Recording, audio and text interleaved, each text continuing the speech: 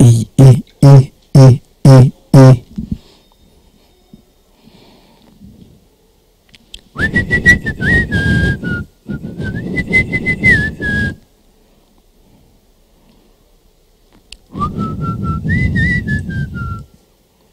Oi, oi. Saiu? Um, dois, teste.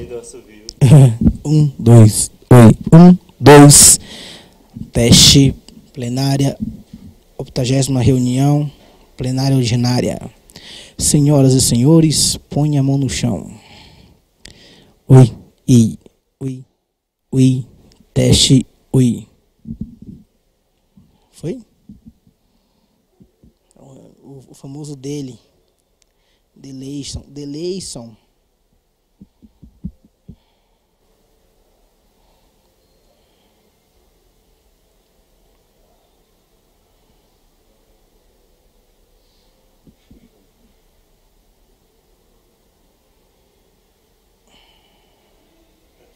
Foi?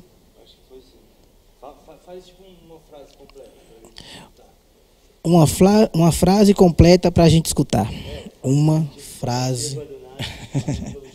Não é não? Teste de gravação. Teste de transmissão. Um, dois. E, e. Oi, som. Oi. Oi. Oi.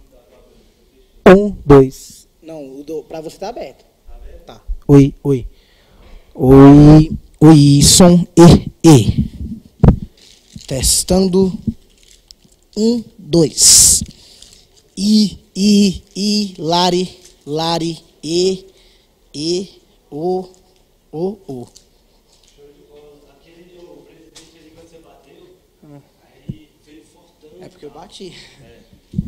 Mas eu acho que é esse.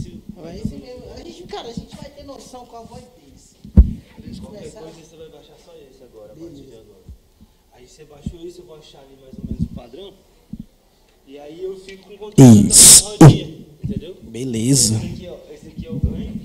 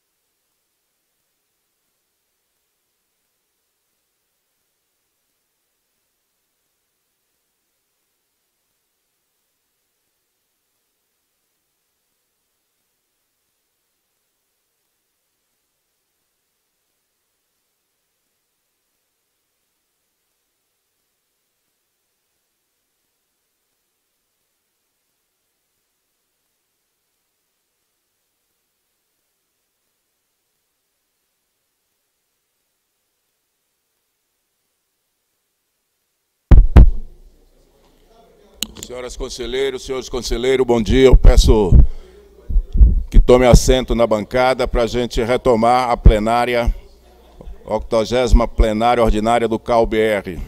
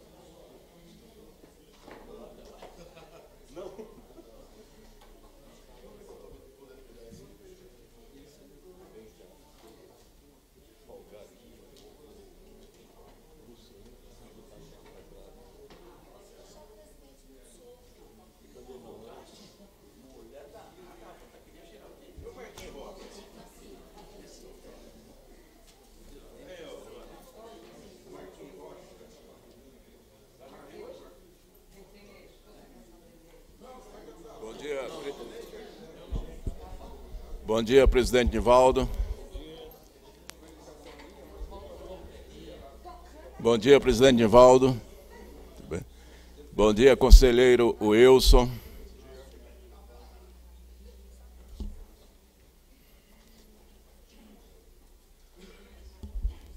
Temos a informação, senhores conselheiros, que já temos quórum.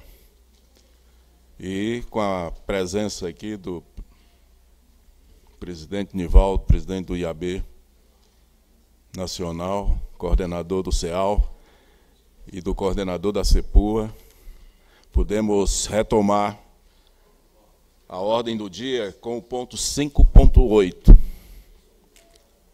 Projeto de deliberação plenária que aprova documento a ser apresentado aos candidatos das eleições 2018.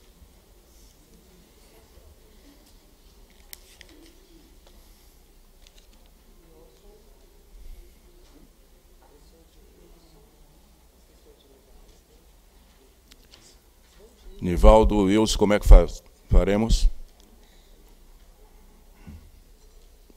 Alô, oi. É, bom dia a todos, colegas conselheiros.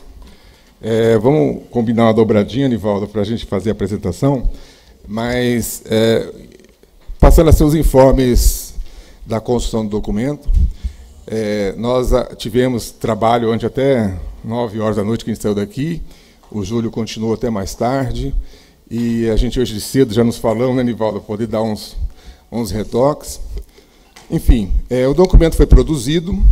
É, eu sugiro que a gente apresente aqui na tela. Eu vou pedir até para o colega é, Nixon fazer a apresentação da. Eu sugiro até a leitura para ficar é, todos acompanharem, né? E depois, se o Nivaldo quiser falar antes, ou quiser falar depois da apresentação do documento, mas uh, eu acho melhor a gente apresentar e a gente faz os, os comentários, como que foi a estrutura, como que foi o, o, o pensamento da construção desse documento. Me falta quer fazer alguma intervenção? Tá? Então eu posso para o Nixon. Ah, tá. Essa, essa nessa aqui não. É aquela lá. Tá. Eu o dou... Nixon faz a, faz a leitura do documento para todos tomarem conhecimento. Aí depois da leitura a gente faz os comentários, como que foi a, a construção, qual que foi a, o objetivo, a linguagem adotada, enfim. Então, com a palavra o nosso colega Nixon. Bom dia a todos. Bom dia. Aberta aos candidatos nas eleições de 2018 pelo direito à cidade. Manifesto dos Arquitetos e Urbanistas do Brasil em defesa do planejamento urbano solitário, solidário e inclusivo. Nossas cidades pedem socorro. Em um país continental, onde 85% da população vive em cidades dos mais diferentes portes, marcadas por desigualdades territoriais e injustiças sociais, é fundamental que se avance na reforma urbana baseada na função social da cidade prevista na Constituição e regulamentada pelos Estatutos da Cidade. Reforma que deve se contrapor ao urbanismo que privatiza e fecha nossas cidades, sem evitar que a violência alastre-se ante a incapacidade do Estado de implementar políticas eficazes de mobilidade e enfrentamento de carência da infraestrutura, da degradação do espaço público, da fragilidade da relação cidade-meio ambiente, do espraiamento das periferias com urbanização incompleta e do crescente déficit habitacional. As eleições de 2018 constituem uma oportuna ocasião para identificar o compromisso e a vontade política dos candidatos na construção da agenda que contemple uma política pública de planejamento urbano solidário e inclusivo, que seja o vetor da democracia no Brasil e contribua para tornar nossas cidades humanas, justas e sustentáveis. Estamos entrando em um período de inclusão socio-territorial que exige uma prática efetivamente democrática, de forma em que os ganhos gerados pelas economias de aglomeração sejam equitativamente compartilhados por todos os sujeitos sociais e econômicos. Para tanto, a sociedade brasileira deve ter um protagonismo maior no planejamento do território nacional. Com esse objetivo, cumprindo seu papel histórico, os arquitetos e urbanistas, representados pelo Conselho de Arquitetura e Urbanismo do Brasil e pelo Instituto de Arquitetos do Brasil, com o apoio de todas as demais entidades da categoria, apresentam suas análises e propostas aos postulantes à presidência da República, aos governos estaduais, ao Congresso Nacional e à Assembleia Legislativa estaduais e distrital. O planejamento solidário e inclusivo que se propõe está fundamentado em três pilares. Um, projeto nacional baseado na territorialização das políticas públicas.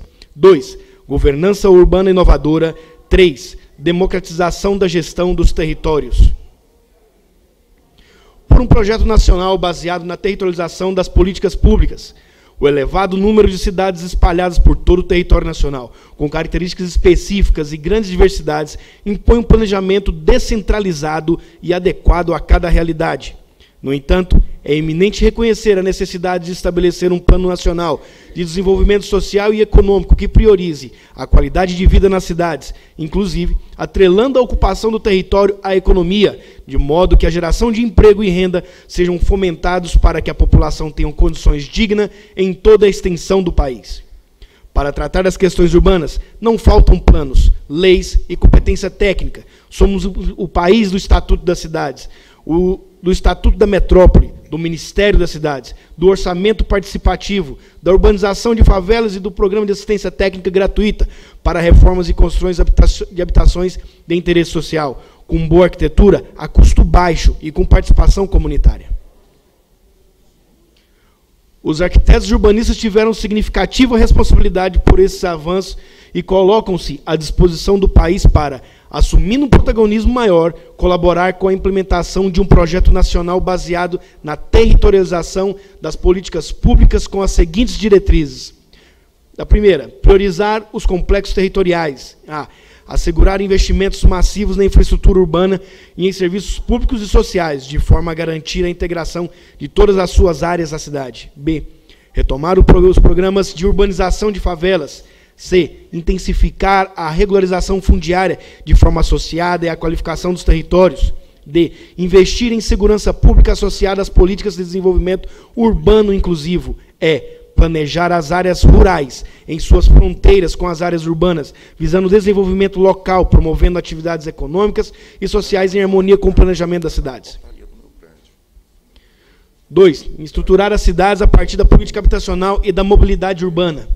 Investir na, na, ampliação, integração e qualificação da rede de transporte público de massa, de forma integrada, e a produção de moradia social em áreas onde o investimento público em infraestrutura e equipamentos urbanos já foi consolidado e ou viabilizado. B. Implementar a política habitacional por meio de programas diversos que consideram as especificidades regionais e seus beneficiários.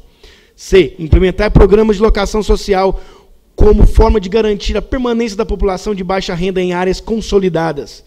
D. Incorporar assistência técnica para habitação de interesse social, Lei 11.888 de 2008, como política pública de Estado. E. Utilizar, utilizar a ortoga do direito de construir, prevista no Estatuto da Cidade, para financiar o acesso dos mais pobres às áreas consolidadas, regulando o uso do solo, impedindo a especulação. F. Integrar a moradia na política de assistência social para o atendimento de cidadãos em condições de vulnerabilidade, incluindo a população em situação de rua. G. Democratizar o acesso ao crédito imobiliário, especialmente para possibilitar a atuação de pequenos empreendedores tecnicamente habilitados junto às comunidades, inclusive gerando emprego e renda. H. Investir a ampliação e qualificação de rede ferroviária e hidroviária visando maior integração do território nacional e latino-americano, melhorando as condições de logística. Do 3, promover o planejamento e a governança inovadora das regiões metropolitanas. A desenvolver os planos de desenvolvimento urbano integrado de forma efetivamente participativa e propositiva, articulados com os demais planos territoriais e setoriais. B Estabelecer instâncias de governanças metropolitanas democráticas com capacidade de implementar os sistemas de planejamento integrado das regiões metropolitanas. C. Desenvolver projetos de interesse metropolitano de acordo com as funções públicas de interesse comum definidas no PDUI. D. Criar o Fundo Nacional de Desenvolvimento Urbano Integrado, visando articular os recursos destinados a funções públicas de interesse comum. É, regulamentar e possibilitar de financiamento para consórcios públicos, ampliando a possibilidade de governança e execução de projetos de interesse metropolitano. F. Intensificar os investimentos em mobilidade urbana nos modais de alta capacidade de transporte para ampliação de linhas com integração das cidades que compõem a metrópole. No 4. Fortalecer a rede de cidades pequenas, médias, ribeirinhas e de fronteiras. A. Promover um suporte técnico necessário aos municípios com menos de 20 mil habitantes, hoje cerca de 3 mil, mais de metade do total de 5.570 do país, que não possuem estrutura administrativa e recursos financeiros para sustentar os quadros especializados. B. Promover o apoio técnico para orientar o planejamento das cidades médias em processo de crescimento demográfico. C. Fomentar a produção agropecuária familiar e a pesca para fortalecer a dinâmica socioeconômica das pequenas cidades desenvolver um plano de ação para cidades que acolhem refugiados e imigrantes, especialmente nas fronteiras. É, aprimorar o monitoramento da fronteira seca. Do 5, valorizar os centros históricos. Adotar políticas ambientais e culturais que valorizam as dimensões material e imaterial do patrimônio. B. Implementar os instrumentos indutores da função social da propriedade previstos na Constituição Federal, visando estimular a ocupação de imóveis e terrenos ociosos, inclusive e pertencentes ao Estado. C. Promover a mobilidade urbana não motorizada e a qualificação dos espaços públicos. D. Incentivar o uso misto para fortalecer a dinâmica socioeconômica existente. É, promover a elaboração de forma participativa e inclusiva de planos urbanísticos voltados à requalificação das áreas centrais das cidades brasileiras. F. Promover políticas públicas que favoreçam a renovação de edifícios históricos significativos de forma a respeitar e a valorizar o seu papel enquanto documento de memória e, ao mesmo tempo, possibilitar a sua inserção na dinâmica da cidade. 6. Preservar e valorizar o meio ambiente. A. Enfatizar a dimensão ambiental no planejamento urbano e territorial a partir de ecossistemas nacionais e suas especificidades. B. Promover a conservação ambiental em sintonia com a conservação ecológica e o desenvolvimento local com a agroecologia. C. Promover ações de adaptação e mitigação dos efeitos da mudança climática. D. Implantar projetos que tenham como ênfase o protagonismo comunitário. É aumentar o investimento e efetivação das políticas nacionais de recursos hídricos, Lei 9.433 de 1997, de saneamento ambiental, Lei 11.445 de 2007, de mudanças climáticas, Lei 12.187 de 2009 e de resíduos sólidos, Lei 12.305 de 2010. Do 7, fortalecer territórios de povos tradicionais e de interesse cultural. A. Considerar o planejamento urbano desenvolvido a partir de uma rede de centros de difusão de saberes e culturas que respeite as especificidades regionais e locais. B. Preservar territórios tradicionais, fortalecendo políticas públicas voltadas para a recuperação da cultura de povos historicamente marginalizados nas políticas de prevenção e valorização cultural. C. Identificar e mapear terras das culturas tradicionais, promovendo políticas que visam perpetuar o patrimônio cultural. Por uma governança urbana e inovadora. Para a efetiva construção de um pacto para o desenvolvimento com qualidade de vida das cidades, é previsto reconhecer a necessidade de descentralização e definição das políticas locais, bem como a sua execução, a diversidade dos problemas dos 5.570 municípios brasileiros requer ao apoio efetivo dos governos estaduais e federal, porém a decisão do governo local deve prevalecer, sem prejuízo do desenvolvimento regional e nacional. Fortalecer o governo local para as administração das cidades é fortalecer um pacto federativo e reconhecer as diversidades regionais. Uma governança urbana inovadora deve 1. Um, criar um Sistema Nacional de Desenvolvimento Urbano com estrutura administrativa interligada para o planejamento, concepção, desenvolvimento e execução de políticas urbanas nas três esferas de governo, promovendo uma governança interfederativa nas regiões metropolitanas. 2. Descentralizar a definição e execução das políticas públicas para o desenvolvimento urbano a partir de políticas nacionais e que possibilite a incorporação de políticas regionais e locais para garantir a sua efetividade. 3. Construir instâncias colegiadas 3. Constituir instâncias colegiadas nos municípios com participação dos agentes públicos das três esferas de governo, na sociedade civil organizada e da população para priorizar os investimentos dos estados e do governo federal na cidade. 4. Cumprir as metas previstas na Agenda 2030, 2030 para os Objetivos de Desenvolvimento Sustentáveis ODS especialmente aquelas relativas ao objetivo 11, tornar as cidades e os assentamentos urbanos humanos inclusivos, seguros, resilientes e sustentáveis. 5. Desenvolver estratégias de monitoramento dos indicadores que tenham por base o acompanhamento, a gestão e o controle social das ações de desenvolvimento sustentável, visando a equidade de acesso e o protagonismo de comunidades nos processos de implantação das políticas públicas.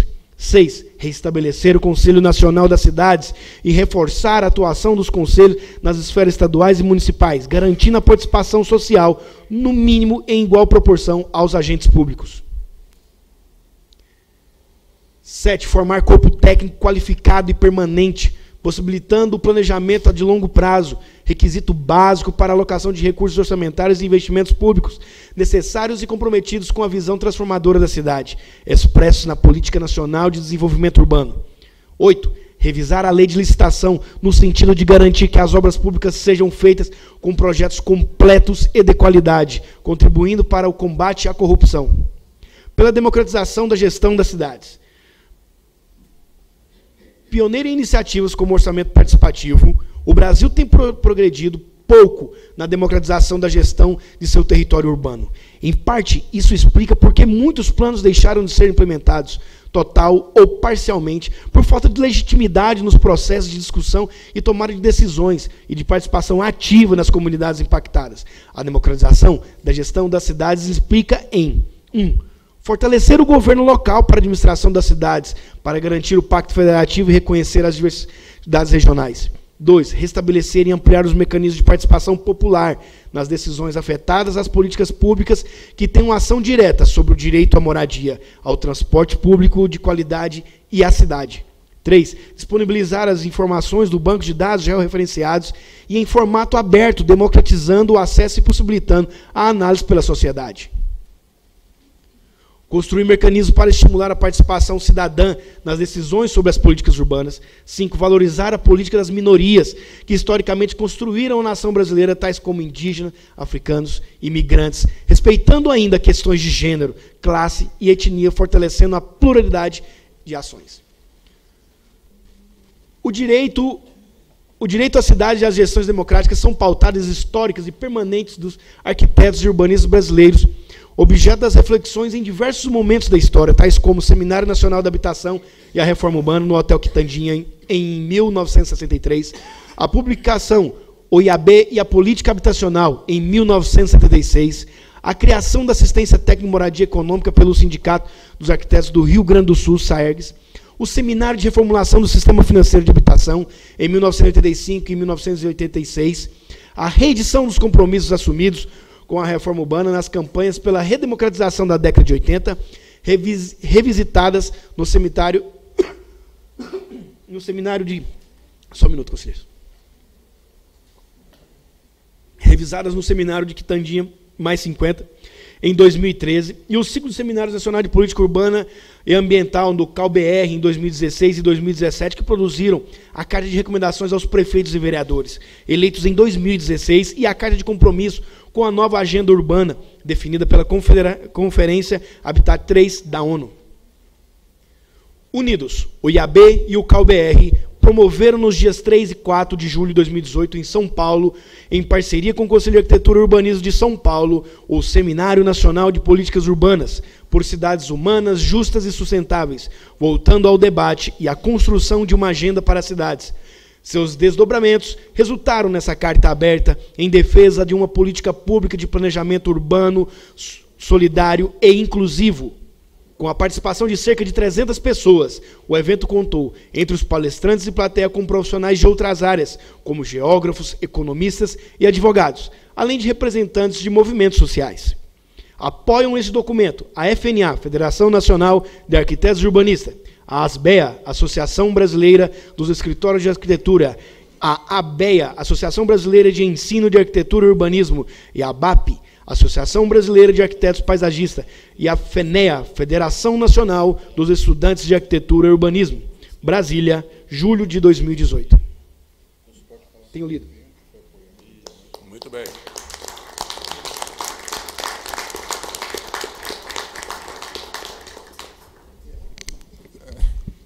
Senhores, então está apresentado.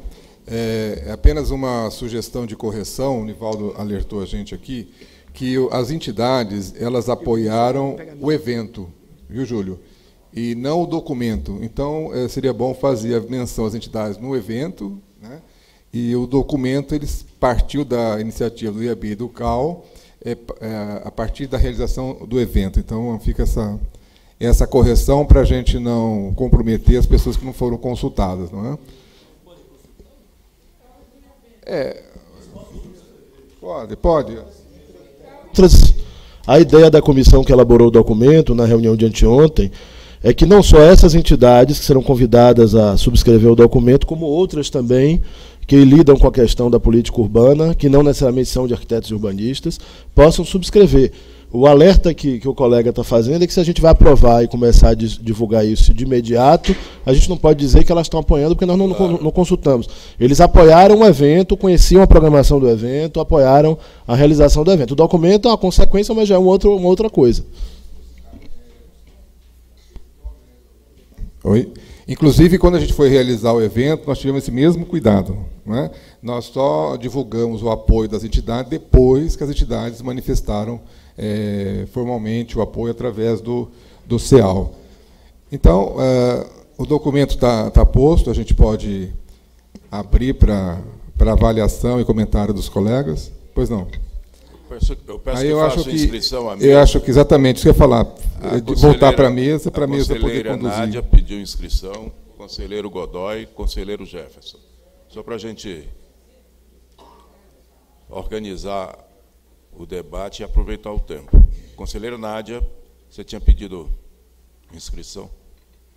Sim, eu tenho, quero primeiro parabenizar, eu acho que o esforço do IAB e do CAL para realizar isso, e eu queria fazer cinco comentários que eu não tive tempo de, de solicitar a inclusão. Posso fazer agora? Pode.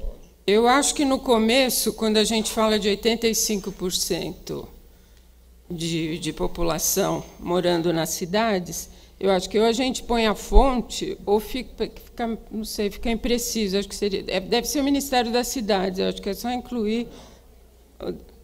Bom, de qualquer jeito, eu acho que o mais importante, além disso, por favor, eu não queria ser interrompida. Uh, eu acho que o importante, além da, da, população ser moradora das cidades, eu acho que o essencial no nosso processo de urbanização é a grande desigualdade de renda. Eu acho que não tem nada falando que tem desigualdade de renda. Eu acho que no começo tinha que incluir isso de, de alguma maneira, que a perspectiva das cidades, do processo de urbanização, a redistribuição de renda através do, dos investimentos públicos. Mas isso acho que é fácil de, de fazer.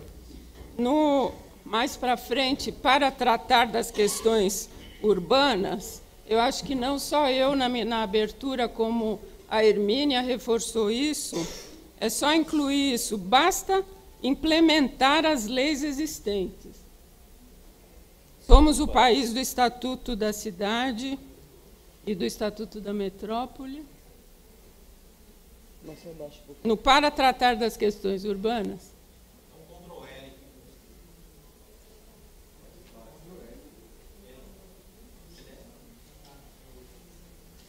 Para tratar das questões urbanas. Para tratar das questões urbanas. É esse parágrafo, é no começo.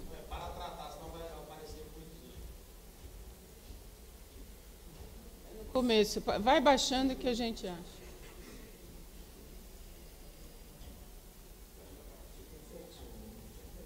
Depois eu posso passar, acho que fica mais rápido assim. Acho que basta implementar as, para tratar, não falta planos e leis ou competência técnica. Basta implementar as leis e os planos existentes.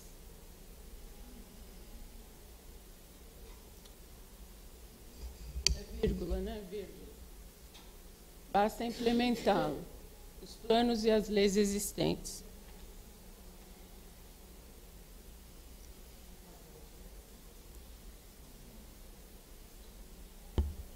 Eu acho que isso é importante, que as leis existem, elas não são implementadas, porque não tem enquadramento institucional, não tem legitimidade construída para isso. É, pode ser, fica melhor, mais elegante.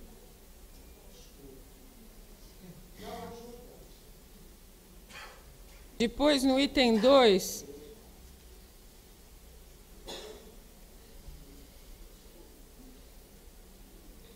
item 2, vai descendo no item 1, item 2. No item 2, no A, quando a gente fala que precisa ter infraestrutura no programa Minha Casa Minha Vida, acho que garantindo a qualidade urbana, porque não basta só ter infraestrutura. Eu acho que a nossa tarefa é garantir a qualidade urbana. Acho que podia investimento público garantindo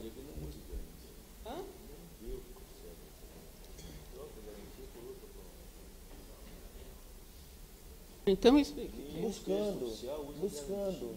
Buscando. Buscando a qualidade urbana. Tudo bem. Mas eu acho que tinha que garantir com a participação da população. Enfim, tudo bem. Estamos aqui numa democracia. Porque, mas aí não, não, não, não interfere não, tá? Você pode estar garantindo a participação da população, buscando a qualidade urbana. É.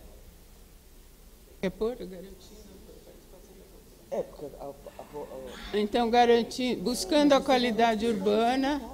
Tem outros momentos que já falam. Bom, não, é minúcias, não é? Eu acho que é uma questão conceitual aqui, a questão da qualidade. Eu acho que é importante, porque é isso que a gente está defendendo há muito tempo. No item 5, eu sugeriria incluir o item G. Item G é um item novo implementar fundos, articulando recursos das diversas esferas de governo com participação popular.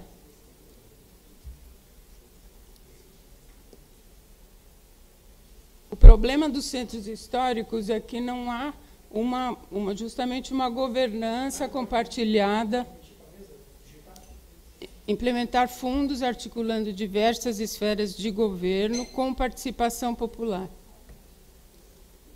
Existem vários investimentos desarticulados.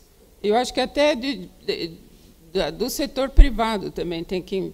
Mas, enfim, não sei como um fundo poderia. É necessidade de ter isso. E, e no fim, na, pela democratização da gestão, planos deixaram de ser implementados, eu acho que planos e leis. Né? Nós temos leis, várias leis que não foram. É bem no final isso, pela democratização da gestão. Eu acho que o mais importante, o mais importante é a questão da redistribuição de renda via processo de urbanização. A gente não fala que tem uma grande desigualdade do nosso país. É o que a gente vive aqui no planos e leis.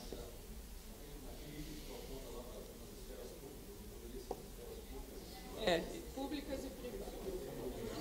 É que não pode ser. Planos e leis.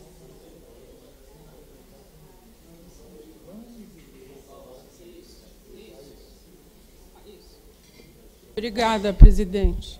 Obrigado, conselheira Nádia. Conselheiro Ednésia está fazendo um adendo, a, pedindo para. Por favor, conselheiro Ednésia. Obrigado, obrigado, presidente. Seria retornar naquele item que, que a Nádia colocou, que fala sobre recursos públicos, que era um item uh, que estava bem acima lá. Uh, uh, não sei, estava em vermelho aí. Onde ela fala nas esferas, esferas públicas. Deve estar em vermelho. ali. Implementar. volta, volta, volta na tela anterior. Implementar é.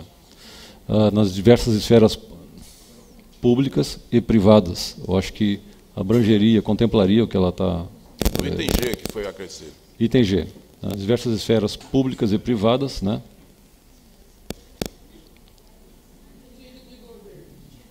Tira de governo.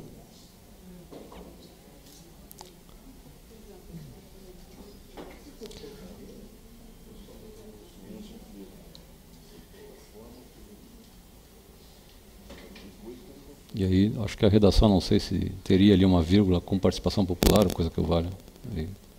Era isso, não sei se fica.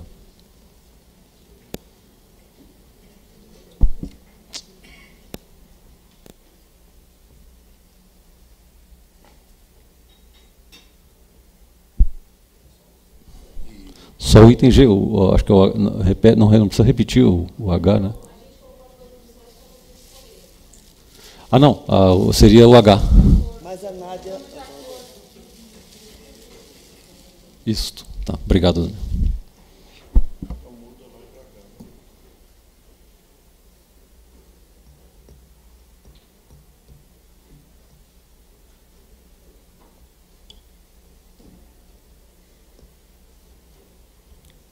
Colega Wilson, colega Nivaldo. Como é que nós vamos proceder? Temos aqui mais quatro inscrições. Nós vamos Sim. fazer análise do, dessas é, eu, sugestões acho, da conselheira Nádia. Eu acho bom fazer todas, né, para ver se... Todas é. e depois a gente faz a leitura. É. Ok. Então, conselheiro Godoy. Primeiro, né, militante da da causa do planejamento urbano, somente municipal, parabenizar as entidades, parabenizar o, meu IAB, né, que sou fundador do IAB de Berlândia, associado do IAB em dia, do IAB de Minas, que isso é importante, né? lá temos poucos, isso é terrível. É, eu gostaria aqui de ver, o Nivaldo, o penúltimo parágrafo, é, unidos o IAB e o CalBR promoveram. As outras entidades não promoveram juntos, só para apoiaram. Né? Só para fazer uma, porque então, com apoio entidades eu respeite mais também. Claro, com certeza. Eu acho que só um jeito que colocaram o documento embaixo. Agora, uma coisa que eu estou sentindo falta, infelizmente eu não pude ir por problemas pessoais, profissionais, é, eu não vi a questão metropolitana. Eu fui. Nivaldo, ontem até que eu vi vocês reunidos, eu queria, mas eu estava muito cansado. Eu, é, a questão metropolitana. Eu fui diretor do Plambel, autarquia, né, Planejamento da Região Metropolitana de São Paulo. Lá em Plaza, até, Nádia, era o Pedro Tadei Neto, que, que era diretor na, na época. E a questão metropolitana, é, é, hoje, em Minas Gerais, ela está ao contrário. Ela está em pequenas, em pequenos municípios se juntando. Né? Lá a gente tem associações micro-regionais que é, estabeleceram consórcios de coleta de lixo, de tratamento, de saúde, que isso até depois passou pelo Brasil. Então, eu estou sentindo falta, não sei se houve essa um pouco mais de enfoque na questão metropolitana, não só das grandes cidades. Né? Na época eram só nove regiões metropolitanas, quando eu fui, 87, 88, Fundrem, é, Iplan, é, Salvador, eu não me recordo qual era o nome, Porto Alegre, enfim. Conder, Conder, Conder. É, enfim, a, a, questão metropolitana, para quem vive nos grandes centros, é muito, muito candente, muito, mas não só para quem está, para as pequenas, igual que eu estou dizendo, cidades de 3, 10, 15 estão se juntando em consórcios, que é uma nova qualidade nos rincões das minhas Minas Gerais. E parabenizar, viu, Nádia, é, o IAB lá de São Paulo, o IAB Nacional, to, todo o pessoal que esteve envolvido. Eu acho que realmente eu estou tô, tô muito triste de não poder ter participado, né? Da, de, de, mas eu vejo que foi muito proveitoso. E agora é, ver que forma a gente pode fazer chegar nas prefeituras pequenas mesmo, né, de para esse documento que ele é muito rico, né? Isso não é um documento, isso é um guia muito forte. Parabéns, viu, a todos aí. Opa. Pode. falar dele? A questão das, das regiões metropolitanas, ela está contemplada como um item inteiro, que é o item terceiro, promover o planejamento e a governança inovadora das regiões metropolitanas, que se desdobra em seis propostas, e o item seguinte chama-se fortalecer, o item 4, fortalecer a rede de cidades pequenas, médias, ribeirinhas de fronteira, que, portanto, tem, se desdobra também em cinco itens, cinco propostas, e, portanto, contemplam a sua preocupação, acredito que contemplam a sua preocupação com esses dois importantes temas tanto a região metropolitana quanto as redes de cidades médias e pequenas, que incluem não só as regiões metropolitanas menores, mas outras redes de cidades que não são região metropolitana. Consórcio. Obrigado, conselheiro Godoy. Conselheiro Jefferson.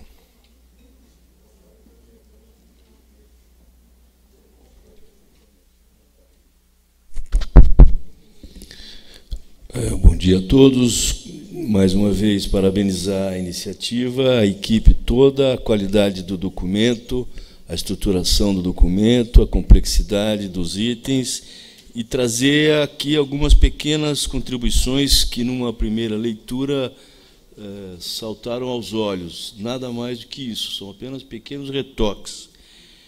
Logo no início, fala que os arquitetos tiveram uma participação não sou da academia, mas não me soou bem. Talvez tenha uma participação seja mais correto. Fica uma primeira sugestão. Na mesma linha que fiz o comentário com a colega Nádia.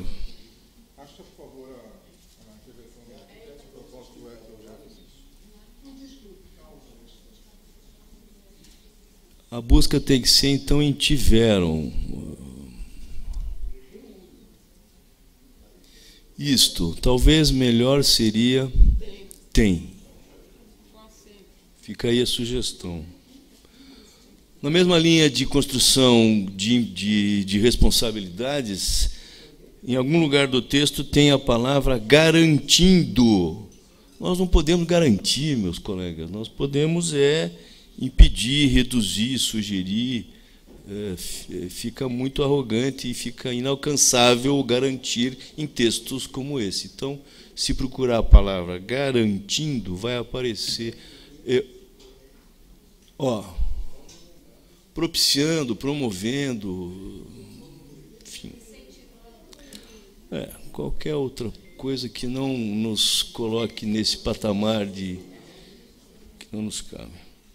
Por fim, é um comentário que, que tem apenas, se eu não me engano, uma ou duas vezes a citação da sigla CalBR. Não, se não seria o caso de nós tirarmos o BR, colocar apenas Cal, que é uma maneira de nós envolvermos também os outros estados. São essas as poucas sugestões e mais uma vez parabenizar que isto chegue a todos os presidentes de partidos relevantes, os irrelevantes são irrelevantes, a todos os candidatos relevantes, os irrelevantes são irrelevantes, que a gente possa, partir dessa construção, desse momento político, fazer uma inserção mais ampla, mais propositiva da categoria dos arquitetos urbanistas no desenvolvimento social e econômico desse país. Mais uma vez, parabéns a todos os envolvidos. Obrigado, conselheiro Jefferson. Conselheiro Ednésia.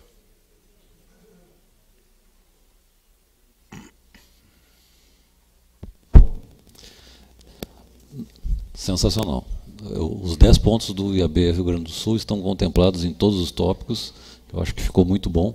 Uh, em todo o texto, né, o arquiteto está de cima a baixo, mas eu pergunto se há uh, como uh, enfatizar um pouco mais a nossa participação.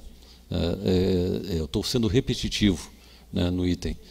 a importância do arquiteto dentro do, do, do da gestão seja ela é, como prestador de serviço ou seja ela como servidor.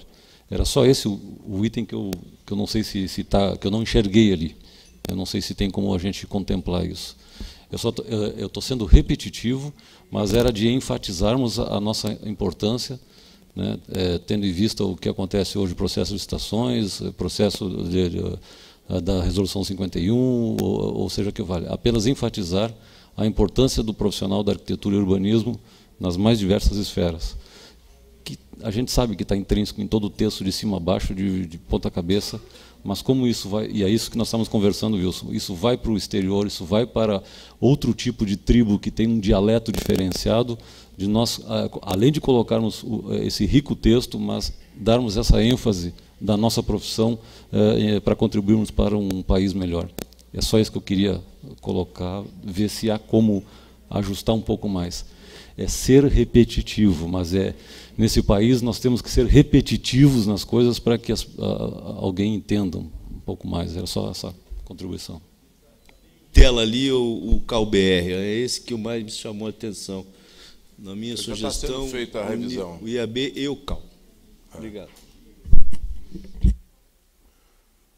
O colega Ednésia faz uma observação que eu acho importante enfatizar. E o caso também, a questão da formação. O profissional, arquiteto e urbanista, por sua formação, tem o compromisso com a sociedade e a cidade. Pode parecer uma coisa corporativa, mas eu acho que é o momento da gente afirmar também na questão que está comprometido com a formação. A formação dele é para tatuar na cidade, na defesa da, da sociedade, dos direitos. Da formação.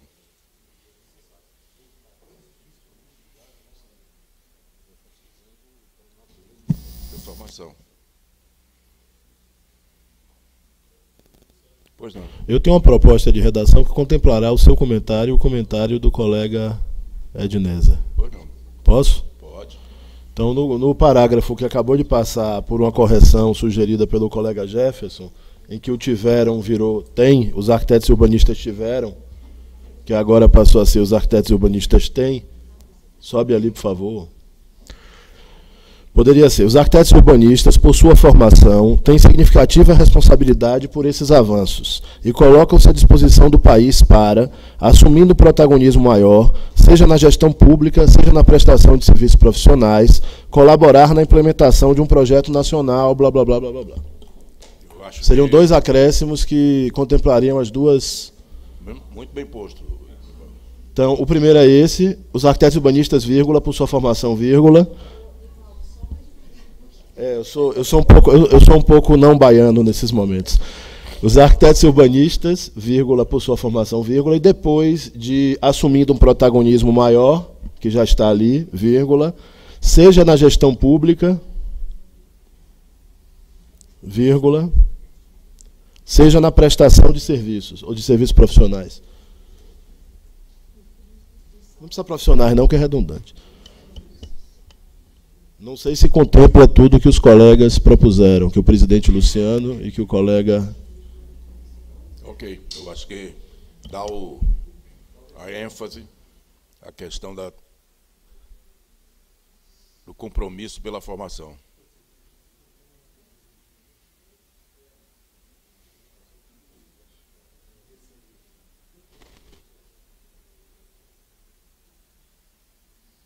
Pois não, conselheiro, conselheiro Ricardo, a conselheira Nádia está inscrita, depois conselheiro Ricardo. Desculpe, Nádia não. Desculpe, Lana. Desculpa, Lana. Pois não, vou inscrever depois do conselheiro Ricardo. É, ontem, hoje eu não olhei novamente, mas ontem tinha uma questão que eu dei uma enfatizada no texto, que é a questão, porque nós estamos elegendo agora não os prefeitos, mas os deputados, os senadores. E então, por caracterização, algumas coisas são fundamentais destacar para esses parlamentares. Primeiro, os nossos documentos maiores que embasam os nossos documentos menores, que é uma luta que a gente travou nesse tempo todo, porque todo dia eles querem fazer Frankenstein daquele documento que a gente não consegue nem implementar, que é o Estatuto da Cidade e o Estatuto da Metrópole. A gente não consegue implementar e eles querem fazer Frankenstein do documento. Todo dia eles querem enfiar mais uma coisa lá, descaracterizando o documento. Então, enfatizar muito é, a importância que está aí no documento da existência desses documentos e da implementação destes documentos, e não a, a essas alterações que é, descaracterizam o, o, o, documento. Claro que eles têm que passar por revisões, mas não da forma como vem sendo feita todo dia um novo projeto de lei fazendo um adendo no, no, no, na lei existente, sem nenhum compromisso com o que vem antes e com o que vem depois.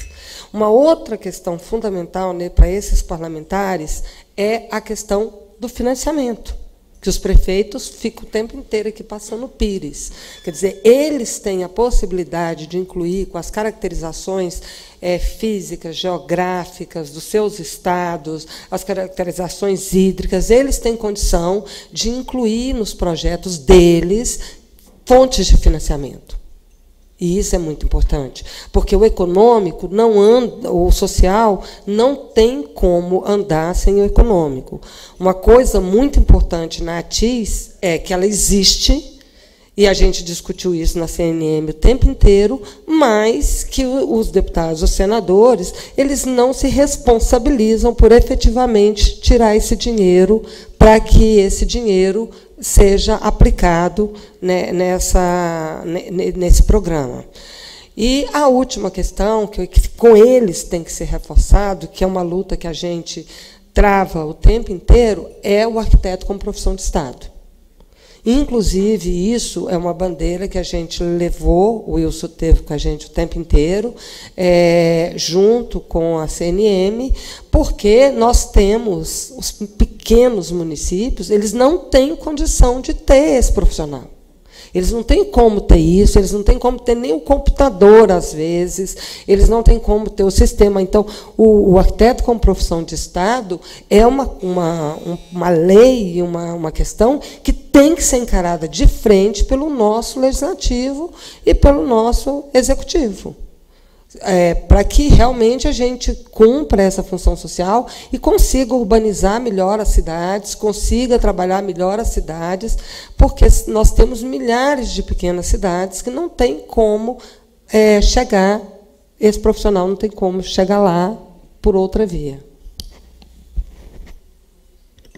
Obrigado, conselheira Lana. Conselheiro Ricardo. Eu poderia, como a Lana fez assim uma, uma, uma uma colocação genérica, é, a gente podia tentar ver se algumas coisas do texto não contempla aquilo que você está colocando. Por exemplo, a questão da, da, da, da, destinação de recurso, o que a gente trouxe ali é o inverso, né? Quer dizer, é, procura por favor a instância colegiada da governança, que propõe exatamente a participação de um colegiado local, né? Eu acho que está nesse ponto. Eu te falo é, da, da, da participação do na concepção das políticas, planejamento, talvez seja aí, antes um pouquinho. É, tem um momento que a gente fala é, justamente da, da, da, junção das esferas de governo, no planejamento, na concepção, na execução. Eu acho que é mais interessante isso do que você trazer uma garantia de cima para baixo. A gente tentou evitar sempre essa, esse fluxo de cima para baixo, né? e provocar a, a discussão de baixo para cima, envolvendo quem de fato, recebe o recurso que é o território, que é a cidade. É, é como o Gerson colocou, a garantia é uma, uma, A gente tem que reforçar a necessidade. Né? Agora, a garantia vai depender, obviamente, da mobilização de todos, da, da cobrança, da, do, do, do, do, do debate, né, que vai conseguir garantir. Então, se você entender, Lana, que contemplaria, eu acho que a gente já, já resolve essa, essa questão. Agora, a questão da, das leis também tem um ponto que a gente fala do estatuto. Isso foi discutido no, no nosso debate, né? É reforçar a existência das leis. No início, a gente chamou atenção para a Constituição e a gente deu destaque ali o Estatuto da Cidade, da metrópole, talvez é, fazer um, seria alguma palavra ali que pudesse é, garantir é, ou, ou, que forma observar a existência dessas leis. Oi? Vamos lá. Desce um pouquinho aí, por favor. onde fala o país, Estatuto da Cidade, da metrópole. Nós fizemos referência também às leis ambientais, às leis de saneamento. Talvez, se tiver que fazer um, um, um reforço no cumprimento, colocar alguma frase nesse sentido. Se você puder nos ajudar aí a, a complementar a sua sugestão, a gente já insere aqui, enquanto a gente passa a palavra para o presidente designar o próximo Obrigado. interventor. Conselheiro Ricardo, pode fazer a manifestação. Bom dia a todos e a todos. É, eu confesso que, primeiro, parabenizo as, as mãos e cabeças que fizeram a redação do texto. A carta tem um, um conteúdo bastante profundo, acho que reflete bastante o pensamento coletivo dos arquitetos urbanistas. Mas eu confesso que às vezes eu me sinto um pouco exógeno aqui na participação da plenária, porque eu escuto uh, com todo o respeito que eu tenho pelos colegas, me parece mais, às vezes, alguma reunião do COSU e menos reunião plenária do CalBR, porque é muito IAB, o IAB, o IAB. É, respeito tudo isso, mas é, nós estamos representando todos os arquitetos e urbanistas. Bom, mas é, a minha pontuação é no, na diretriz 2, é, se puderem ir até lá, não me lembro se é a linha B, C, é uma, uma reflexão que eu queria fazer quando, quando menciona ali que há uma uh, estimular ocupações é, para garantir a moradia. Eu fico um pouco é, preocupado quando a gente coloca estimular ocupações, é, a amplitude que isso pode ter na leitura que se faz. Ah, estimular ocupação de imóveis e terrenos ociosos. É, isso eu, eu, gostaria que tivesse uma reflexão por todos aqui, porque assim como existem movimentos sociais é, excelentes, que têm resultados práticos é, de dignidade para aqueles que mais necessitam, também existem aqueles que se, se é, traduzem em ocupações puramente é, ideológicas e partidárias, e nada tem a ver com, é, se utilizam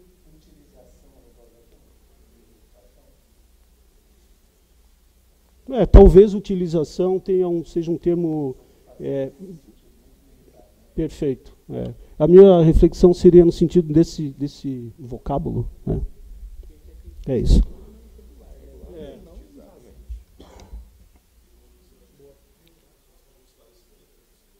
Pode sim.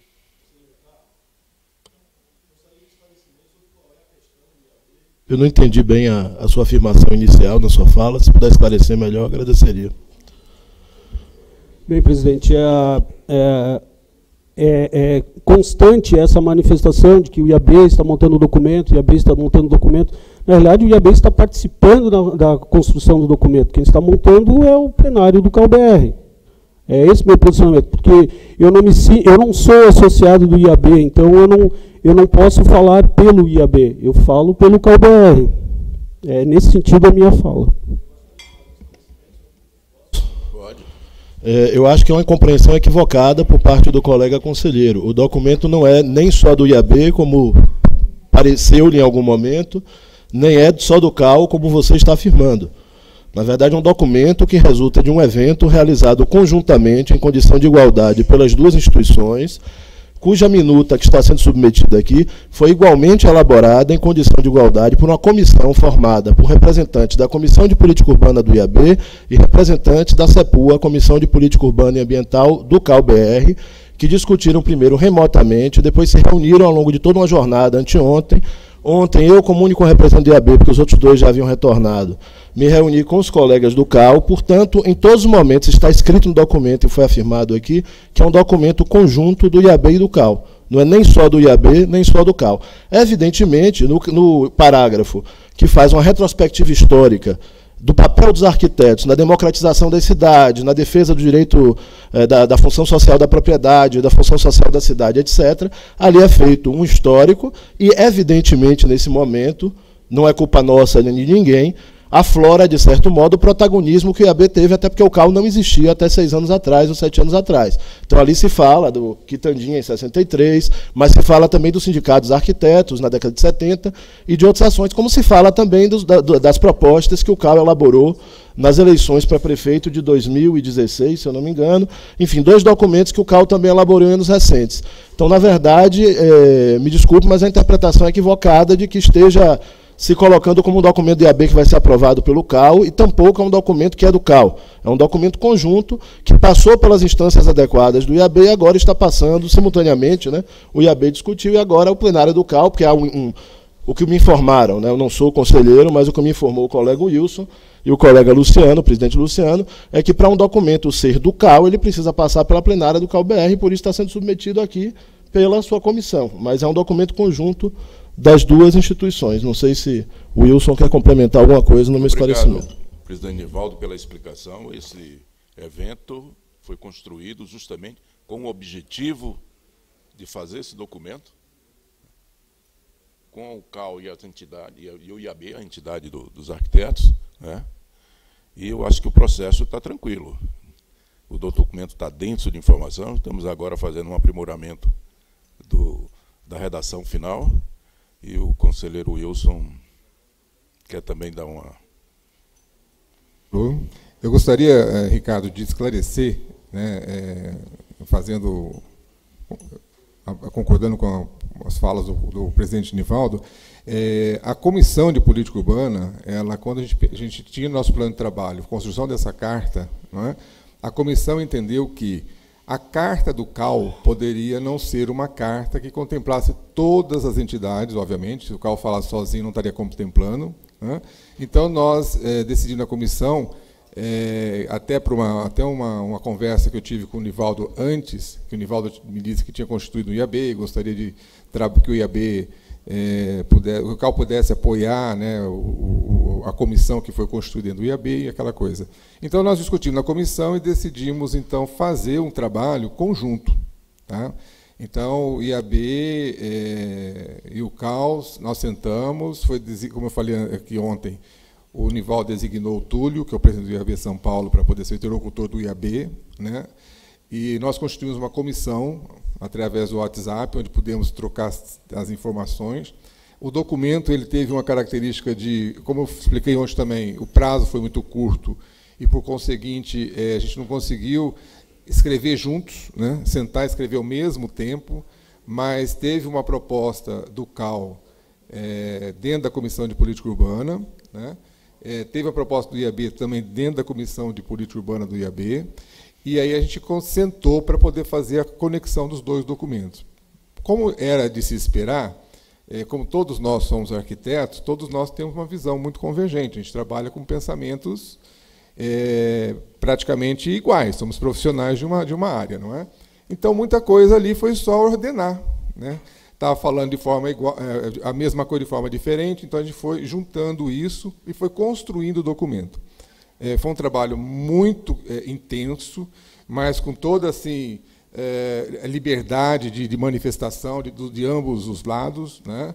E as entidades elas foram convidadas a, a apoiar o documento através do CEAL para dar justamente essa consistência que a gente quer, né? Que a gente pensou inicialmente que é não ser um documento de uma entidade, mas ser um documento de uma categoria profissional que são os arquitetos e urbanistas, como está colocado lá no início a manifestação dos arquitetos e urbaniza. Né? Então, eu creio que se às vezes fala, eu, por exemplo, às vezes eu, eu também me, me penitencio de falar cal, cal, cal o tempo todo. Né? E às vezes incomoda os colegas que estão dentro do IAB. Enfim, assim é o inverso. Quem está dentro do IAB tem o hábito de falar. Então, cria-se o hábito e fica é, é, verbalizando isso. Né?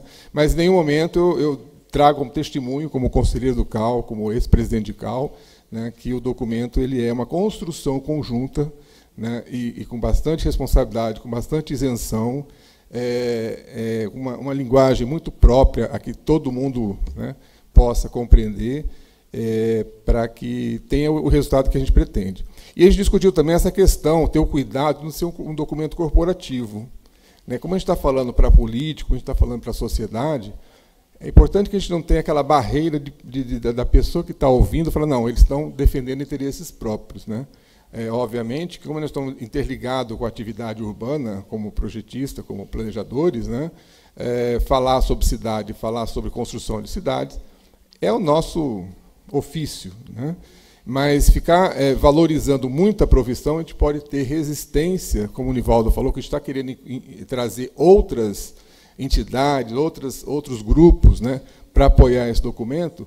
Então a gente tem que ter o cuidado de não ser muito corporativista para justamente provocar a rejeição de quem poderia aderir ao nosso documento. Né?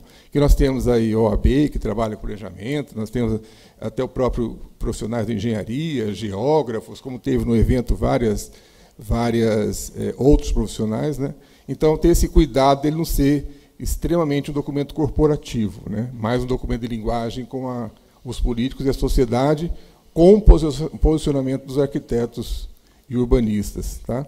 Então, se eu, eu, eu peço desculpas se em algum momento a gente deixou é, passar essa impressão, mas o documento é, é, é uma construção conjunta é, do, eu digo IAB e CAL, mas eu tenho certeza que no CIAL houve esse debate também, e entendo que as entidades estão cientes do que a gente está fazendo. É? E como a gente falou aqui, o Nivaldo até é, pediu a, que a gente observasse no último parágrafo, quando a gente fala que a entidade apoia o documento. A entidade apoiou o evento, né? e a gente vai pedir o apoio ao documento. A partir do momento que eles apoiarem, aí a gente passa a divulgar que o FNA e, e, e as outras entidades é, assinam conosco esse documento, assim como aquelas que estão fora do, do ambiente de arquiteto e urbanista também, se aderir ao nosso documento, seria muito positivo. Tá ok? Obrigado. Obrigado, conselheiro Wilson. Conselheiro Ricardo, mais alguma? Obrigado, conselheiro Ricardo. Conselheira Nádia está inscrita.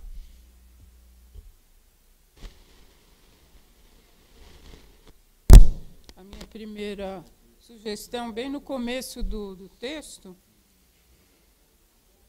Em um país continental de grandes desigualdades regionais e de renda, onde 85% da, popula da população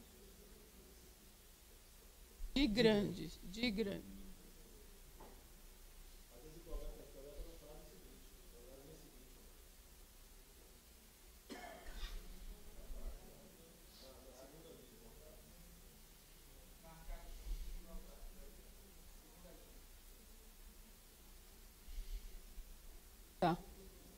Mas a renda não está. Então eu tenho que pôr a renda. Marcados por desigualdade e injustiça. País continental.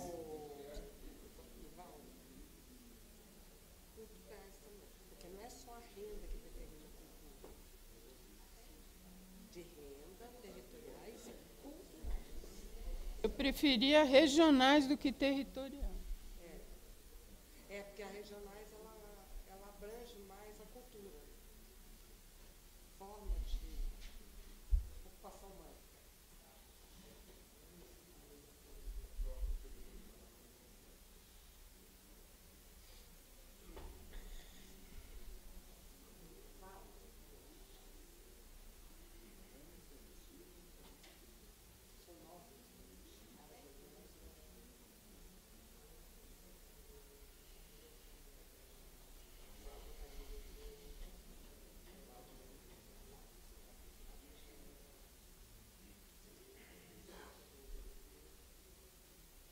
Desigualdades regionais de renda, desigualdades regionais econômicas e injustiças sociais.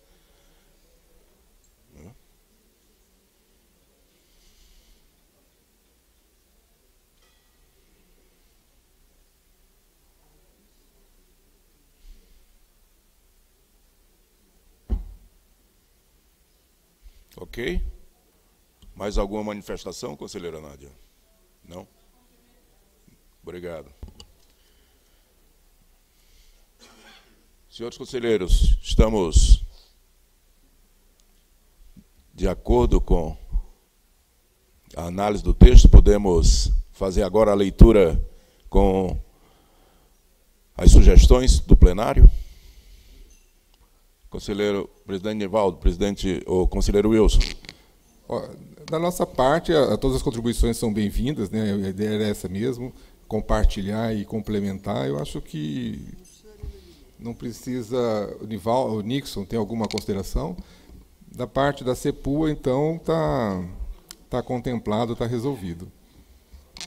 Conselheiro, presidente Nivaldo.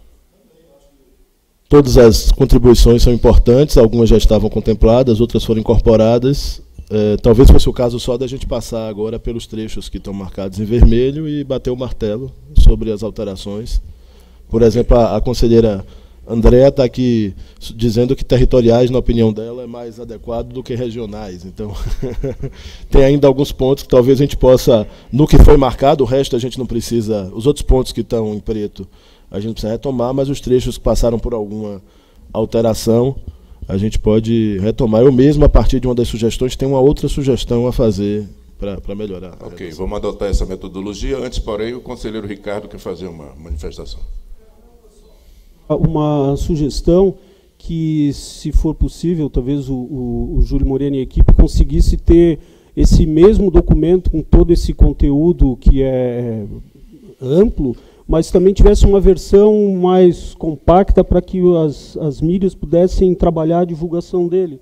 Porque, é, com trecho, porque sete páginas vai ser muito difícil conseguirmos divulgar isso, publicizar isso em determinadas mídias. Né? Então, que tivesse, talvez, né, se, se concordarem, uma, uma short version desse documento. O conselheiro Ricardo faz uma sugestão que não é de conteúdo, não é de mérito, é de organização do documento, do, de um, uma síntese do documento para divulgação. Conselheiro Wilson. Inclusive, presidente Luciano, a gente pede que, após aprovado o documento, o, o, o Júlio vai justamente apresentar essa etapa, tá? onde vai contemplar essa divulgação, a comunicação, ele vai falar sobre a proposta que a gente está é, desenhando também. Tá ok? Ok. Então, vamos fazer a leitura dos textos, dos parágrafos onde foram inseridas sugestões do plenário. Conselheiro Nico, você pode ler? Oi, oi, oi.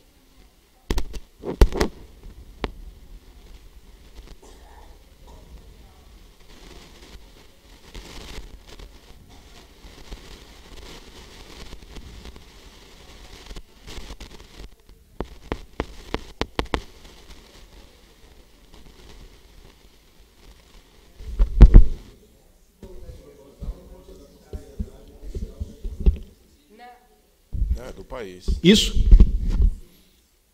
Em um país continental onde 85%, abre aspas, IBGE, da população. Não, não, não, eu não tenho certeza, não. Eu que, que eu lembrei dela, falou da fonte.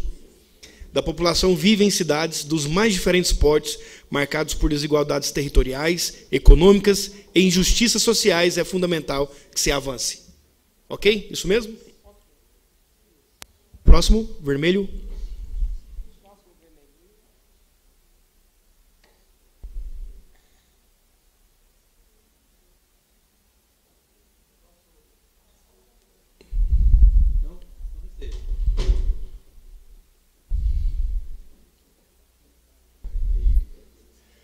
Para tratar de questões urbanas não faltam planos, leis e competência técnica, basta implementá-los. Somos o país do Estatuto da Cidade, do Estatuto da Metrópole, da Lei de Assistência Técnica, do Ministério das Cidades, do Orçamento Participativo.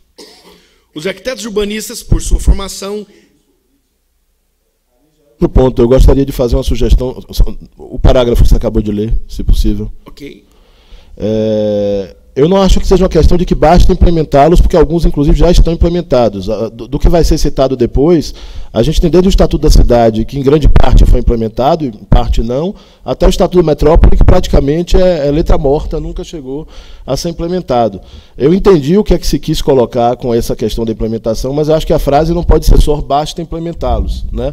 Seria alguma coisa como, sendo que alguns desses instrumentos precisam ser implementados ou, ou não foram implementados. É um pouco mais complexo.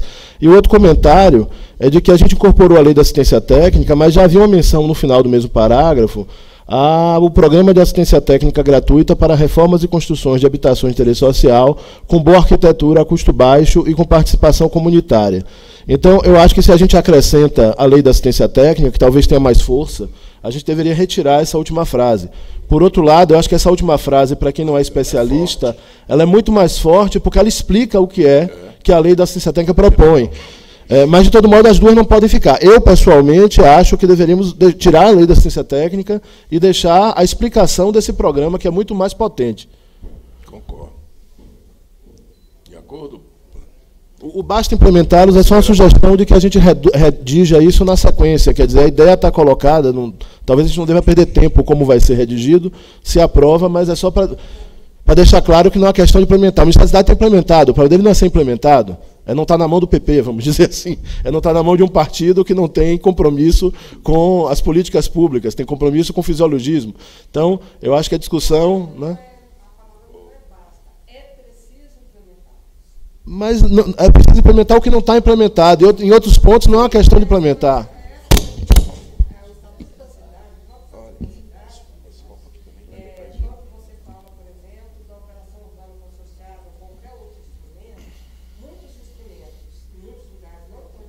microfone. Microfone. Não, com certeza. E outros, como o Estado da Metrópole, não está implementado. Mas o que eu estou colocando é que das outras questões que estão colocadas ali, algumas não são questão de implementação, é questão de gestão. O Ministério das Cidades, como disse Paulo Mendes da Rocha, nesse evento, deveria estar na mão dos arquitetos e não na mão de um político de, de- de profissional. Então, é uma discussão que vai além de implementação de, de- de- leis que existem e não estão implementadas. É uma discussão mais ampla. Eu acho que a problematização é importante, mas a frase basta implementá-los não, não resolve. Basta é, redução. Eu acho que é preciso implementá-los. É preciso. é, porque, assim, é preciso, tem que implementar. Entendeu? É, porque é, basta. É, é, é como se fosse uma coisa muito simples. Não. Ela, ela depende de uma série de outras coisas. Então, é preciso implementá-los. Nádia. Conselheira. Nádia, por favor. Eu concordo com o Nivaldo e com a Lana, mas eu, eu estou sugerindo, já que a gente está falando de potência de texto, eu acho que basta implementá-los, é uma figura de linguagem mais potente e o, o, o candidato ele vai falar, ué, basta, o que está faltando? Eu acho que é mais para chamar atenção do que para falar da problematização que todos nós sabemos que é um árduo caminho para- todo o enquadramento institucional para a implementação de lei. Então, eu concordo com vocês, com vocês dois. Eu sugeri o basta como figura de linguagem para dar mais potência ao texto, porque eu acho que o texto falta um pouco de força. Eu acho que o texto está um pouco homogêneo. Algumas precisaria o Júlio talvez dar um, umas cerejas assim de umas coisas mais chocantes. Eu acho que o basta implementá-lo é algo chocante. Parece que é fácil, não é? Claro que não é. A gente sabe que não é, mas é uma figura de linguagem. Mas eu acho que tudo bem. Não é o, o geral do texto. Talvez a, a minha preocupação fosse resolvida se o basta implementá-lo saísse daí e fosse para o final do parágrafo, ou seja, para tratar das questões urbanas não faltam planos, leis ou competência técnica. Afinal, somos o país do Estado da cidade. né?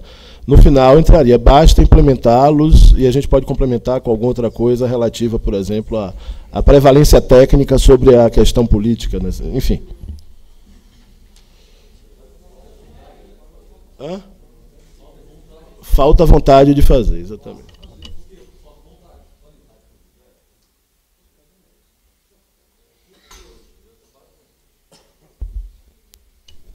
Está aí colocada a sugestão. Oi. Então, para tratar as questões urbanas não faltam planos, leis ou competência técnica. Somos o país do Estatuto da Cidade, do Estatuto da Metrópole, do Ministério das Cidades, do Orçamento Participativo, da Urbanização de Favelas e do Programa de Assistência Técnica, gratuita para reformas de construções de habitações de interesse social. Com uma boa arquitetura, a custo baixo e com participação comunitária, basta implementá-los.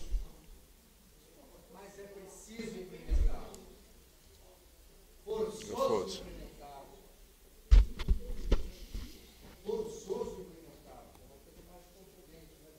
O assessor que vai ler isso aí, ele não vai. Sei o que vai ser mais difícil. O assessor, o cara que vai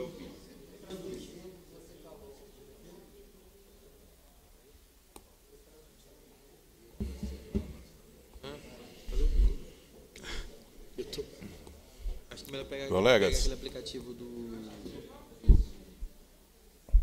O colega Carlos Fernando fez uma proposta, Anivaldo. Vai chamar mais atenção.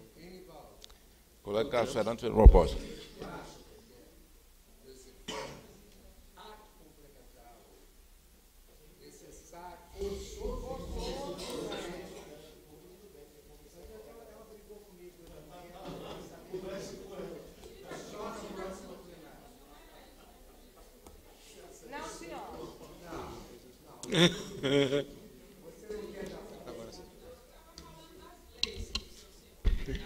Risada está saindo. Ô, Carlos Fernando, é imperativo Con- Imperativo Perioso. Continuo? Conse- Conselheiro Wilson. Vamos tentar. é, não acho que no, no- o caminho é a gente está tá num processo de construção. Né? A, a NAR está defendendo que ela está dizendo que implementação das leis. E, né? Sim, mas a- a- é- ele é uma lei. Quando fala em da cidade, papapá, exclui um outro tanto de leis que, que também são necessárias. Eu acho que se voltar lá para cima, é, implementar as leis, eu acho que está falando de tudo que está abaixo. Também é uma, é uma. E mais alguma coisa que está mais embaixo ainda, que são todas as leis. Então, acho que é, a intenção que eu entendi é dar um reforço, é dar um, um, assim, um tom um pouco mais, é, mais consistente, mais forte no, no- no documento. Então, acho que deve- deve- devemos finalizar essa- esse entendimento. Se vai ficar lá em cima com leis, se vai ficar aqui embaixo. Mas a proposta da Nádia, eu acho que é interessante, que co- co- coincide com a da Lana, que é a exigência da, da- da- do cumprimento das leis. Então, Nádia e Lana, então vamos fazer o, o ajuste ali. Depois de competência técnica, é imperativo implementá-los. Então tá, é, competências técnicas. Isso, volta para cima lá, por favor, a nossa assessoria técnica. Sendo imperativo implementá-los. Então, sendo imperativo. Isso. Fechou então, Nádia? Dá pra- Então tá, então Ok. esse é o, Vencemos é o o- texto de convergência. Mais Os um arquitetos- parágrafo. Pois não, Nixon. Os arquitetos urbanistas, por sua formação, têm significativa responsabilidade por esses avanços e colocam-se à disposição do país para, assumindo um protagonismo maior, seja na gestão pública, seja na prestação de serviço, colaborar na implementação de um projeto nacional baseado na territorialização das políticas públicas com as seguintes diretrizes. Ok? Próximo. Inve... Hã? Investir a ampliação, integração e qualificação da rede de transporte público de massa de forma integrada à produção da moradia social em áreas onde investimento público em infraestrutura e equipamentos urbanos já foi consolidado e ou viabilizado, buscando a qualidade urbana. Hum, eu- É. Tira o A.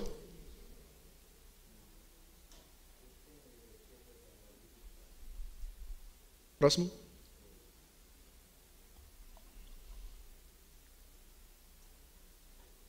Implementar os instrumentos indutores da função social da propriedade prevista na Constituição Federal, visando estimular a utilização de imóveis e terrenos ociosos, inclusive os pertencentes ao Estado. Esse ficou bom. Letra G, é novo. Implementar fundos articulando diversas esferas públicas e privadas, com participação popular. Ok?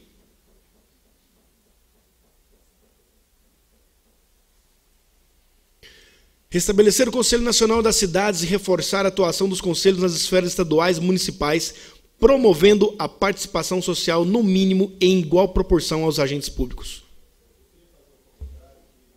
Garantindo o que estava aí antes, ela é importante porque ela é no sentido de que deve-se garantir a participação social proporcional, deve-se garantir a participação proporcional entre representantes da sociedade civil e agentes públicos. Na hora que coloca promovendo, acho que muda o sentido e fragiliza a ideia. O garantindo era no sentido assertivo, de assegurar, exatamente. Eu, eu gostaria de defender a permanência do garantindo. Pois não, Wilson. Esse, esse artifício foi utilizado na, no, Estatuto da Metrópole, que tirou a, a, participação efetiva e criou um termo mais genérico e que, na verdade, a hora de você cumprir, dá para ficar mais ou menos. Eu acho que garantia é uma coisa mais consistente, mais direta é, do que o promovendo. Né?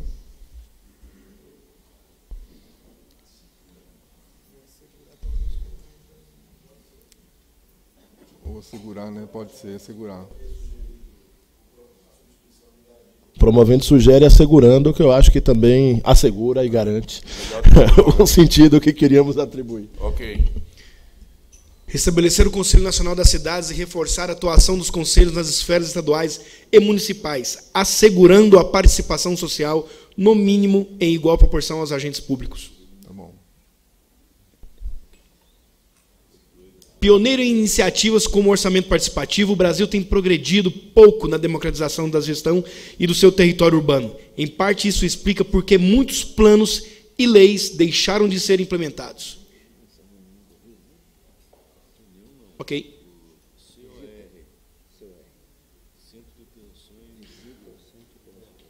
Esse aí, ó, uh, uh, Unidos, o IAB e o CAL, o CAL com o apoio das entidades, promoveram. É, nesse aí eu, eu, queria fazer uma intervenção é o seguinte. Ah, já, já, a gente já fala que apoia no próximo. Apoiam esse documento. Aí, de, aí fala associação por associação. Não, mas o apoio vai sair daí. Pois é. Unidos, o IAB e o CAL BR, com o apoio das entidades. Não, não. Ah, desculpa. É, só fazer uma. Está arriscado ali. Não, não, mas vamos fazer uma, uma, uma análise o seguinte: nós temos o Cal São Paulo como parceiro e está na sequência ali, ó, em parceria com o Cal São Paulo. Eu acho que se tirar o BR, teria que tirar o São Paulo. Porque Cal, mas aí eu penso o seguinte, que tirar o São Paulo é, minimiza a participação efetiva do Cal São Paulo. Então acho que quem organizou de fato foi o IAB, com o Cal BR, com o Cal São Paulo, com apoio das entidades, não excluindo os demais Cal do Estado, não é? Então, é, é no sentido de, de, de, O meu receio é juntar Cal São Paulo no Cal e aí sumir o Cal São Paulo é, dessa, dessa organização, dessa realização do evento. Só isso. Agora tem um outro aspecto. Tem um outro aspecto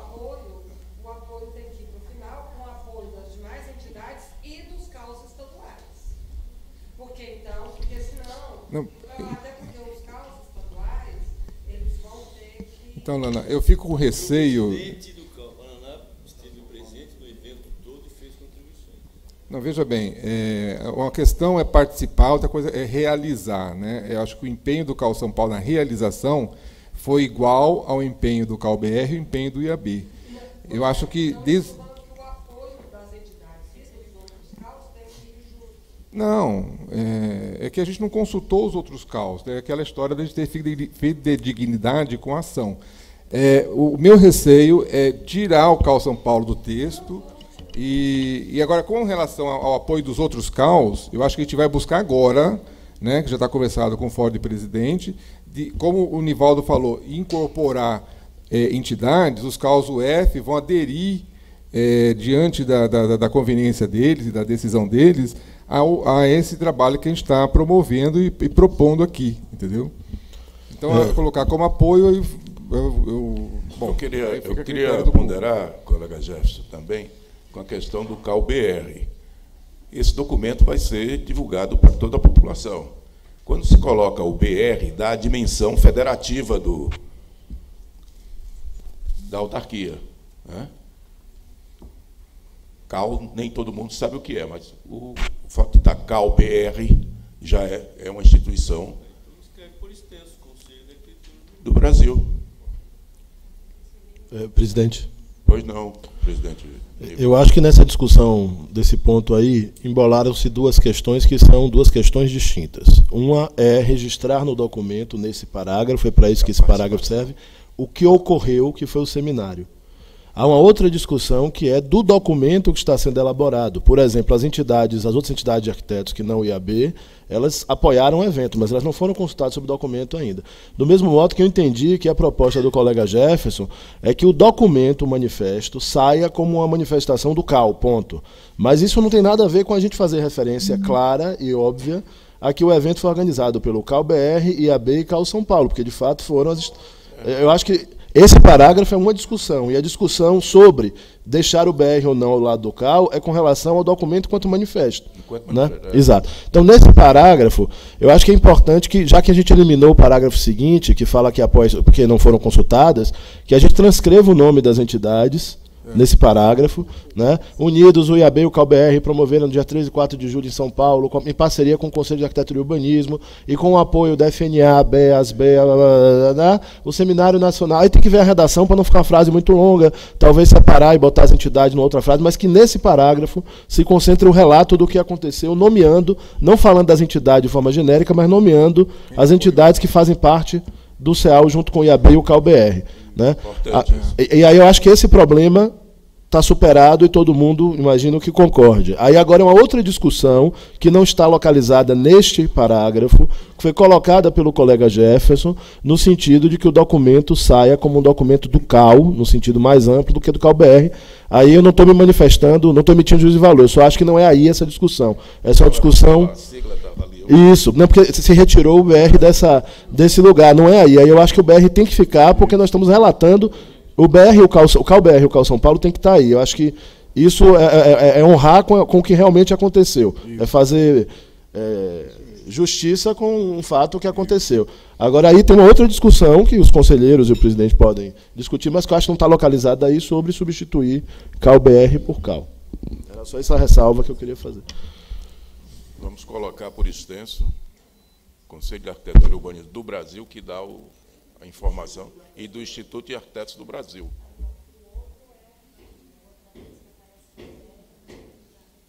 É, mas o seminário foi, o CEPUA foi do Calberme.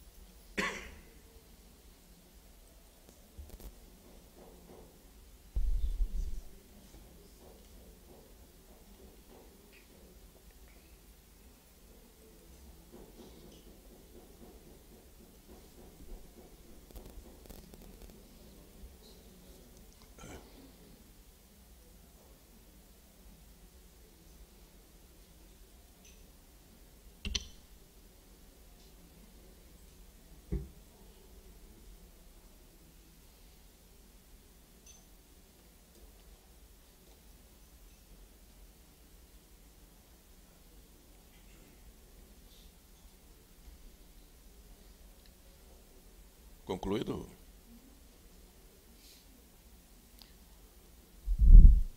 Conselheiro Wilson, concluída a redação? Está ok. Está ok? Acho que. Tem mais um parágrafo? Não. Esse aí vai sair. Pronto. É, o documento é, agora vai ser O apoio vem, vem na sequência apoio. que É, me permitam só mais um comentário. Essa discussão me fez perceber que falta no documento dizer que o IAB e o CAL são os autores do documento. Eu acho que isso acabou não ficando explícito em lugar nenhum. Ficou explícito que o IAB, o CalBR e o Cal São Paulo fizeram um evento, mas falta um lugar que diga que por isso. É, é, Permitam-me. Ah, lá no começo fala que o documento é dos arquitetos e urbanistas do, do, do Brasil. Talvez seja até melhor não ter essa referência, porque isso significa que ele vai ser aprovado aqui, foi aprovado pelo IAB, e a FNA pode aprovar, a BEA pode aprovar, as BEA pode aprovar e assim por diante. Já? André disse que a BEA já aprovou, faltam demais. É, vocês entenderam o que eu estou colocando? Em nenhum momento fala-se explicitamente que esse é um documento do IAB e do CAL. Ele fala que é um documento dos arquitetos urbanistas. O que talvez seja bom, na medida em que ele possa ser subscrito pelas outras entidades. Pode, conselheiro Guivaldo.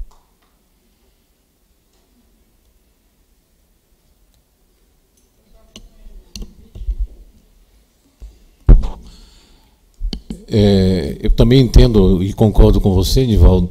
É, caberia, então, na hora da divulgação, assessoria de comunicação, né, tanto do CalBR como do IAB Nacional, então fazer referência à origem do documento. Né?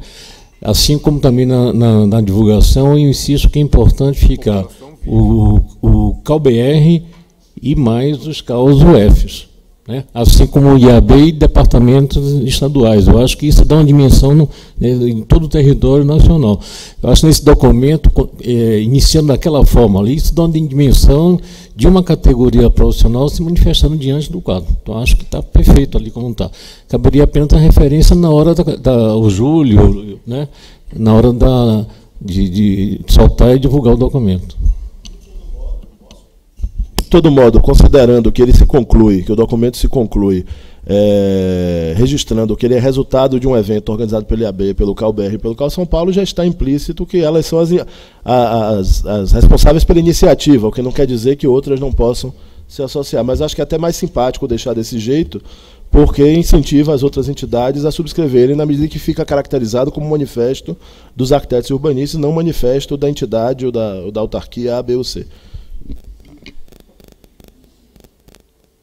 Concluído o entendimento, podemos colocar tudo em.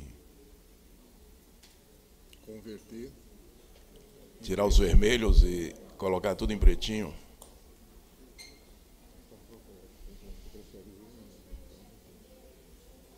Ah, tá certo. Ok, Júlio.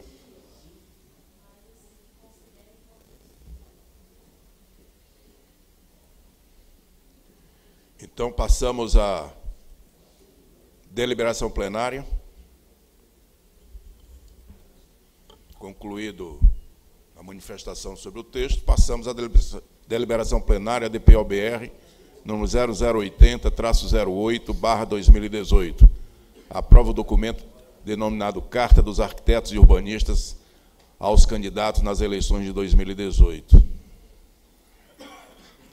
O plenário, o plenário do Conselho de Arquitetura e Urbanismo do Brasil CalBR, no exercício das competências e prerrogativas que tratam os artigos 2 4 e 30 do Regimento Interno do CalBR, reunido ordinariamente em Brasília, DF, no dia 19 e 20 de julho de 2018, após análise do assunto em epígrafe, considerando que é finalidade do CalBR zelar pelo planejamento territorial, defender a participação dos arquitetos e urbanistas na gestão urbana e ambiental e estimular a produção da arquitetura e urbanismo como política de Estado, considerando a realização do Seminário Nacional de Políticas Urbanas por Cidades Humanas Justas e Sustentáveis, nos dias 3 e 4 de julho de 2018, em São Paulo, em parceria com o Instituto de Arquitetos do Brasil, DN e a BDN, né? por meio da sua comissão ordinária de... Não, desculpe, é, Luciano, a DN ela é apenas um, um operacional, digamos assim. É o IAB mesmo. O IAB, então tira o DN. A entidade que tem CNPJ é o IAB. A DN é um, uma célula que gerencia. Por meio de sua Comissão Ordinária de Política Urbana e, Social, e Habitação Social, com apoio de todas as entidades que compõem o CEAL, no qual foram definidos os princípios norteadores para a produção de documentos dirigidos aos, às candidatas às das eleições de 2018 e, considerando a consolidação do documento em questão na primeira reunião técnica da CEPUA CalBR em 18 de julho de 2018, que contou com a participação de representantes do Fórum de Presidentes do CAUF e a BDN e a B São Paulo e posterior aprovação. Me desculpe, presidente, mais uma observação só. O colega Fernando Túlio, não obstante seja presidente do IAB São Paulo, ele tem participado de forma muito ativa e decisiva nesse processo todo, porque ele também é o coordenador da Comissão de Política Urbana do IAB Nacional. Então ele não está representando o IAB de São Paulo, ele está representando também a DN e o COSU, porque ele é o coordenador da nossa comissão, ele corresponde ao Wilson lá. Né? O Wilson, nesse momento, deixa de ser, num certo sentido, representando o Mato Grosso e passa a ser o coordenador da Comissão de Política Urbana. Então, eu acho que a referência deve ser ao CAUF e ao IAB. Os presidentes dos CAUS UF.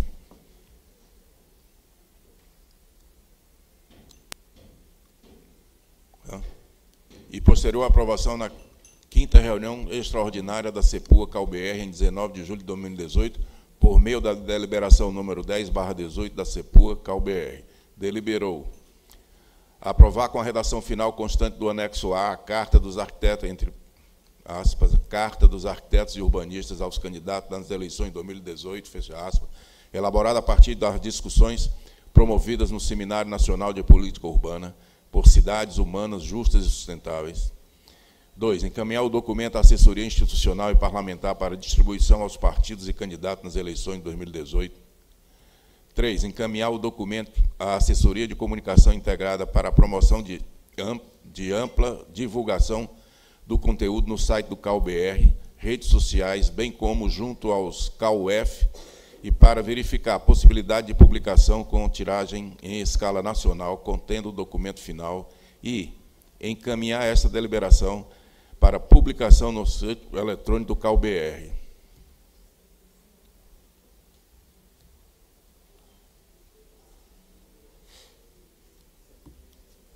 É, presidente, Daniela está sugerindo, e eu concordo, que no item 3 esteja bem como junto aos caos UF e entidades do CEAL, ou entidades, é.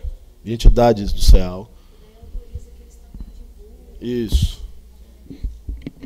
Eu queria sugerir também, a gente fala muito na cidade, e a cidade tem a questão do gestor. E os gestores municipais têm as suas associações também. A Confederação Nacional dos, dos Municípios, as associações de prefeitos, porque os vereadores e os prefeitos são partes nessa construção dos diversos apoios aos parlamentares. Então, que eles conheçam já de antemão. E como existe já um, um relacionamento da CEPUA com a Confederação Nacional, mas tem também a Frente Nacional dos Prefeitos.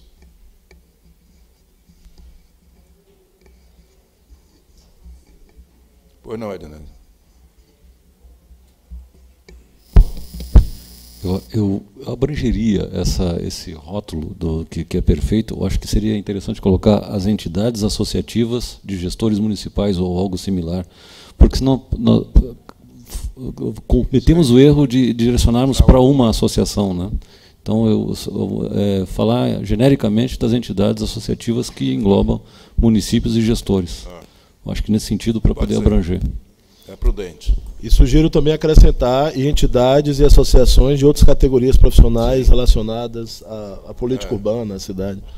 Porque nos permitirá também, permitirá ao CAL, na verdade, é, promover essas ações junto a, a outras que foram citadas aqui.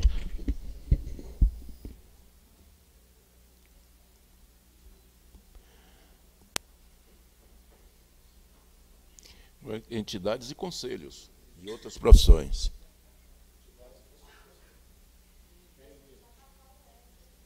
Não, não, é, são de outras profissões.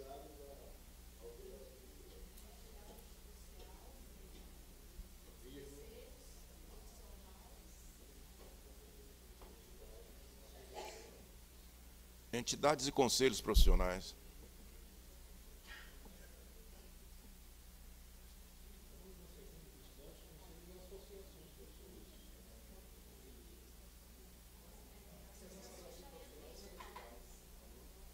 Não, conselheiro Wilson. É, como é um documento interno nosso, eu acho que poderíamos deixar as nossas entidades internas e essas externas ser ser do plano estratégico de divulgação que o Júlio está construindo. Então, acho que esse a, deliberação, eu creio que não vai ter essa visibilidade tão grande para a gente elencar todas as entidades. Porque, como o Nivaldo falou, além dessas, tem entidades associativas de.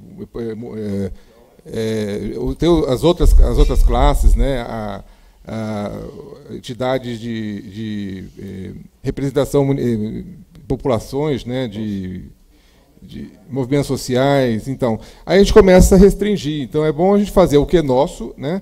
Aí a mídia, a comunicação faz essa divulgação em todas as entidades que a gente entende ser eh, que possam aderir a esse, esse documento.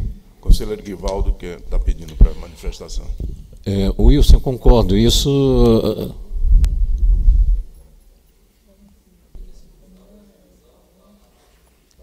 Wilson. Eu entendo, mas veja bem, a assessoria de comunicação precisa ter autorizo do plenário, então na deliberação precisa constar isso. Aí fica por conta mesmo veja do bem, Júlio. Eu entendi. Aqui... Acho que pode colocar assim de forma genérica. Sim, né, é genérica mesmo. Né? É. É, associações e, e, que tenha envolvimento com, com a causa que a gente está discutindo. É, ali acho que já está genérico o suficiente, ou seja, já está autorizando a assessoria de comunicação de começar o processo. Dois. justamente encaminhar o documento da assessoria institucional, etc., para carteira, etc., e as entidades, parceiros e tal, etc., movimentos sociais, enfim, genericamente falando, Você fala, incluir no item 2, assessoria de comunicação.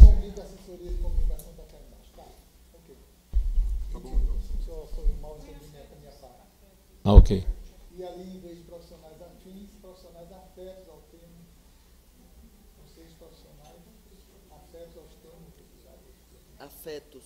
de afins. Isso, melhorou.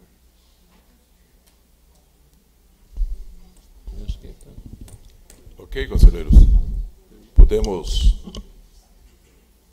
colocar em votação, a, em regime de votação, a deliberação plenária.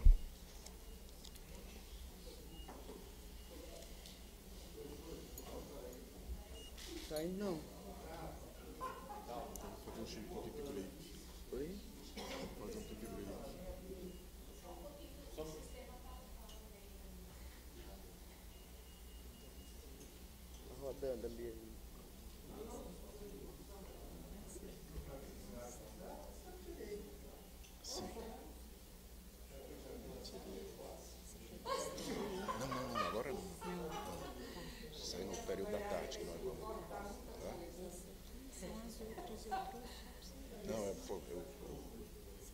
tinha que ter pedido isso aí.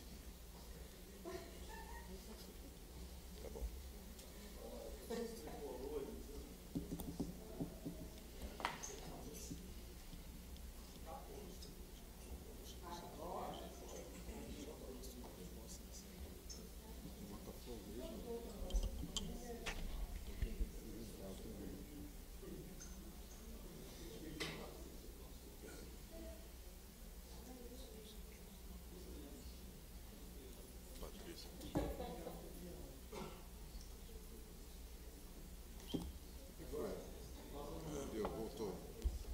Aberta a votação, senhores conselheiros.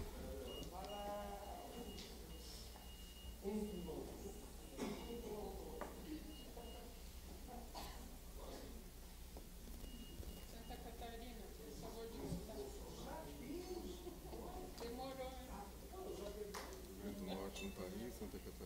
Santa Catarina. Rondônia, Mato Grosso do Sul, Ceará e Distrito RN está ausente. DF está ausente. Fechada a votação. Apro aprovado pela maioria dos presentes. Senhores conselheiros, presidente do IAB Nacional, quero agradecer a todos, a equipe técnica que colaborou, ao IAB São Paulo, ao CAL São Paulo.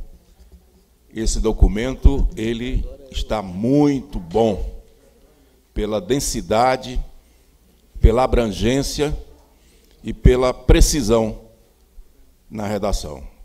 Quero deixar esse registro e temos que agora construir os encaminhamentos. A medida, a própria medida, a deliberação já dá o, o rumo, mas o conselheiro Wilson, o presidente Nivaldo, tinham falado em discutir um, uma estratégia de divulgação. Né? É, Eu, vou- eu queria só colocar, nós temos um outro ponto de pauta, que é um convidado atendendo a uma solicitação desse plenário de colocar temas né, atuais para conhecimento e discussão dos conselheiros. Nós trouxemos um representante da ABS Nacional para falar sobre a medida provisória do saneamento. Então, era que esse ponto da estratégia a gente colocasse para o período da tarde.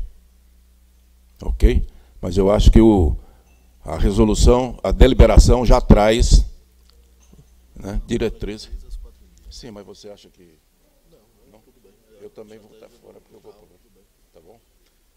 Ok.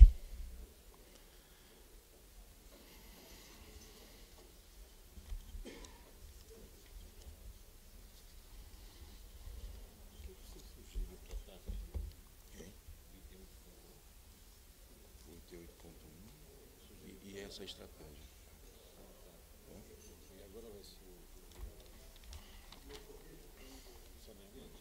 É. Nós vamos tratar agora do item 8.1 da pauta. Desculpa, 8.2. É que nós estamos com um convidado e a disponibilidade dele era para agora de manhã, a partir das 11 horas. Ele já está aí. É um diálogo sobre a medida provisória do saneamento básico com o engenheiro Sérgio Gonçalves, da Associação Brasileira de Engenharia Sanitária e Ambiental. Essa medida provisória foi publicada no dia 4, que altera todo o sistema de saneamento no país. João Marcos, presidente da associação aqui do DF, também está aí. Vai sentar um de cada lado. Ah, tá ótimo. Vez de um, nós temos dois. Tem o colega João Marcos.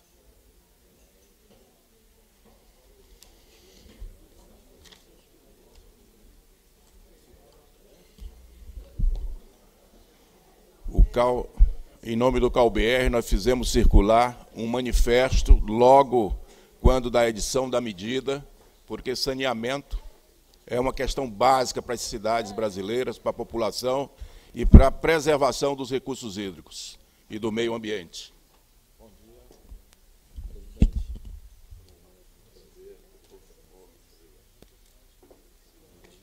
Obrigado pela participação, Sérgio. Obrigado. Também, agradeço. Hein? Ah.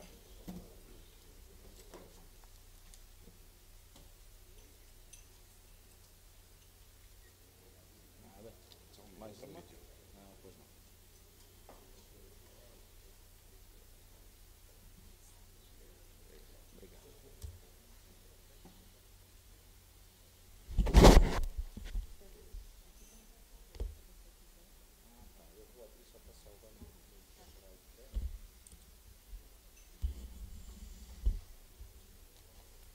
Então sejam bem-vindos, João Carlos, João Marcos, desculpa, e Sérgio Gonçalves. É um prazer recebê-los aqui para nos esclarecer mais alguns pontos da medida provisória e do sistema de saneamento brasileiro. A medida provisória é muito extensa, complexa, e mas nós temos todo o empenho em trabalhar com as entidades, com os conselhos que, que tratam, têm profissões afetas à construção das cidades. E a participação de vocês, em muito, vai colaborar com a ampliação dos nossos conhecimentos. Por favor, sintam-se à vontade. Quer começar? Eu? Posso. Bem, bom dia a todas e a todos. É um prazer muito grande a ABS poder estar aqui com vocês para conversar sobre essa medida provisória 844, que foi assinada no dia 6 de julho pela manhã, enquanto tinha um jogo do Brasil às 15 horas, no qual nós fomos eliminados. Então, é, nós queremos fazer como o Brasil fez, sair de jogo, sair de campo, e queremos, na realidade, que essa medida provisória também saia de campo. Mas isso aí o Serginho vai entrar com muito detalhe sobre toda a, a, essa medida provisória. A ABRES, que é a Associação Brasileira de Engenharia Sanitária e Ambiental, está representada em todos os estados e aqui no Distrito Federal. Tem sessões estaduais, com presidência, diretoria e tudo. E é uma entidade que está viva há 52 anos. Então, é uma entidade sem fins lucrativos, que congrega profissionais de todas as áreas. A gente fala em engenharia sanitária, pensa que é só engenheiros, mas não, nós temos arquitetos, temos urbanistas, temos biólogos, temos cartógrafos, temos geólogos, temos no nosso, na nossa entidade a gama total de, de, de profissões que abarcam e que tratam da engenharia e da saúde pública. Né? Então, basicamente, eu queria fazer essa introdução só. Eu estou aqui agora com o presidente da AB Seção Distrito Federal, e o Sérgio Gonçalves é o secretário nacional da ABS Nacional. Sérgio, obrigado.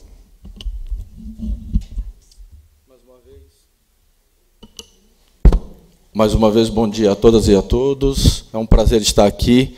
Agradecemos o convite do CalBR, seu presidente, Luciano, da qual a todos os conselheiros, é, e trazer, o João já falou, a ABS tem feito, ela tem uma posição muito clara sobre a medida provisória.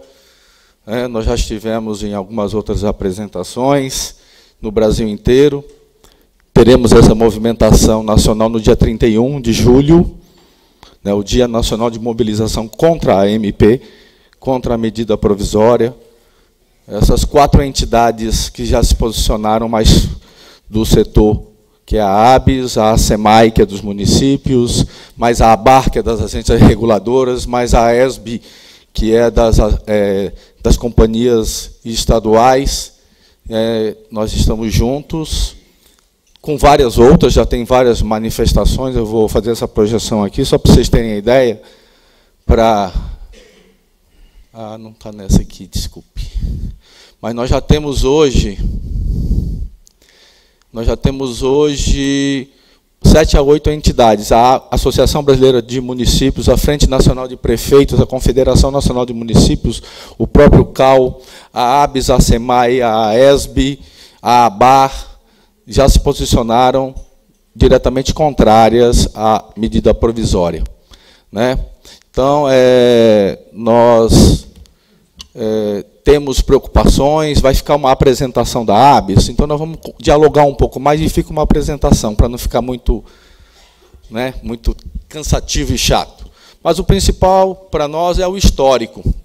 Depois, da, em 1986, foi extinto o Planasa, que era o Plano Nacional de Saneamento, junto com o extinto BNH, da qual a Caixa Econômica Federal absorveu todas as atribuições que estavam feitas tanto do sistema habitacional quanto do sistema de saneamento.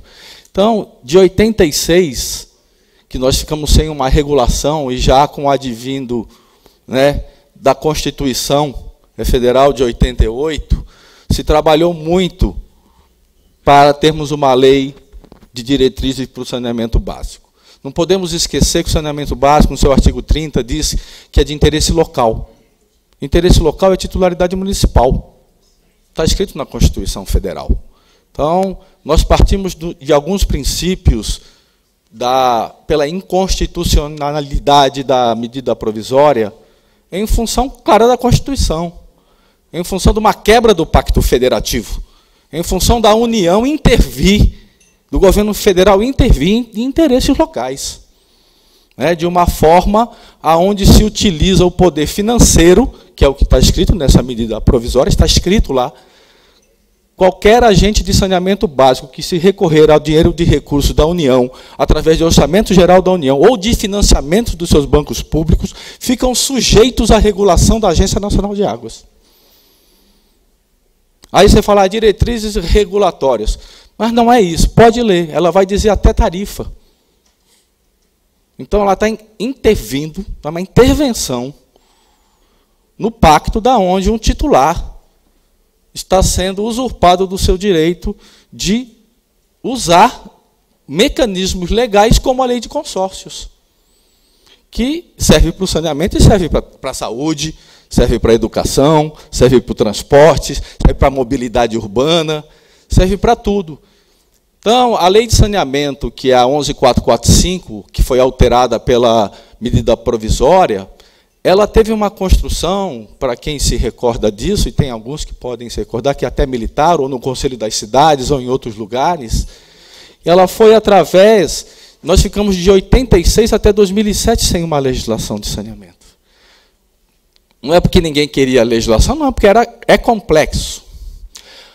A, o PLC 199, que foi aprovado ainda com o então presidente Itamar Franco, em 84, nós teríamos em 84 uma lei aprovada, debatida desde o final de 86 até 94, e ela foi na íntegra, na íntegra, vetada pelo então presidente da República que tinha acabado de tomar posse.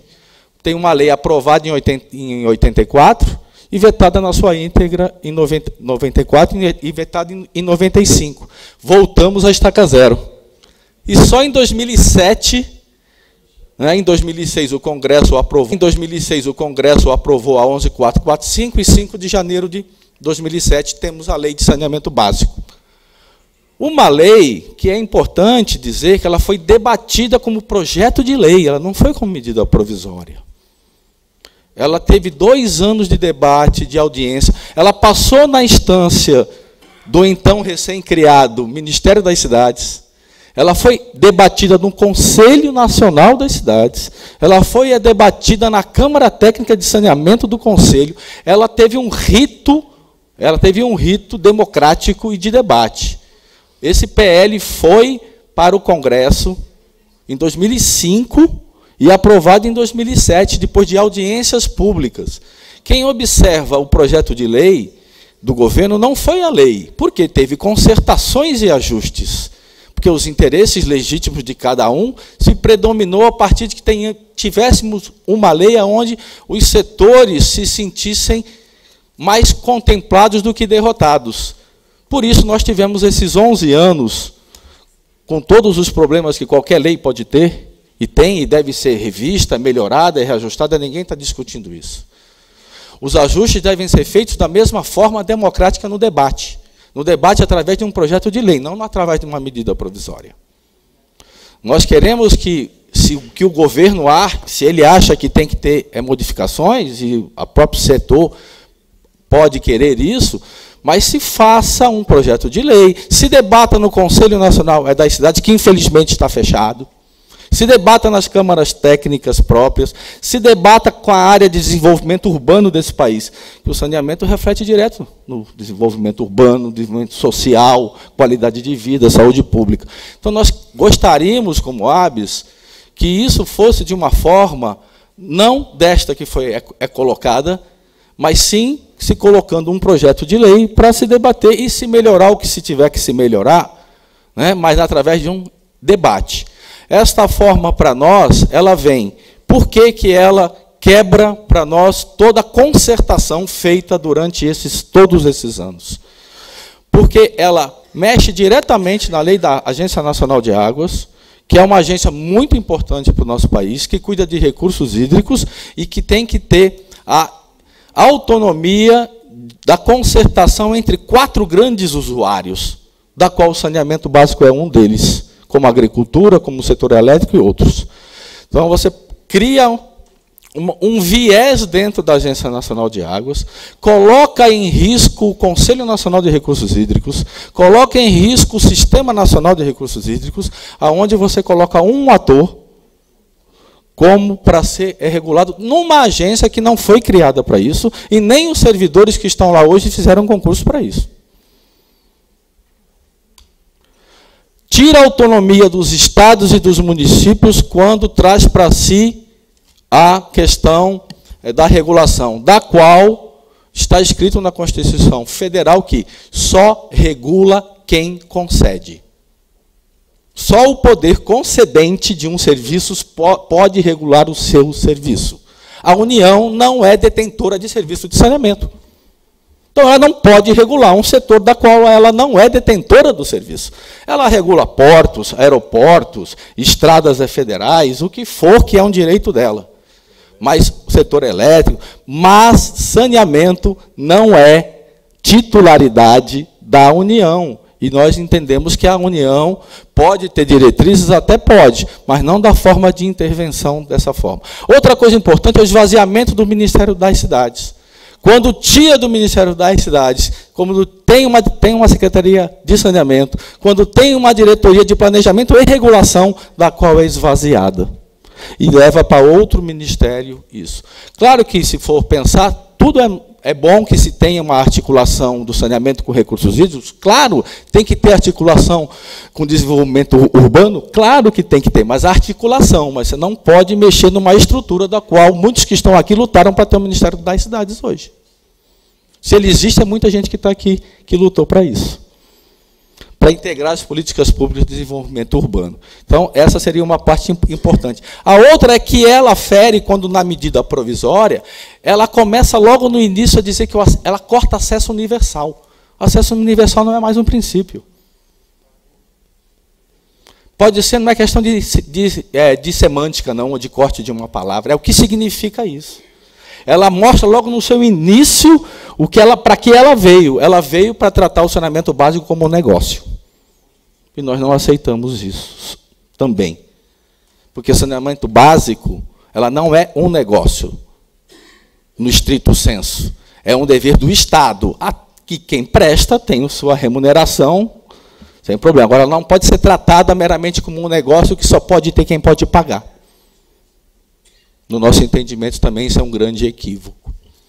E ele traz algumas coisas que quebra todo esse processo de concertação desses últimos anos, que a lei de saneamento de 2007, ela bebeu na fonte da onde? Do Estatuto das Cidades.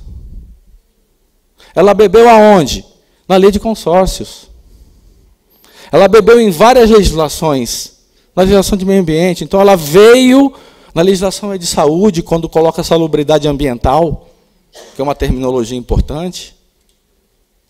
Então, ela veio, como ela saiu em 2007, nós procuramos trabalhar junto com todo o setor, nas legislações existentes da Constituição, Estatuto das Cidades, Conselho das Cidades, né, lei de consórcios, para que tenha uma questão federativa de colaboração, porque nós sabemos que o saneamento, às vezes o município sozinho ele não vai conseguir fazer, porque quando fala saneamento, água, esgoto, drenagem e resíduos, são quatro elementos, são quatro setores. Então, quando você vai fazer essa concertação, você precisa, às vezes, de um município vizinho, de um agrupamento de, muni de municípios para dar sustentabilidade econômica. Essa sustentabilidade não é só de pagar, é para tá, pagar menos. Você tem que ter escala para pagar menos. Então, essa escala para nós também é importante, que a lei de consórcio traz.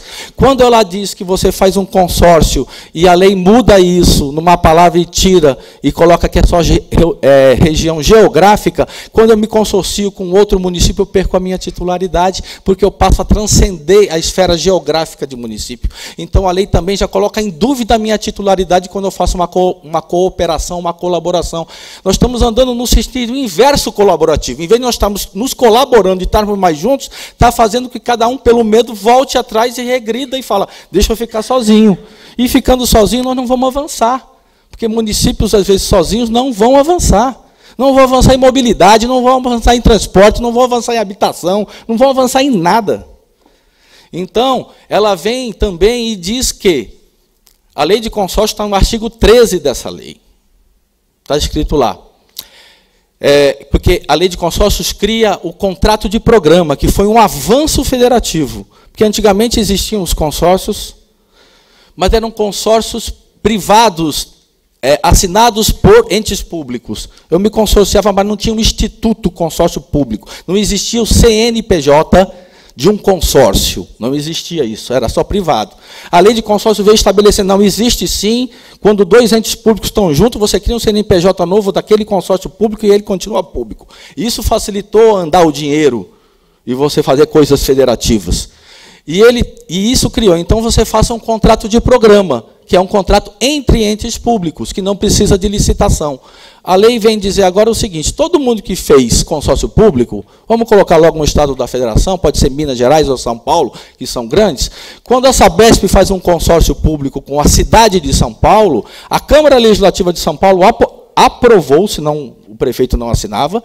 O Estado de São Paulo, a Assembleia Legislativa aprovou, porque senão o governador não assinava. Em Minas também, ou em qualquer lugar, ou no, ou no Paraná. E se criou-se, foi colocado à disposição uma empresa pública, a Sabesp, ou pública Copasa, ou pública Sanepar, para, em nome do Estado, prestar serviços públicos. E faz-se um contrato de programa. Contrato de concessão, edital, é contrato de concessão. É um, um, público chamando os privados. Aí é um outro instrumento, é um CNPJ público fazendo um contrato com um CNPJ privado. A lei vem dizer assim: quando eu quiser agora renovar, né, a cidade de São Paulo vai ter que perguntar se alguém tem interesse. Se alguém tiver, qualquer um, Sérgio, na sua empresa, que tiver interesse, eu falo, eu tenho. Aí a lei fala, ah, desculpe então, Sabesp, Cidade de São Paulo não vai poder renovar o contrato, porque o Sérgio quer participar do edital. Está escrito lá no artigo 10A. Faça o chamamento. Se tiver alguém que queira interessar, você não pode auto automaticamente renovar um contrato um contrato um, é, de programa com outro estado. Aí eu tenho que abrir um edital, aí todo mundo vai participar nos mesmos níveis. Aí vai, você vai para o 8B, ele né? Aí você tem que. Eu perco a minha autonomia. Eu sou um prefeito, eu quero fazer, continuar com o público, eu não posso. Porque o governo federal disse que eu não posso. Ele vem intervir na minha titularidade, onde eu não posso escolher um outro ente público que eu queira fazer com ele. Eu sou obrigado a fazer um chamamento privado. Para nós isso é inconstitucional. Porque se eu tenho uma lei de consórcio da qual eu sou um ente público e quero fazer com outro ente público, por que, que eu sou obrigado? Uma coisa é eu querer, é um direito do município ou fazê-lo a qualquer hora, isso é uma coisa. Agora, a União me obrigar a fazer, eu não tenho opção em fazer contratos entre, só ente público, eu sou obrigado a abrir para o setor privado. Aí você vai para o 8B. O 8B diz assim, eu tenho a Sabesp. Não, vamos falar de quem é mesmo de verdade? Eu tenho a SEDAI, que querem vender. Essa é a realidade. E sem esse 8B não se vende a SEDAI. Eu quero vender a SEDAI. O que, é que a SEDAI vale? Ela vale os seus contratos de programa. Ela vale aqueles municípios da qual ela opera, porque ela, como companhia, não vale nada. O que, é que vale uma empresa, uma empresa de ônibus com ônibus sem autorização para pegar passageiro? Vale nada, ela vale ônibus. O que, que a SEDAI, a Sabesp, qualquer uma, a Sanepar vale? Vale os seus contratos de programa, os seus contratos com os seus municípios. É lá que ele tem o cliente. Se não tem o contrato de programa, não tem o cliente. Então, eu sou uma companhia, não tenho ativos, ativos são municipais. Então, o 8B veio dizer, como é que eu vendo uma SEDAI? Se todo mundo sair fora da SEDAI, cada município tirar fora e fazer a sua licitação independente, a SEDAI não vale nada. Aí eu tenho que criar um 8B para o negócio para dizer assim: se eu vender a SEDAI, eu levo todos os contratos de programa dela e transformo automaticamente em contrato de concessão.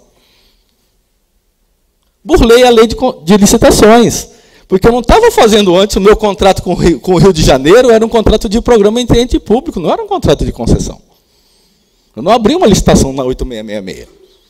Então isso vale para todas as companhias. Se a Sabesp for é, é vendida, leva todos os contratos de programa que ali tem hoje e viram automaticamente contratos de concessão. Isso para nós é completamente inconstitucional. Você não transforma um contrato entre entes públicos num contrato privado.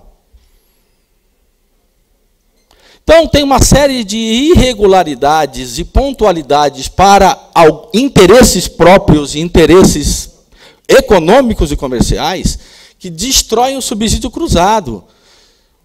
Manaus, gente, quem é desse tempo, né, e eu morei na Amazônia há muitos anos, né, tem até o companheiro de Roraima aqui, ele está aqui?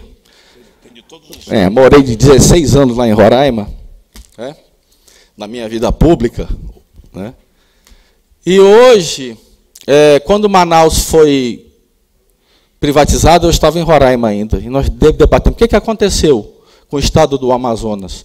Saiu Manaus, entrou uma privada e a Cosama praticamente acabou. Teve que devolver todas as concessões para o município, que acabou a sustentabilidade econômica, porque o subsídio cruzado é você arrecada de quem pode e divide isso, e o Estado está aí para isso, né? É como um FM, um FPE, você recolhe ele todo e divide para todo mundo e mantém o sistema. Com a saída de Manaus, o sistema acabou, a COSAMA teve que devolver para os municípios e hoje tem estudos feitos que tem vários municípios que recebem água bruta sem nenhum tipo de tratamento. Porque não tem capacidade econômica e financeira para cobrar da população aquilo que precisa para dar um sistema de saneamento de qualidade. Né? Você pega essas cidades e quem é que vai concorrer ao sistema privado? Não estou criticando, é esse o sistema dele, não estou entrando nessa seara. Claro que o sistema privado vai levar, vai concorrer para, para os grandes municípios que têm capacidade econômica. Quando eles começarem a sair das companhias de saneamento estatais, as companhias vão desequilibrar economicamente e não vão ter capacidade de fazer o subsídio cruzado com os municípios que, de tarifa. E além disso, aí essas tarifas podem aumentar até, ou para o privado que teve que pagar a concessão, que também é isso repassado para quem compra, vai repassar para a tarifa, e desequilibra. Então, a nossa preocupação também não é corporativista no, no sentido do trabalhador ou da companhia, também, tudo, tudo se mistura, mas é como é que uma população de um país que tem um déficit, um atraso enorme de saneamento básico vai conviver com uma regra econômica, onde trata o saneamento como mercadoria, onde você tira e desequilibra? Porque o setor privado já existe, ele já detém hoje 6% da população, já é atendida pelo setor privado. Quando o município assim o quer, ele faz uma edital de licitação e coloca. Tem regras, tem a regulação, ninguém está dizendo isso Ninguém está tirando o setor privado do saneamento. Só que ele tem as regras hoje, ele tem que seguir as regras. O que não pode é entrar num sistema hoje, pegar as companhias estatais e destruir, transformar contratos de programa em contrato de concessão, burlando, entrando na autonomia municipal e tirando dela a oportunidade dela querer ou não fazer o que ela deve ser feito. Então, para nós, é um grande equívoco do governo federal trabalhar com essa MP. Eu vou já fechar, porque o tempo né, tem que temos que fechar, mas a nossa preocupação é o que, que isso pode ter de retrocesso, aumento de tarifa, porque está sendo feito de uma forma assodada e não é correta. Temos que mudar algumas coisas? Vamos colocar isso como um projeto de lei e vamos debater com a sociedade. No tempo que tiver que ser é debatido, é um ano, é um ano, são dois anos, são dois anos, não tem problema. O PL que virou lei demorou foi em maio de 2005 e aprovado em dezembro de 2007. Um ano e meio. Ué, qual é o problema? E se isso também, porque é inconstitucional, só para fechar, que eu, o começo é, seria isso. O artigo 62 da Constituição diz que, dois pontos, para uma medida provisória do governo federal, ela é obrigada a ter dois requisitos fundamentais. Os dois têm que estar juntos. Não é um, dois, dois. Urgência e relevância. Está no artigo 62 da Constituição. Relevância, não se discute, o setor é relevante. Mas qual é a urgência de se fazer uma medida provisória? Vai acabar o mundo? O que está acontecendo que o sistema não está estabilizado para ter que ter uma medida provisória? Qual o interesse que está atrás disso, dessa urgência? Se é tão urgente, por que esses, esses mecanismos têm prazos até, dependendo deles, tem três anos para entrar em vigor? Então vamos debater ele um ano, um ano e meio. Então, a ABS, ela não entrará é, com uma ADIM, porque ela não pode pelo seu estatuto, mas a AESB está entrando no Supremo com uma ADIM. A ABAR está entrando com uma ADIM. A Federação Nacional dos Urbanitários está entrando com uma ADIM. Eu não sei se mais alguma, João. Alguns sindicatos. Então, quem tem possibilidade está entrando. A ABS não está entrando porque estatutariamente ela não pode pela legislação. Senão ela, a SEMAI está entrando também com uma ADIM. Bem lembrado. A, ABS não estará porque ela não pode no seu estatuto, senão também estaria entrando com uma ADIM. E vamos ver o que, que vai sair. Fora isso, se trabalhando com várias estratégias de demonstrar o equívoco e o desequilíbrio que isso está causando para o setor, porque está todo mundo agora. Isso aí vale só 120 dias ou vai valer para sempre? Porque ela, a princípio vale 60, prorrogável por mais 60 ela vai valer 120 dias só? ou vai valer para a vida inteira? Quem vai colocar? Quem entra? Quem compra? Quem não compra? Para quem que interessa? A quem interessa essa desestabilização, mais uma desestabilização da indústria brasileira? Da indústria de base, da indústria de construção, da indústria de projetos, né? porque está todo mundo agora olhando. Todo mundo parou a saber, opa, eu faço projeto, não faço projeto, eu ando ou não ando, quem vai me regular, quem não vai me regular. Né? Com essa lei, a Arcesp pode concorrer e vir regular aqui. A DASA pode sair de Brasília e regular em São Paulo. O que, que vai acontecer?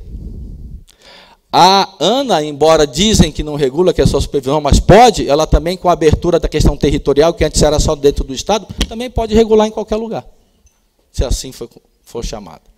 Então, a instabilidade é muito maior do que qualquer tipo de estabilidade. Embora tenham reportagem no valor econômico, em outros lugares, que para o setor privado, isso abre o mercado, etc. Não sei até que ponto é, a segurança dessa medida provisória dará essa segurança tão esperada para o setor privado para que ele entre. Porque ele já entra hoje, ele faz. A Sabesp está cheia de PPPs, todas as, todo mundo já trabalha com o setor privado, mas de uma forma mais organizada. Então, eu encerro aqui, presidente, peço desculpas pela, pelo tempo, mas é que para nós, né, para o Brasil, né, trabalharmos de uma forma onde pega um setor de infraestrutura, um setor importante social, um setor que trata da vida das pessoas, como é o saneamento básico. É muito ruim nós termos, por uma decisão que foi completamente enganosa, porque na fala do presidente da República, no, na abertura do Fórum Mundial da Água, março, estou falando de março, nós estamos em julho. Em março, o presidente da República abriu por videoconferência e disse que seria uma medida provisória. Está gravado, dito por ele. Perdão, pelo um projeto de lei. Porque o setor falou, não entre com uma medida. Ele falou, será feito um projeto de lei. Então, de repente vira. O que que fez virar? Se você vê, e está muito claro quem é a favor e quem é contra. Está claro, isso aí não tem. Mas por que, que isso aconteceu? E a própria fala do presidente foi desdita por um próprio ato dele. Então, o setor está mobilizado dia 31 de julho. Nós, nas 27 unidades da federação, estaremos num dia de mobilização de 10 horas da manhã ao meio-dia. Estamos trabalhando com o local, o João Marcos está vendo aqui onde será, né?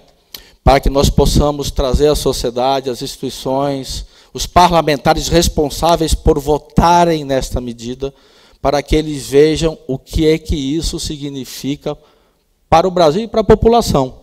Que toda vez que se mexe nessas coisas, quem vai sofrer é a população mais pobre, mais carente e que não tem o saneamento, porque a outra vai dar o jeito dela, infelizmente.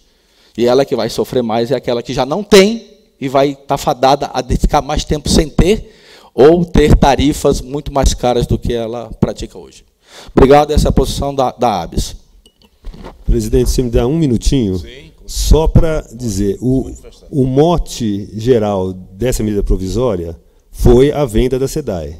Tinha que viabilizar a venda da SEDAI. Então, trabalharam dois anos, de 2016 até agora, 2018, para viabilizar a venda da SEDAI. E aproveitaram que vai vender a SEDAI e estão propondo facilitar a venda de todas as outras companhias de saneamento. Né? É, é, é a privatização geral e restrita. É, infelizmente, o governo realmente. Por que, que fez isso? De última hora não, não, não assumindo a palavra que assumiu em, em, em março. É um balcão de negócio, né? infelizmente.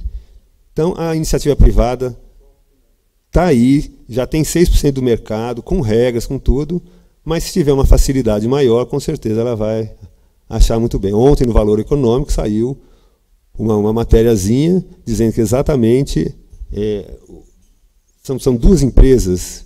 A BRK, que, é a, BRK e a EGE, que são empresas privadas de saneamento, que estão apoiando, logicamente, essa medida provisória. Então, o setor privado está apoiando e todo o setor público. A AESB, que é a Associação das Empresas Estaduais de Saneamento Básico, que congrega aí Sabesp, Sanepar, Copasa, SEDAI, todas as empresas estaduais, já se manifestou totalmente contrário à MP e vai entrar com uma DIN. A ABAR, que é a Associação Brasileira de Regulação, também. A SEMAI também. E a, a ABS não pode entrar, mas também está apoiando essas ações. Então é só isso. É uma, é uma maneira muito fácil de privatizar o saneamento. E com isso, quem sofre no final é a população, que vai ter tarifas aumentadas, com certeza, e muitos municípios que vão ficar inviabilizados. Muito obrigado. Obrigado, Sérgio. Obrigado, João Marcos. Eu vou agora abrir o plenário para alguma questionamento. Sim, ela vai ficar completa aqui já para vocês. Eu já estou pegando também uma outra aqui para deixar. Alguma manifestação? Godoy se inscreveu. Juliano.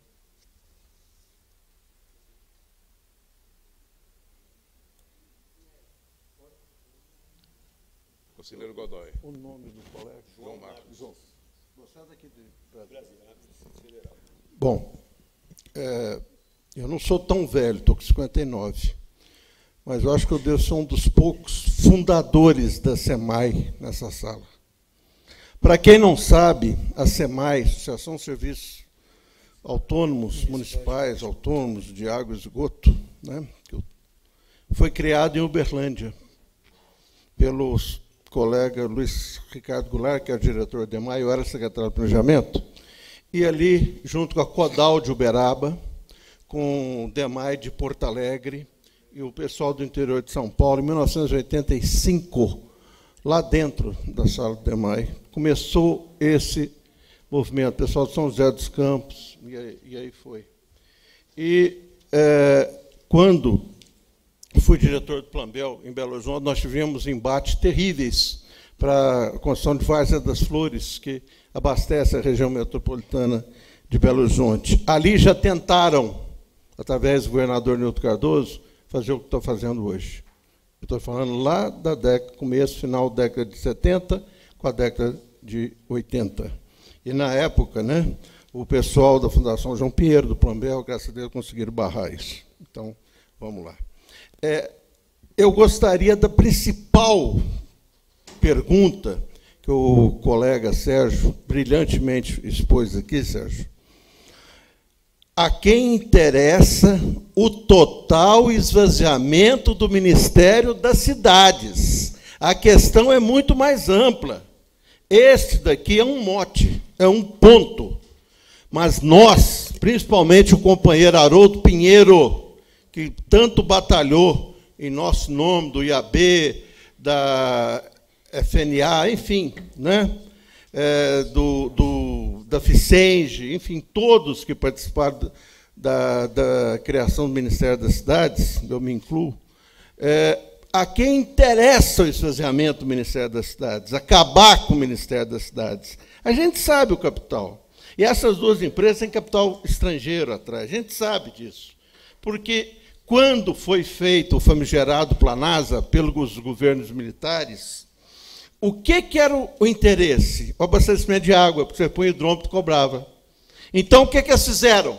Pegaram o abastecimento de água e o, obrigaram as prefeituras, obrigaram, com, com faca no pescoço, a assinarem com as Copasas, Sabesp, Sedais da vida. Mas os esgotamentos sanitários ficaram para as prefeituras. As coitadas tinham que cuidar do esgotamento sanitário, e elas não pegavam. Ele, raríssimas exceções. Por isso aí a gente tem que saudar, né? É, Lá Uberlândia conseguiu não privatizar e a Codal de Uberaba, graças ao, infelizmente, o governador Rodon Pacheco, aquele que segurou, embora fosse do, do regime militar.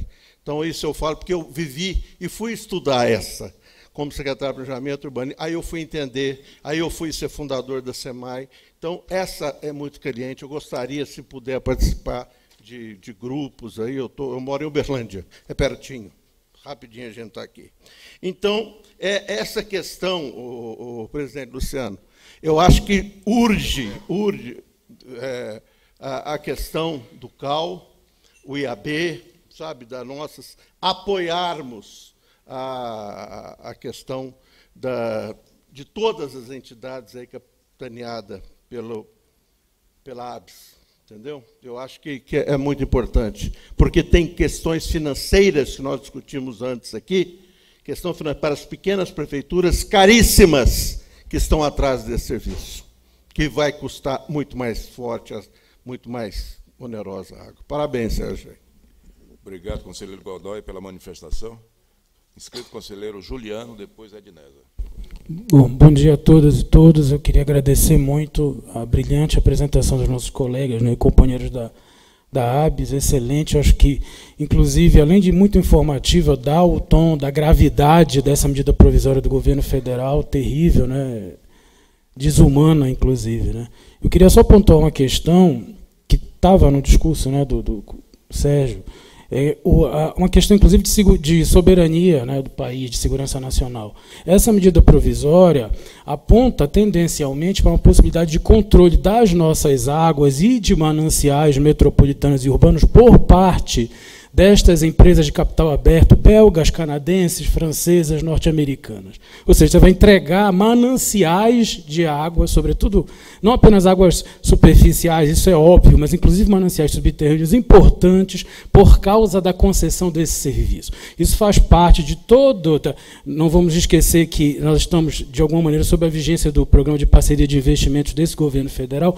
Então, para nós, arquitetos e engenheiros, arquitetas e engenheiras, onde nos interessa discutir o ambiente construído e a infraestrutura, isso é de uma centralidade enorme, porque nós já estamos vivendo um período de é, rebaixamento do valor dos nossos recursos naturais como um todo. Então, essa medida provisória traz ainda essa possibilidade gravíssima de entrega, de concessão a custo baixíssimo, por tempo indeterminado, do controle dos nossos mananciais, dos nossos recursos hídricos. É uma ilusão achar que a gente está se aproximando do modelo francês, porque supostamente haveria né, uma articulação entre gestão de águas e saneamento básico, tal qual na França. Não é disso que se trata, né? como a apresentação do Sérgio muito bem pontuou. E, é, inclusive, a revista Isto é Dinheiro, há uns três dias, publicou uma matéria com aquela cara de editorial pago, né, é, falando justamente que essas empresas, é, enfim, majoritariamente estrangeiras de capital aberto, tinham o maior interesse que ia se abrir muitíssimo o mercado para elas e que ficaria muito difícil para as empresas, as concessionárias estaduais de água e esgoto, essas que o Planasa, enfim, revitalizou, refez, etc., para que elas continuassem operando o serviço. E dessolidarizando o serviço, né? ou seja, o município rico é o filé mignon e quem quiser roer o osso, que roa com todos os ônus disso, ou seja, os municípios pobres não vão ter ninguém que queira prestar o serviço, ou vai virar uma espécie de saneamento de terceira categoria que talvez a estatal, municipal ou estadual queira ficar lá com aquilo que vai ser um problema enorme. Então, uma questão, inclusive, de entrega, de controle das águas do Brasil, para essas empresas. Não se trata de xenofobia, se trata de uma decisão estratégica de soberania nacional. Isso não tem cor político ideológica, isso é uma questão de, de dignidade. Então, é, essa medida provisória ela atinge um nível grave. Só para encerrar, estavam perguntando a quem interessa, a quem interessa. Então, um governo final de mandato. Então, quando você tem essas empresas de capital aberto, sinaliza também com o que já estava acontecendo no programa de parceria de investimentos do governo federal. Quando aquela montagem de edital das privatizações das estatais de, de saneamento era feita, o que, que eram os proponentes? Né? Uma empresa de engenharia, um escritório de advocacia e uma empresa do mercado financeiro para fazer a modelagem financeira. Então, na verdade, a gente está vendo um processo que já é mundial da financeirização do saneamento. Qual o problema disso? É que o rabo balança o cachorro. Né? Em vez de você ter o serviço de saneamento bem prestado, porque ele é essencial para a economia, é essencial para a sobrevivência biológica das pessoas, o que, que vai ser mais importante? Não é se as pessoas estão vivas nem se a economia roda. É se a taxa de retorno do investimento é alta. Não importa muito a qualidade do serviço se a taxa de retorno é alta. Ou seja, se está rendendo para os acionistas, sobretudo fora do país, está ótimo, não importa se a qualidade do serviço não está boa. Se a nossa lei desregulamenta no sentido de tornar permissivo e essas atrocidades do tipo só atendo o rico, não atendo o pobre do lado do rico, dizer que tem uma força de trabalho que migra, Pronto. Quer dizer, você abre cada vez mais, desregulamenta, você vai criando um processo quase genocida no país. Né? Então, você começa a apontar o rabo balançando o cachorro, através dessa financiarização do saneamento. Ou seja, onde a taxa de retorno do investimento é mais importante do que prestar o serviço direito. Isso já está claramente desenhado desde o programa de parceria de investimento do governo federal, com esse negócio da privatização dessas estaduais, não é reabilitá-las, né? E agora com essa medida provisória isso fica explícito. Então, só esses dois pontos: a gravidade de você deixar o rabo balançar o cachorro, financiarizando algo tão importante quanto o saneamento, e a perda de soberania nacional objetiva dada por essa concessão dos mananciais com cada vez menos regra, menos cidadania. É isso. Obrigado, conselheiro Juliano. Excelente abordagem sobre o assunto também. Conselheira Ednesa. Boa tarde, João, Sérgio. Muito congratulo pela vinda a visita de vocês e, e, a palavra. Depois dessa explanação, presidente, vai ficar difícil eu conseguir né, é, abordar algum tema é, da, da, forma, com a riqueza que o nosso colega conselheiro, mas sendo rápido. A minha pequena experiência foi de trabalhar no serviço público dentro de um programa chamado VigiSUS, lá atrás, e que, de uma, de outra uma maneira ou outra, eu acabei entrando para a vigilância ambiental da Secretaria Estadual de Saúde do Rio Grande do Sul. E lá me deparei com a questão saneamento, né? E vi que moradia digna é saneamento, faz parte. Né? Fazer essa interface na questão saúde com, a, com a, o Estatuto da Cidade, o Ministério das Cidades, era algo de extrema importância para o setor que eu lá trabalhava tentando fazer saneamento. E isso vem cada vez, aflorou cada vez mais e, e cresceu de tal forma que é evidente que tudo isso que o colega Juliano colocou, que o Sérgio colocou, vai fazer com que a moradia esteja cada vez mais indigna.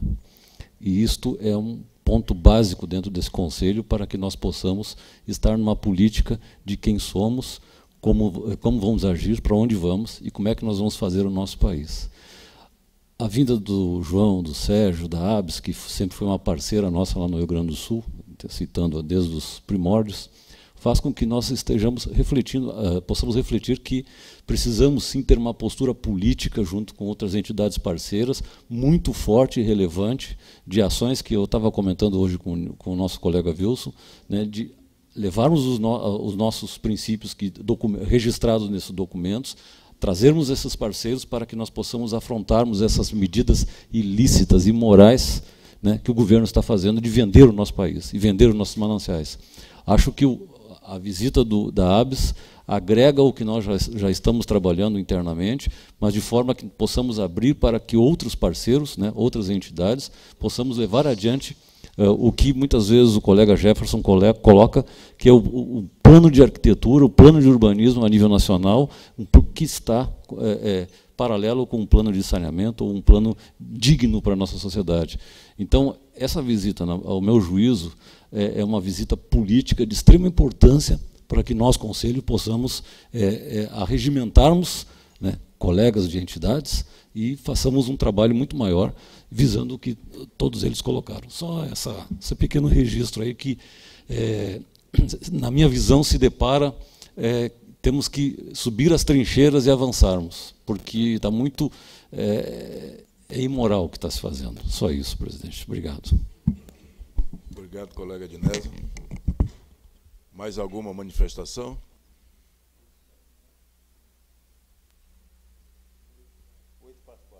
Medida provisória 844. A medida provisória é muito extensa. Né?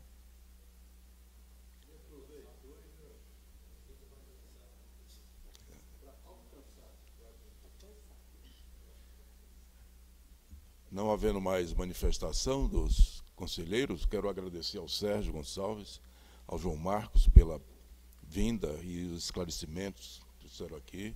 Agradecer a participação do colega Godoy, Ednésia e Juliano pela abordagem que fizeram. A questão do saneamento é fundamental para as cidades. Lamentavelmente, infraestrutura deveria ser o componente mais forte nas condições de ocupação da cidade, do território nacional. Lamentavelmente, ele vem atrás. E vem muito atrás, do ponto de vista. A questão do saneamento ele é básico não só para a questão da, da saúde pública, mas também dos recursos hídricos, do meio ambiente, né, das condições de construir cidades saudáveis. Né. Por isso que a gente está se envolvendo nessa discussão e trazendo o apoio à ABS as associações que têm trato mais direto com a questão do saneamento no Brasil, porque as cidades, para nós, é o nosso território de trabalho. E, a, e o Conselho, a função dele é a defesa da sociedade.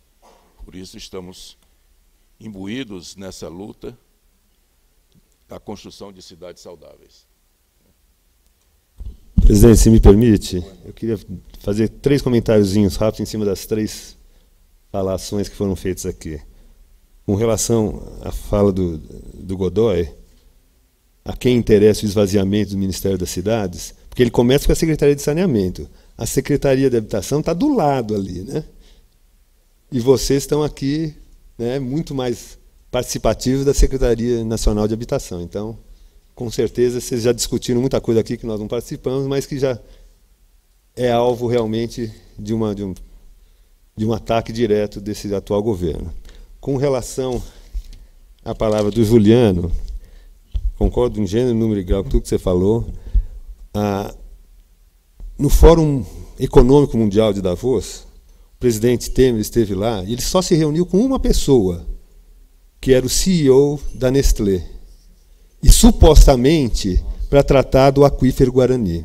Porque a Nestlé está atuando em águas, ela e a Coca-Cola são as duas grandes transnacionais que estão atuando no setor de água. Né? Então, a gente não tem, porque foi, foi, foi fechada essa audiência, ninguém teve acesso, mas supostamente é para tratar sobre o aquífero, que alguma coisa pode estar aqui dentro que a gente também não conseguiu detectar a, essa possibilidade, porque a turma do mal está atuando. Né? E, com relação ao Edenezer, Edenezer, Edenezer, Edenezer, realmente, infelizmente, é política, a gente está fazendo política. Nunca houve uma união entre a ESB, a SEMAI, principalmente as duas, que a vida inteira se conflitaram porque têm interesses em, em alguns, em alguns pontos distintos, né, principalmente nas grandes metrópoles, né, que o Supremo resolveu esse problema e que agora tá, essa medida provisória fere totalmente a Constituição, por isso que estão entrando com a DIN, é uma visita política mesmo. Infelizmente, a gente está aqui para pedir o apoio de vocês. Vocês já se manifestaram. Infelizmente, o, o sistema CREA-CONFEA ainda não se manifestou oficialmente, mas essa tentativa, nós estamos tentando, para o dia 31, fazer uma mobilização aqui em Brasília, no CREA-DF. Né? A presidente está num evento do CONFEA fora daqui, porque vários CREAs já se manifestaram. E, e, essa, e, essa, mobilização, eu acho que em Minas Gerais vai ser lá no CREA-MG, e Rio Grande do Sul, acho que vai ser no CREA também. Então, é, é política, infelizmente é, é, política e nós somos políticos todos os dias. Né? Queria só agradecer, Serginho, por favor. Mais uma vez, pedir o apoio. É, uma das atividades nossas é trabalhar com parlamentares. A SEMAI está trabalhando fortemente nisso, por quê? Como ele trabalha direto com, com os SAIs, os serviços autônomos, né, os serviços ou companhias municipais ou serviços autônomos, ligados a, diretamente ao prefeito ou prefeita, e tem a base política, nós estamos trabalhando no, no mapeamento para que cada SAI fale com o seu prefeito, para que fale com o seu apoio. Porque nós vamos trabalhar na política, assim, é uma das estratégias. Fora questão judicial, fora questão de mídia, é trabalhar no fórum político, que lá é que está a medida provisória, lá é que vai. Nós aqui aproveitamos para falar com o presidente Luciano, que é do Ceará, e o presidente do Senado é do Ceará, nós temos cartas a ele para que ele devolva, porque ele, como presidente do Senado, pode devolver, tem esse poder de devolver a medida, o Congresso, porque a parte jurídica nós estamos ajudando a instrumentalizar de que dizendo que não é devolver porque não gosta do presidente da República, não é devolver porque eu sou contra ou a favor, é devolver porque a medida não atende os preceitos constitucionais do artigo 62, ela não é de relevância e urgência, então ela tem que voltar, ela tem que entrar como projeto de lei. É isso que nós queremos. Então nós pedimos também às forças políticas que estão aqui que conversem com as suas bases políticas, com senadores, com deputados nos seus estados, para que ajudem com que é, não se gaste uma energia desse, desse país que está precisando concentrar energia em outras coisas, com uma medida dessa, né, mais uma vez espoliando o serviço público, as nossas riquezas. Né? Só como um parênteses, hoje estava na. É só abrir qualquer jornal. O presidente dos Estados Unidos proibiu a venda de uma empresa de aviação, agora para os chineses. Acabou de proibir. Falou, não, não vai vender. Aí a gente vende a Embraer. Ou a gente vende tantas outras, vamos falar de tantas outras. Vende o sistema eletro, Eletrobras. Não estamos vendendo uma coisa. Ninguém é dono, é do povo, é, é a nossa poupança, é a poupança do nosso país. tá certo? É muito fácil, né? Enquanto comprar é fácil, é bom, quando eles vêm comprar. Né? Agora eles também não vendem o deles. Né? Então, eu queria colocar isso porque nós estamos numa luta sim, uma luta de soberania. Não é xenofobia, não. É soberania sim. Ótimo, é isso aí. Só que nós temos as nossas futuras populações, que nós temos né, o, o dever de um Congresso preservar a nossa poupança, a nossa, nossa, a nossa vida. Né? Então, é nesse sentido e gostaríamos de reforçar o pedido que todos nós estamos fazendo de cada um conversar dentro do possível na sua base. Nesse evento de 31 aqui, nós vamos chamar os oito deputados federais de, de Brasília, do Distrito Federal, e os três senadores. Se eles vão vir, não sei, mas nós vamos, porque isso transcende a questão já foi dita partidária. É outra coisa que nós estamos é, conversando aqui. Então, cada unidade da federação no seu é movimento que trabalhe para que possamos fazer eventos no, no dia 31 que movimentem e coloquem a população para que ela também entenda. Porque a base é a população, que ela tem que entender o que, que está acontecendo, o que, que, pode, o que, que pode acontecer com ela. Né? De não ter né, o saneamento, quem já não tem, ou quem tem, ser mais caro, qualidade, e virar realmente uma questão meramente mercantil. Muito obrigado e agradecemos muito, muito o apoio do CAL, do Sistema CAL BR. Muito, muito obrigado. Sérgio.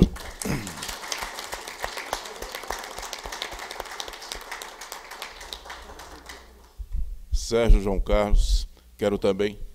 João Marcos, desculpa. João Carlos era o ex-namorado da minha esposa. Então ele ah, não, aí não pode. Aí não pode. Aí E ó, Desculpa. com ela há 46 Ela já está há 46 Uh. Mas ele não esquece. É. Ele não esquece. Ele não esquece. Desculpa. Mas eu, eu quero agradecer, eu quero agradecer também ao Roberval Tavares de Souza, que é o presidente nacional da ABS, foi o primeiro contato que nós fizemos, e nesse contato a gente já dizia da nossa preocupação com as questões que diz respeito a- às cidades. E também as questões que diz respeito à segurança nacional. As questões estratégicas, são sistemas estratégicos, energia, água, esgotamento sanitário. Ô, Sérgio, pode contar conosco, estou falando em nome do Conselho, as três manifestações aqui, só foram três manifestações, mas foram muito contundentes e abrangentes na questão do saneamento. Nós temos uma assessoria parlamentar, temos contato com os parlamentares, né, e nós vamos participar desse momento. Nós vamos. Tem o Colégio de Entidades Nacionais, que são as- todas as entidades que congregam exe- eh, eh, atividades da arquitetura e do urbanismo, fazem parte do CEAL, do Colegiado de Entidades Nacionais, nesse conselho. E quero colocar uma disponibilidade para uma agenda com o presidente do Congresso Nacional. A gente pediu uma agenda com o Eunício Oliveira, senador Eunício Oliveira, junto com a ABS, para ir lá conversar com ele. né? A outra questão também é na questão da, da ADIM. Vamos estudar a possibilidade de entrar como amicus curiae nesse processo, né, para ampliar ainda mais o- o- as estratégias de confronto, de confronto mesmo com a medida provisória. As medidas provisórias, elas sempre vêm colocando em risco vários aspectos do desenvolvimento nacional. né? E quero agradecer agora, mais uma vez, a participação de vocês e vamos ver como que a gente participa no dia 31 desse evento de mobilização. Muito obrigado. Obrigado. Obrigado.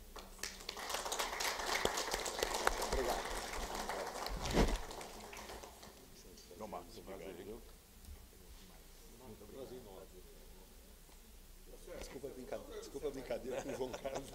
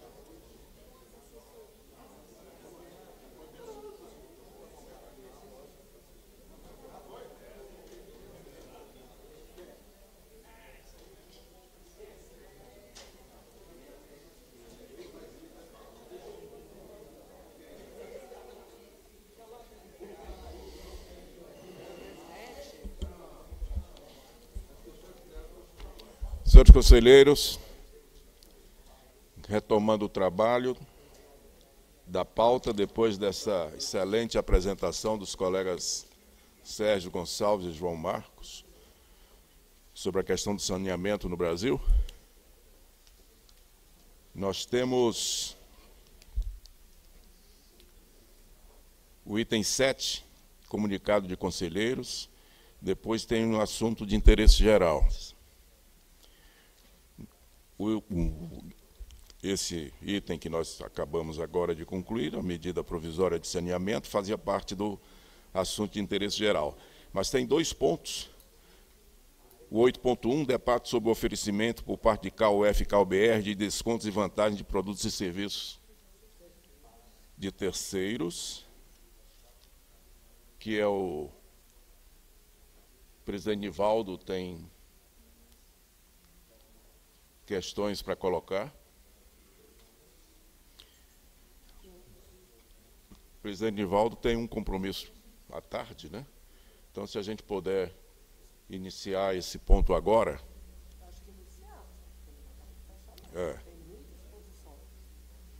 Então, passamos ao item 8.1, debate sobre o oferecimento por parte dos KUF e KUBR de descontos e vantagens de produtos e serviços de terceiros. Com a palavra, presidente Nivaldo Andrade, do presidente do IAB e coordenador do CEL. Bom dia a todos, quer dizer, eu já manifestei aqui no outro ponto, mas repito, bom dia. É, esse é um tema que vem mobilizando as entidades, o IAB principalmente, mas as entidades de modo geral. Ele já foi, de certo modo, discutido na última plenária, mas numa situação muito particular. A plenária já estava bastante esvaziada, porque já eram quase seis horas, ou, ou em torno disso, quando começou a discussão. Acho que metade dos conselheiros já tinham ido embora, mas tivemos a discussão, acho que foi rica, foi interessante, e se decidiu então na, na ocasião que seria continuar com a discussão. É, uma das questões que eu levantei naquela ocasião era de que, sendo o CAL uma autarquia federal, ele só pode. As funções que ele pode realizar são aquelas que estão previstas na lei que o criou. Ele não pode realizar aquilo que lhe der na telha, vamos dizer assim, diferente de uma associação de direito privado. Né?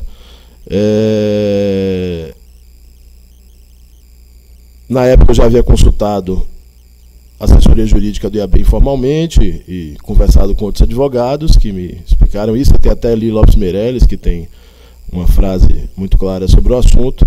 É, mas de lá para cá, as entidades unanimemente reforçaram essa posição e tanto a assessoria jurídica do IAB do Rio Grande do Sul, a pedido do IAB Nacional, quanto a assessoria jurídica da FNA, emitiram documentos que reforçam essa posição e que, elaborados por, pelos advogados, e que reforçam essa posição de que a uma autarquia federal só está previsto fazer o que está na lei, analisando-se a lei 12.370, eu sempre confundo se é 8 ou 9, 378, é, está lá, as atribuições estão lá, quais são as atribuições, dentre elas está pugnar pela valorização da profissão, ou a valorização da arquitetura e do urbanismo, mas que não contempla é, oferecer benefícios aos arquitetos. Isso não está previsto e, portanto, há um entendimento. Esses documentos eu enviei para a Dani, por estar perguntando onde Daniela estava, mas Daniela teve que sair.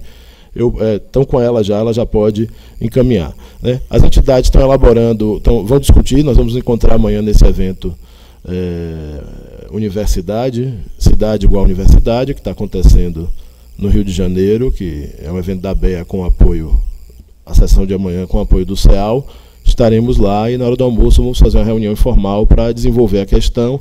Chegamos a elaborar o esboço de uma manifestação, mas não faz muito sentido apresentarmos isso, porque não houve tempo para discussão, mas as cinco entidades estão fechadas no sentido de que entendem baseado nesses documentos jurídicos, de que não é papel do CAL oferecer esses benefícios. Aí, voltando à minha manifestação da plenária passada, para atualizar, estou vendo aqui vários co colegas que já não estavam mais participando da plenária, já tinham embarcado, né? Eduardo aqui do meu lado, Ebenezer ali na frente, Nádia não estava, eu lembro de vários, aí Wilson não estava, porque não, não pôde vir à reunião. É, nós tivemos uma, uma discussão, eu fiz a primeira manifestação colocando a questão da ilegalidade, mas colocando também uma questão política. Né? Nós precisamos lembrar que a criação do Conselho, esse Conselho no qual nós estamos reunidos aqui hoje, é o resultado de uma luta que foi liderada pelas, pelas entidades. Né? O IAB, a FNA, a BEA, as BEA e a BAP. Não é à toa que a lei de criação prevê a criação do CEAL. Não é para fazer um agrado a quaisquer entidades. é para reconhecer o papel que essas entidades tiveram no processo de criação do CAL. É por isso que eu estou sentado aqui nessa mesa com direito à voz e estou podendo manifestar em nome delas nesse momento. Né? Então, as entidades, elas sim possuem associados. O IAB, pelo menos. Cada um eu não sei como. Posso falar do IAB melhor que eu conheço profundamente. O IAB possui associados. O IAB é uma entidade de direito privado, sem fins lucrativos, que reúne aqueles arquitetos que desejam se associar. As outras entidades funcionam de modo de, mais ou menos diferente, mas análogo. Né? Até porque todas elas, de algum modo, nasceram do IAB em algum momento que se entendeu que era importante ter uma entidade para defender um aspecto específico da categoria. Né? É, o CAL não possui associados. O CAL possui arquitetos registrados, que são todos arquitetos brasileiros, para o exercício da profissão. É condição sine qua non para o exercício da profissão estar registrado. Não é papel do CAL oferecer benefícios aos arquitetos também do ponto de vista ético, até pela sobrevivência dessas entidades. E eu chamo a atenção, eu percebi em alguns colegas, e entendo perfeitamente isso, porque eu tenho amigos, inclusive no CAL da Bahia, é, que entendem que o CAL Bahia deveria oferecer benefícios, com quem eu tenho conversado, né? É, porque dizem, ah, o CAL só faz tomar porrada, eu fico indignado. O, o suplente do, do colega Wilson, Eduardo, é, como é o nome dele? Luciano, que estava aqui, fez um depoimento muito interessante. Cada vez que eu entro nas redes sociais e vejo o CAL tomando porrada, eu fico indignado, aquilo me incomoda profundamente. Eu queria fazer uma analogia aqui. Eu trabalhei há alguns anos e hoje sou membro do Conselho Consultivo de uma outra autarquia federal que se chama IFAM. O IFAM é uma das entidades, das instituições mais respeitadas, no meu entendimento, de outros especialistas na área, é, da área do patrimônio na América Latina, indiscutivelmente. Talvez o INA do México possa estar na mesma condição, mas não existe. E mesmo no mundo não existem tantas instituições, instituições duradouras. O Conselho Consultivo do IFAM é o primeiro da sociedade civil, existe desde 1937. Ininterruptamente, só foi interrompido na época de Collor. Então, o IFAM é uma instituição altamente respeitável. O próprio IAB já se posicionou contra alguns posicionamentos do IFAM o edifício lá, Lavi, em Salvador, que Guivaldo era presidente do Calbaí acompanhou, saiu na imprensa, derrubou dois ministros.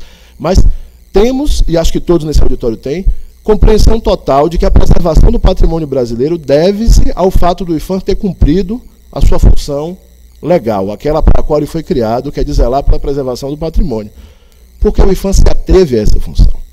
O IFAM Autarquia Federal se ateve a essa função. Não obstante, seja odiado por muitas pessoas da sociedade. A população das pequenas cidades tombadas, de várias das pequenas cidades tombadas, odeia o IFAM, porque o IFAM não, não tem recursos para restaurar tudo o que devia, porque o IFAM diz não quando eles gostariam que o IFAM dissesse sim. Então, o papel de uma autarquia federal não é ser adorada pelas pessoas. Não é ser amada pelos cidadãos, é cumprir aquilo para que ela foi criada, a sua função legal, aquela para a qual ela foi criada. Então, é, eu tenho falado isso sempre, eu vou repetir isso sempre aqui. Quando começou toda a discussão sobre as ameaças, as atribuições profissionais que nós estamos sofrendo, os arquitetos e urbanistas, estabelecidas pela Lei 12.378 e por esse conselho, através da Resolução 51, eu desde o início me coloquei como presidente da AB como coordenador do CEAL, para o presidente Luciano e para essa plenária, seguinte, e para os colegas do Conselho Superior do IAB que tinham, vinham é, solicitando que o IAB se manifestasse, dizendo a atribuição da defesa das atribuições, o papel de defesa das atribuições profissionais é do CalBR, porque foi o CalBR que tem a responsabilidade legal pela lei de mantê-las e que fez a resolução. O nosso papel é colaborar com o CalBR nesse processo. Nós somos, não somos protagonistas. Nós temos que usar a nossa rede, a nossa força, o nosso capital simbólico para apoiar o CalBR. E aí, nesse sentido, aceitei fazer parte da comissão que elaborou o documento, foi divulgado. O IAB tem replicado, junto com as outras entidades, esse documento, ou seja, as entidades estão cumprindo o papel que lhes cabe. Então, no que se refere à oferta de benefícios, por exemplo, seguro de saúde, isso é um papel que cabe às entidades e caberia ao CAL apoiá-las. Esse é o entendimento unânime da Associação Brasileira de Ensino de Arquitetura, da Associação Brasileira de Escritório de Arquitetura, da Associação Brasileira de Arquitetura Paisagística, da Federação Nacional de Arquitetos Urbanistas e do Instituto de Arquitetos do Brasil. Obrigado. Obrigado, conselheiro Nivaldo. Eu vou passar a palavra ao plenário, mas antes eu gostaria de fazer uma observação dizendo que a participação das entidades nacionais no CEAL não é só um reconhecimento pelo que elas fizeram no passado. É uma demonstração que todos que trabalharam na construção da lei entendem que há o trabalho cooperativo entre as diversas entidades de arquitetos e urbanistas é fundamental para reforçarmos não só a posição do Conselho, mas de toda a arquitetura e urbanismo brasileiros. Não foi só, você estava conversando aí, não foi só a questão de fazer uma, fazer uma homenagem às entidades que lutaram pela criação do CAL. É, é trabalhar, é trabalhar em conjunto, conjuntamente. Um outro aspecto que eu gostaria também de chamar a atenção é que quando se fala na questão está fazendo coisa ilegal, eu fico muito preocupado. E eu já pedi ao assessor jurídico Medeiros para verificar isso aí. Nessa gestão do CalBR, nós não fizemos ainda tratativas com convênios de entidades públicas ou privadas para prestação de serviço aos arquitetos. Mas no passado fizemos, o CAL fez. E eu acho que não fizemos coisas ilegais. Eu pedi ao, ao Medeiros já para examinar essa questão. Você falou que tinha trazido. Localizou? Tá bom. O conselheiro Matusalém pediu, levantou o braço ali. É, colega Anivaldo. O, conselheiro Matusalém, por favor. Eu estava falando, não viu? O, o conselheiro Godoy tinha pedido antes de você.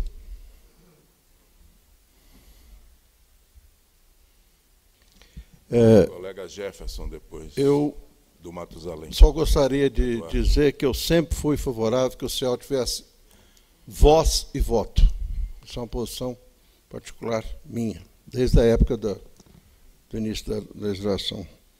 Um dos poucos pontos que eu sempre né, dava algum embate com ex-presidente Haroldo Pinheiro era justamente essa questão, viu, Nivaldo? Da e aqui eu venho trazer a palavra da nossa presidente também, Rose, eh, do IAB Minas, da, dessa preocupação.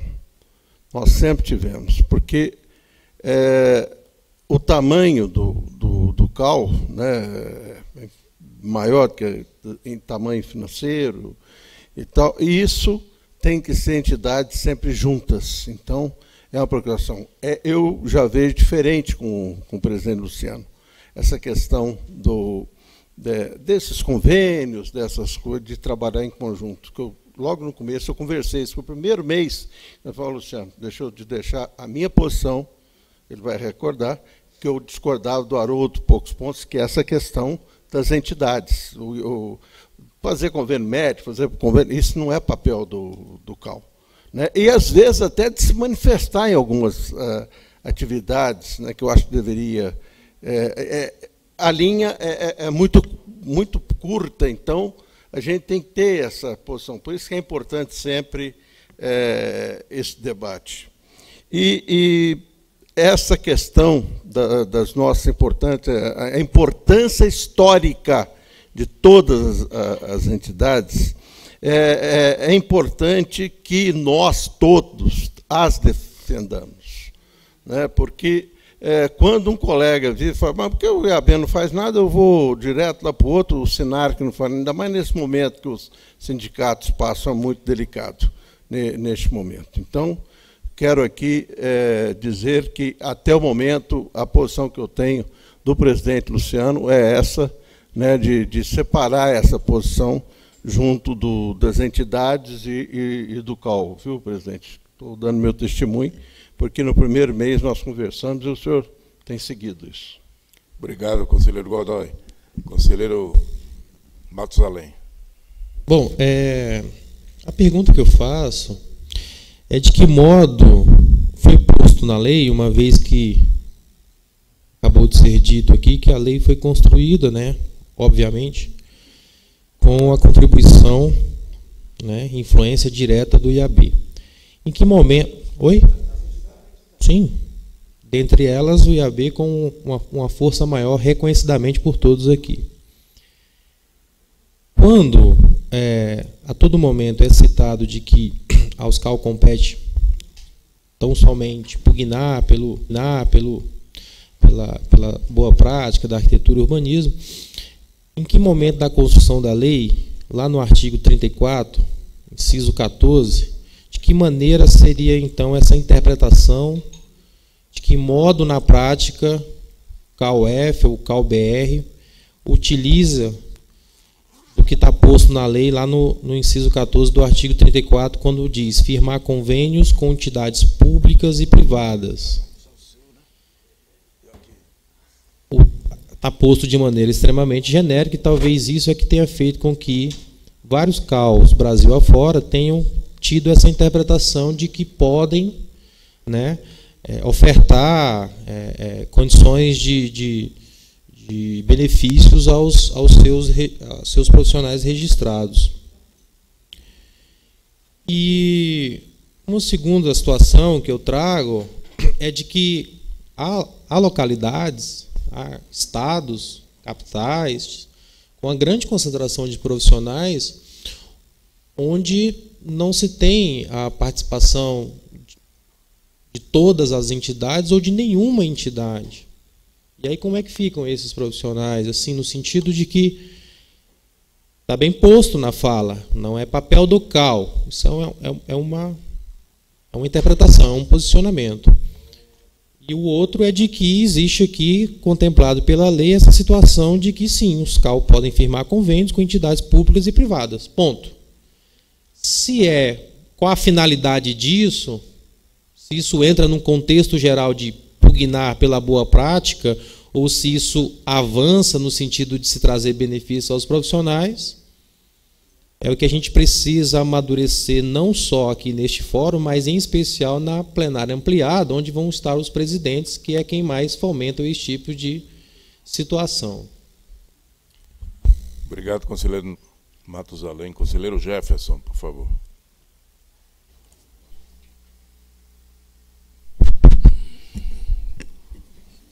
Cal Paraná é, teve uma preocupação é, em relação a essa temática, colegas, e logo no primeiro mandato,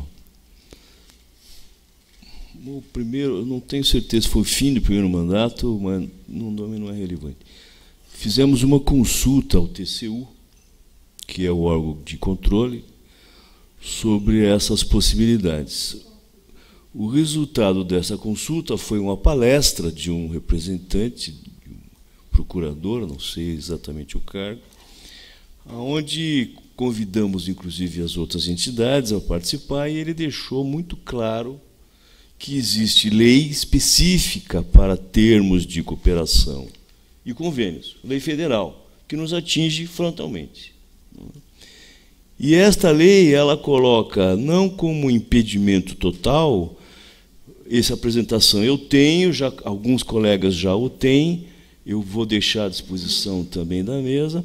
Coloca muito claro que atividades que não sejam fins do Conselho, elas, com as muitas restrições, podem ser motivo de termo de cooperação. E convênio desde que tenham começo, meio e fim, que seja um projeto, começo, meio e fim. Né? E que as entidades sejam selecionadas a partir de chamadas públicas. Nenhuma das atividades que nós propusemos a ele no momento foram consideradas passíveis de convênio, como, por exemplo, parceria, fornecimento de passagem, financiamento de uma viagem, financiamento de um palestrante, etc., etc., etc., não são atividades que teriam que tinham começo, meio e fim e que iam beneficiar o Conselho.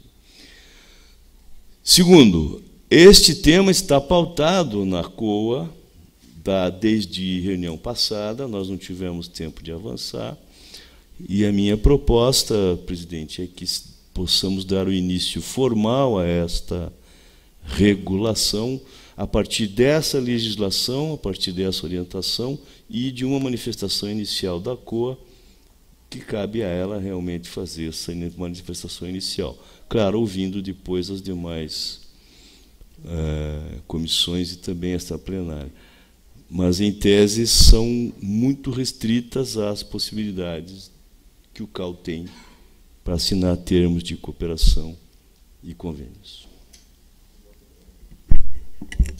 Obrigado, conselheiro Jeff. Conselheiro Eduardo. Bom, é, eu penso isso de uma forma mais abrangente.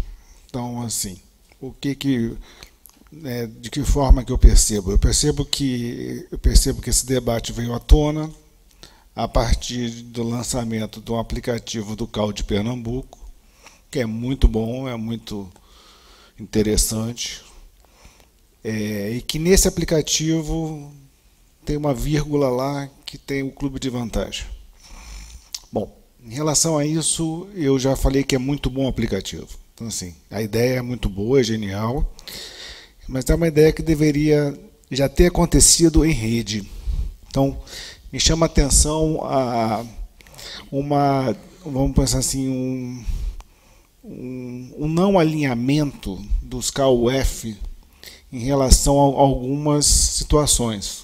Então, por exemplo, por que, que o CAL de Pernambuco, que também poderia ter sido o Espírito Santo, poderia ter sido qualquer CAL, estou falando porque foi, o que aconteceu de fato foi lá. Né? Por que, que esse, essa unidade da federação não abriu o que estava fazendo isso? Por que, que o, o CAL do nosso amigo, nosso amigo Tiago, do Rio Grande do Sul, por que, que não falou que estava fazendo um aplicativo também de, de tabela lá de honorários, né, junto com uma associação, que é útil para todos os CAL, é útil para nós profissionais. Então, estou é, falando bem pausadamente para né, ficar bem claro esse tom de, de amizade mesmo que nós temos, de respeito e tal. Então, assim, então o que eu percebo é que há um, uma situação de ego aí, de, de quem faz primeiro, sabe, quem sai na frente, é, que eu discordo em gênero, número e grau. Existe um outro ponto também que me remete a uma relação do que eu tô do que nós do que nós ouvimos e que nós conversamos ontem e hoje. Isso lembra muito a questão do desses estados também que estão fazendo as conciliações com os CREAs. Né? Então, assim, eu, eu particularmente, como eu disse, eu cheguei a ser procurado e não, e não fui adiante, porque eu não tenho o conhecimento do que, que eu posso negociar com o CREA do Espírito Santo, porque eu posso fazer uma, alguma negociação que, né, que vai ser diferente da do Rio Grande do Sul, do Piauí, e aí o Rio Grande do Sul vai dizer que ele foi hiper prejudicado, porque, né, porque nós assumimos uma negociação que não está de acordo com o pensamento dele. Só um pouquinho mais. Então, assim, é, o que falta no meu entendimento, então, é diálogo. E o que é o diálogo que eu já tinha falado antes? É o seguinte, o que falta é, é esse grupo aqui, nós conselheiros, nós fazermos uma imersão de um dia, entendermos o que, que nós queremos para o, o nosso conselho de uma forma interna. Então, assim, o que, que o, o CalBR entende que é importante que ele faça ações internas né, para 2020, 2020 e poucos, e para agora. Quais são os pontos que nós entendemos que são importantes serem debatidos? Quais são os pontos que nós entendemos que o CAU-BR deve levar junto aos CAU-F, ou para dentro das comissões. Qual é o nosso pensamento, é, tipo, a respeito de algum assunto, como esse que nós ouvimos agora na nossa palestra. Desculpa. Quais são os conselheiros que têm um domínio maior, uma vocação maior a respeito de alguns temas? É? Então, assim, vamos buscar o que há de melhor das nossas competências e vamos elencar, por exemplo, algum conselheiro é responsável, ou responsável que eu digo é o é a pessoa que nós vamos buscar para tirar dúvidas em relação à conciliação, porque ele estudou mais aquilo. Qual é a nossa opinião a respeito dos assuntos externos? Não sei. Como é, e assim, e às vezes as pessoas me perguntam assim, ah, aquilo lá tal, ah, você quer a minha opinião, a do KOS vai ser talvez diferente. E a do CalBR, não sou sozinho, nós somos muitos. Então eu penso o seguinte: o que falta, né, presidente, é um alinhamento nosso do pensamento. Que seja definido em grupo, que eu posso até discordar, mas, mas eu vou defender o, o, né, o que for fechado com o grupo. E esse é o meu pensamento. E eu penso que esse tipo de, de dúvidas que surgem, tal, eu penso que num fórum desse a gente pode sanar. Não seria numa plenária. Talvez numa conversa mais franca, mais aberta. Né? Isso aí. Obrigado. Obrigado, conselheiro Eduardo. Estão inscritos Carlos Fernando, Andréa, Lana e Adnesa. Conselheiro Carlos Fernando, por favor. Roberto Salomão. Ah, não? Ah, obrigado. Obrigado, presidente. É, primeiramente, eu queria me apresentar dizendo que eu sou ex-presidente do IAB do Rio de Janeiro por duas gestões, o que pelo regulamento de lá me faz ser conselheiro vitalício, a cujo conselho eu sou dos poucos ex-presidentes que vão lá todo mês tal maneira eu tenho apreço para aquele órgão. Eu fui também o presidente que levou pela primeira e única vez um congresso de arquitetura ao Rio de Janeiro, foi o 17º congresso em 2003. Portanto, com tudo isso, eu acho que eu sou uma pessoa isenta para falar sobre o assunto. Bom, dito isso, é, eu queria lembrar também que nós não nascemos hoje, nem ontem. É, a categoria dos arquitetos fazia parte de um outro sistema chamado CREA. O A, que agora é de agronomia, em algum momento foi de arquitetura. E esse CREA oferecia, sem grandes problemas, sem grandes gritas para ninguém, coisa que atende até hoje a alguns profissionais, sistema de saúde privado. Nós acabamos de ter, inclusive, né, uma brilhante exposição sobre a questão de saneamento, saneamento, saúde, né? saúde, saneamento, e evidentemente estamos falando do quê? Da saúde da categoria. E a mim, honestamente, é um fim em si mesmo. Eu não posso considerar isso como meio, nem de saúde das entidades, nem de saúde do conselho. A meta é a saúde da nossa categoria, que eu volto a insistir. Como o CAL deixou esse vácuo, muitos arquitetos ainda estão pendurados em planos de saúde, estão pendurados em planos de saúde do CREA. No Rio de Janeiro, isto é comum, porque você, na verdade, uma vez que você entre no plano, você só sai se quiser. Óbvio, óbvio, não existe uma lei que possa expulsar alguém que está coberto, pelo amor de Deus. É óbvio, aliás, é muito bom, porque senão nós estávamos, nós velhinhos, estávamos na sarjeta da saúde pública. Né? É isso que garante. Então eu queria pedir muita calma nesta hora, porque nós estamos lidando com a vida e a saúde dos nossos, mais do que do, colegas, dos nossos semelhantes. Bom, o problema do aplicativo é óbvio que não vai trazer para cá, vou fazer, porque imagine que isso pode virar uma questão de votação, um minuto só. E a gente pode, inclusive, derrubar, dizer, não, eu voto contra, não vai fazer, não.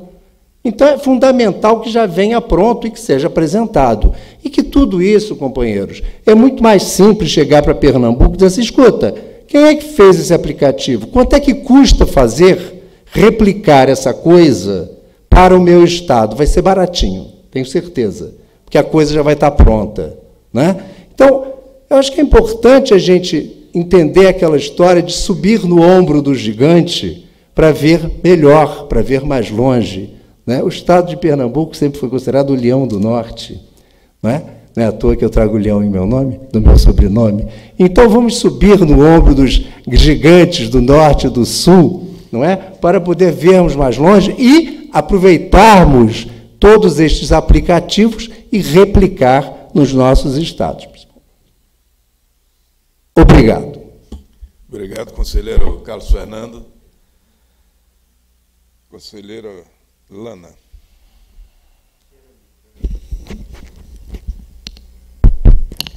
Bom, eu tenho três questões que eu quero, inclusive, reforçar.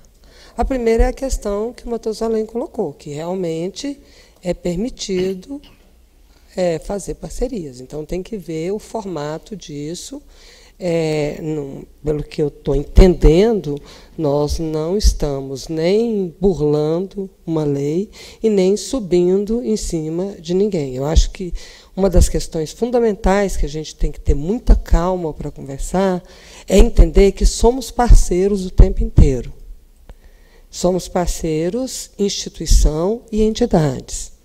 É, se vocês se recordam, recentemente, e eu vou evocar Claudemir, inclusive, nós tivemos problemas sérios na construção das nossas primeiras cartas dos nossos primeiros documentos da CEPUA, dos nossos primeiros seminários. Enfrentamos problemas sérios de debates e discussões, inclusive públicas, no qual eu fui colocada, porque não se aceitava que o CAU estivesse fazendo aqueles documentos, inclusive o documento que saiu com a contribuição da secretária-geral da ONU, a Marja, que participou, porque aquilo era papel da entidade e não da instituição.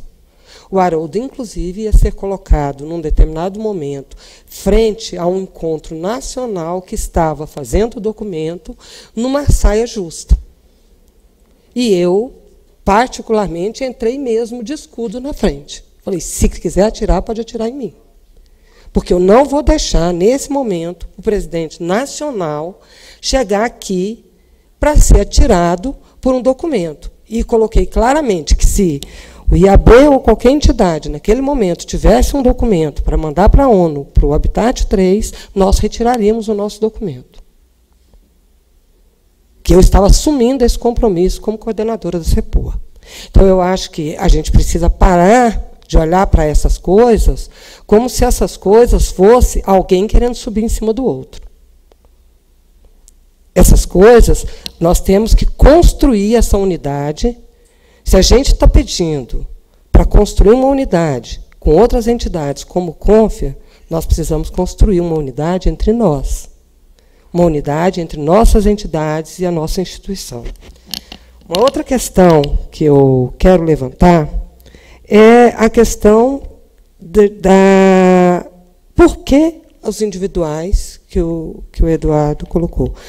Essa parceria, na verdade, o CAL Pernambuco, essa essa forma, o Cal Pernambuco fez uma coisa que muita gente já está fazendo. O Cal Goiás faz uma série de parcerias. Só que não fez com a publicidade ou com a forma mais aberta que, é, que Pernambuco fez. Chamativa, que ficou muito bom. Então, é, e eu não vejo, porque aí seria ingerência, é, como que o Calber tem que controlar isso tudo. Porque cada estado tem suas especificidades. Tem estado que tem entidade, tem estado que não tem entidade. Tem estado que tem a federação, tem estado que não tem a federação. Tem estado que não tem nenhuma das entidades, só tem o conselho. Então, é, vai da particularidade de cada estado, inclusive das possibilidades de fechar esses acordos. Então, esses acordos podem ser fechados em conjunto, podem ser fechados individualmente, e como o próprio conselheiro Carlos Fernando colocou. Isso se faz numa série de outras é, entidades ou instituições. E não há nenhum tom pejorativo nisso. Se há tom pejorativo, então vamos amadurecer isso. Mas é, vamos baixar a, as, nossas, as nossas guardas, vamos realmente discutir o que é importante para os profissionais, como fazer isso para os profissionais, como chegar nos profissionais, como realmente beneficiar os profissionais, sem, sem, sem prévias. É, conclusões de que alguém está fazendo para parecer mais do que o outro, ou alguém está fazendo em cima do outro. Então, eu gostaria, realmente, eu não vejo essa ação, como eu não vejo outras ações, e volto a insistir, Goiás tem uma série de, de parcerias, e não, eu não vejo nenhuma pejorativa. Não vejo nenhuma que seja um problema ou que seja para passar em cima de ninguém. Muito pelo contrário. Então, vamos discutir isso de forma. E, volto a insistir, o CalBR não precisa ser o gerenciador disso tudo. Cada estado tem suas especificidades, por isso que nós temos os conselhos estaduais, por isso que nós temos uma regulação no Conselho Federal, e os conselhos estaduais têm que andar assim, e eles têm que ter autonomia, têm que ter perna. Obrigado, conselheira Lana. Conselheira Adnésia. Obrigado, presidente. Vou tentar ser breve. Eu vejo que a, o tema descambou para duas, duas pautas distintas, que nós temos que ter esse equilíbrio. Nesse primeiro momento, e na condição também de estar na, na, na vice-presidência do IAB, eu acho que é importante o CAL se apropriar é, dos pareceres jurídicos que possa vir do nosso departamento jurídico aqui, ou de outros, é, de, das outras entidades que possam corroborar, para que se possamos entender né, o que, que é o CAL, quem somos, o que fazemos, para onde vamos, né, e, e, que tipo de ações possam se dar. Eu tenho extrema confiança no doutor Armênio, que ajudou nessa solicitação do IAB Nacional, de emitir esse parecer lá via uh, eh, IABRS, que eu acho que vem ajudar a, a, a ter um entendimento de quem somos, e o que podemos e como agir. agir né? Um segundo momento, então, eu, então, uma primeira sugestão é que nós possamos se inteirar do, dos, documentos que chegaram, para que possamos até discutirmos com mais propriedade né, o juridiquês, que não é a, a, particularmente a minha área, sim do nosso setor jurídico, que eu entendo que seja tão competente quanto para poder subsidiar o que, o que possamos fazer nessa pauta. A segunda é termos um entendimento que, e, e acho eu que eu estou fal falando a missa aqui, né, a, a, cartilha da missa, de que os CAUS BRs têm as suas autonomias, têm as suas possibilidades de agir e, e, e fazer os seus mecanismos de funcionamento para com os arquitetos, desde que tenham esses preceitos legais né, bem claros né, de como agir e como estar lá. Somos uma autarquia, não somos um clube de, de fidelidade temos toda uma responsabilidade para resguardar todo uma, um trabalho da presidência, que eu acho que vem sendo impecável em, em, relação a esse tema, desde que assumiu, até mesmo, se for o caso, ajustar o que foi feito no passado, para que se possa daqui para frente eh, melhorar, né, ou contribuir. Então, isso tem que ser, tem, que ter, nós temos que ter a, a, a serenidade de Primeiro, olharmos o que, que o nosso jurídico vai nos dar de embasamento, ou todas as nossas entidades com seus departamentos possam agir, e então vermos quais os caminhos. Entendo que a, a, a lei, quando fala em convênios, na minha visão, é convênios voltado para o objeto que regra o funcionamento da entidade, da instituição, instituição federal que está aqui voltada para fazer a, regula a regulação da profissão da arquitetura e urbanismo. Esses convênios são voltados para isso. Né? Para isso, a própria lei abre que outras uh, entidades que estão uh, dentro da composição do, do, sistema possam, então, também nas suas identidades particulares, propiciar instrumentos e fomentar a arquitetura e o urbanismo desde a, da, do apoio aos arquitetos. Então, são, são ações diferenciadas, com identidades diferenciadas, que fazem parte de um corpo, de uma autarquia, que tem lá como objeto a regulação da profissão e que tem que ter o seu corpo técnico jurídico para dar o devido embasamento. Então, acho que são dois pontos. E o segundo é, sim, de, uh, só mais um minuto, de uh, promovermos aqui uma discussão do que o, o conselheiro Eduardo coloca, que é, e é o que eu estou tentando dizer, do que somos, para onde vamos e como vamos agir. Uh, dentro dessa esfera do, do, do, que foi tratado e o que, o que não foi tratado ainda, que é a questão essência, a política do CAL para as ações, como, por exemplo, tivemos hoje aqui o pedido de ajuda, né, de, de apoio da ABS, salutarmente, para que possamos agirmos nas, nos nossos CAUs ou, de forma federada, nas ações políticas que o CAU precisa ter mais claro. Obrigado. Obrigado, conselheiro Adnese. Está inscrito o conselheiro Salomão.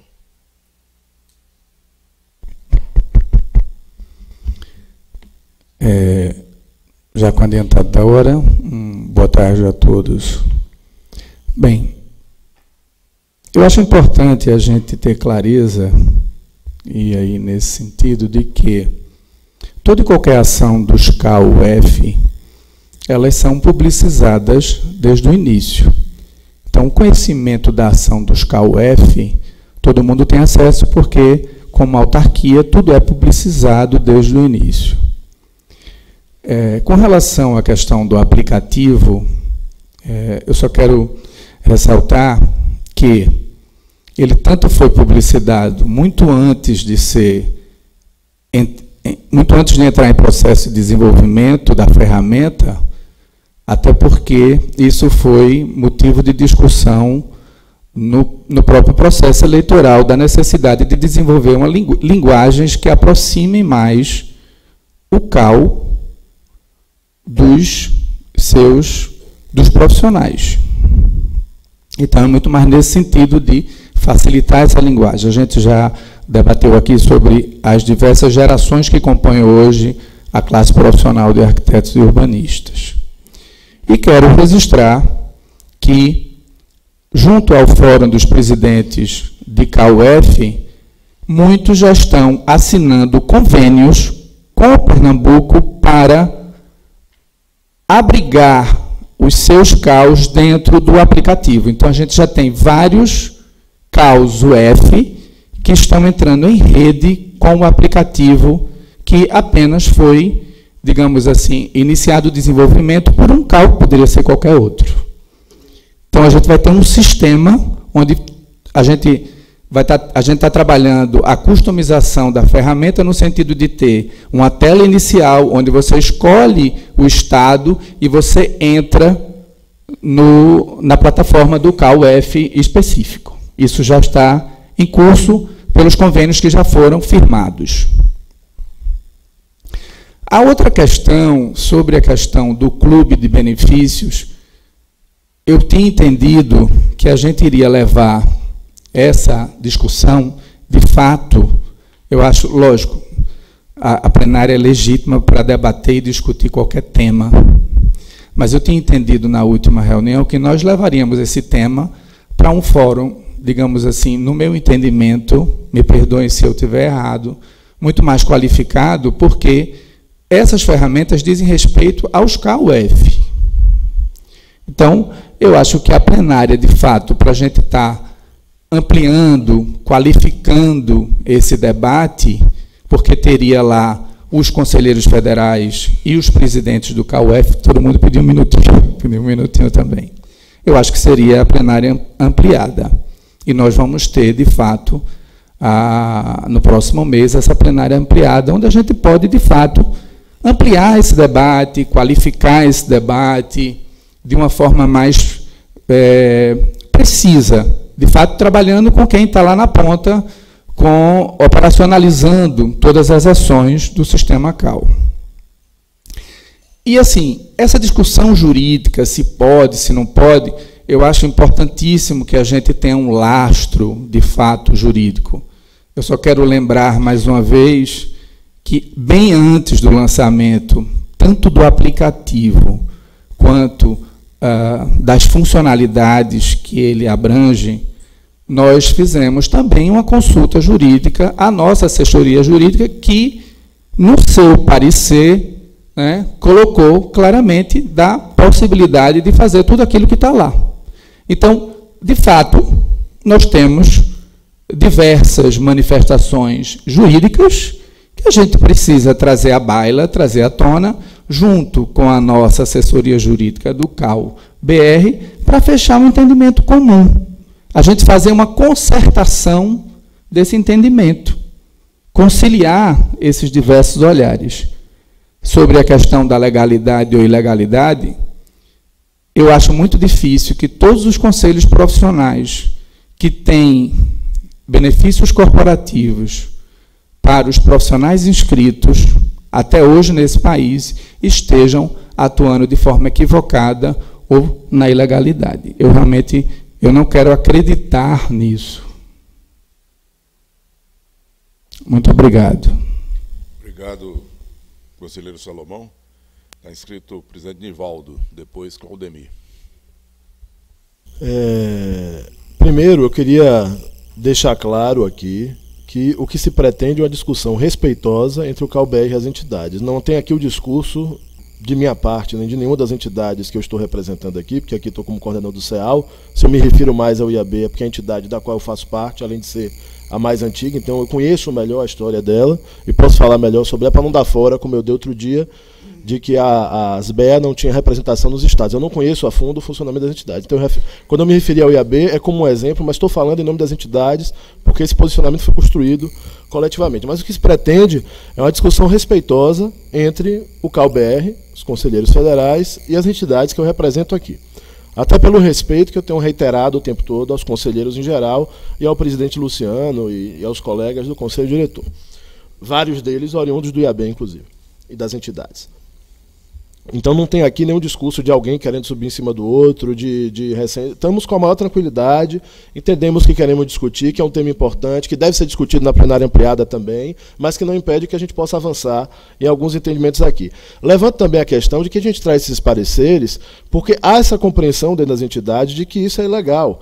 É preciso lembrar que o CREA não oferece plano de saúde. Quem oferece é a mútua que foi criada pelo CREA. E isso, do ponto de vista jurídico, faz toda a diferença. Eu não sou advogado, mas uma coisa é a instituição, é a autarquia oferecer o plano de saúde, outra coisa é ela criar uma entidade, não sei o que é a mútua exatamente do ponto de vista legal, caixa de assistência, né, para oferecer. Então não é o CREA, ao contrário do que foi dito, e outras tantas que oferece. Quem oferece são caixas de assistência dos advogados, caixa de assistência dos engenheiros, agrônomos e 80 categorias, etc, etc etc. Então, isso é uma diferença fundamental. O parecer não está dizendo, eu li atentamente os dois países, não está dizendo que o CAL não pode oferecer via uma mútua, via uma Está dizendo que ele não pode oferecer do jeito que ele está oferecendo.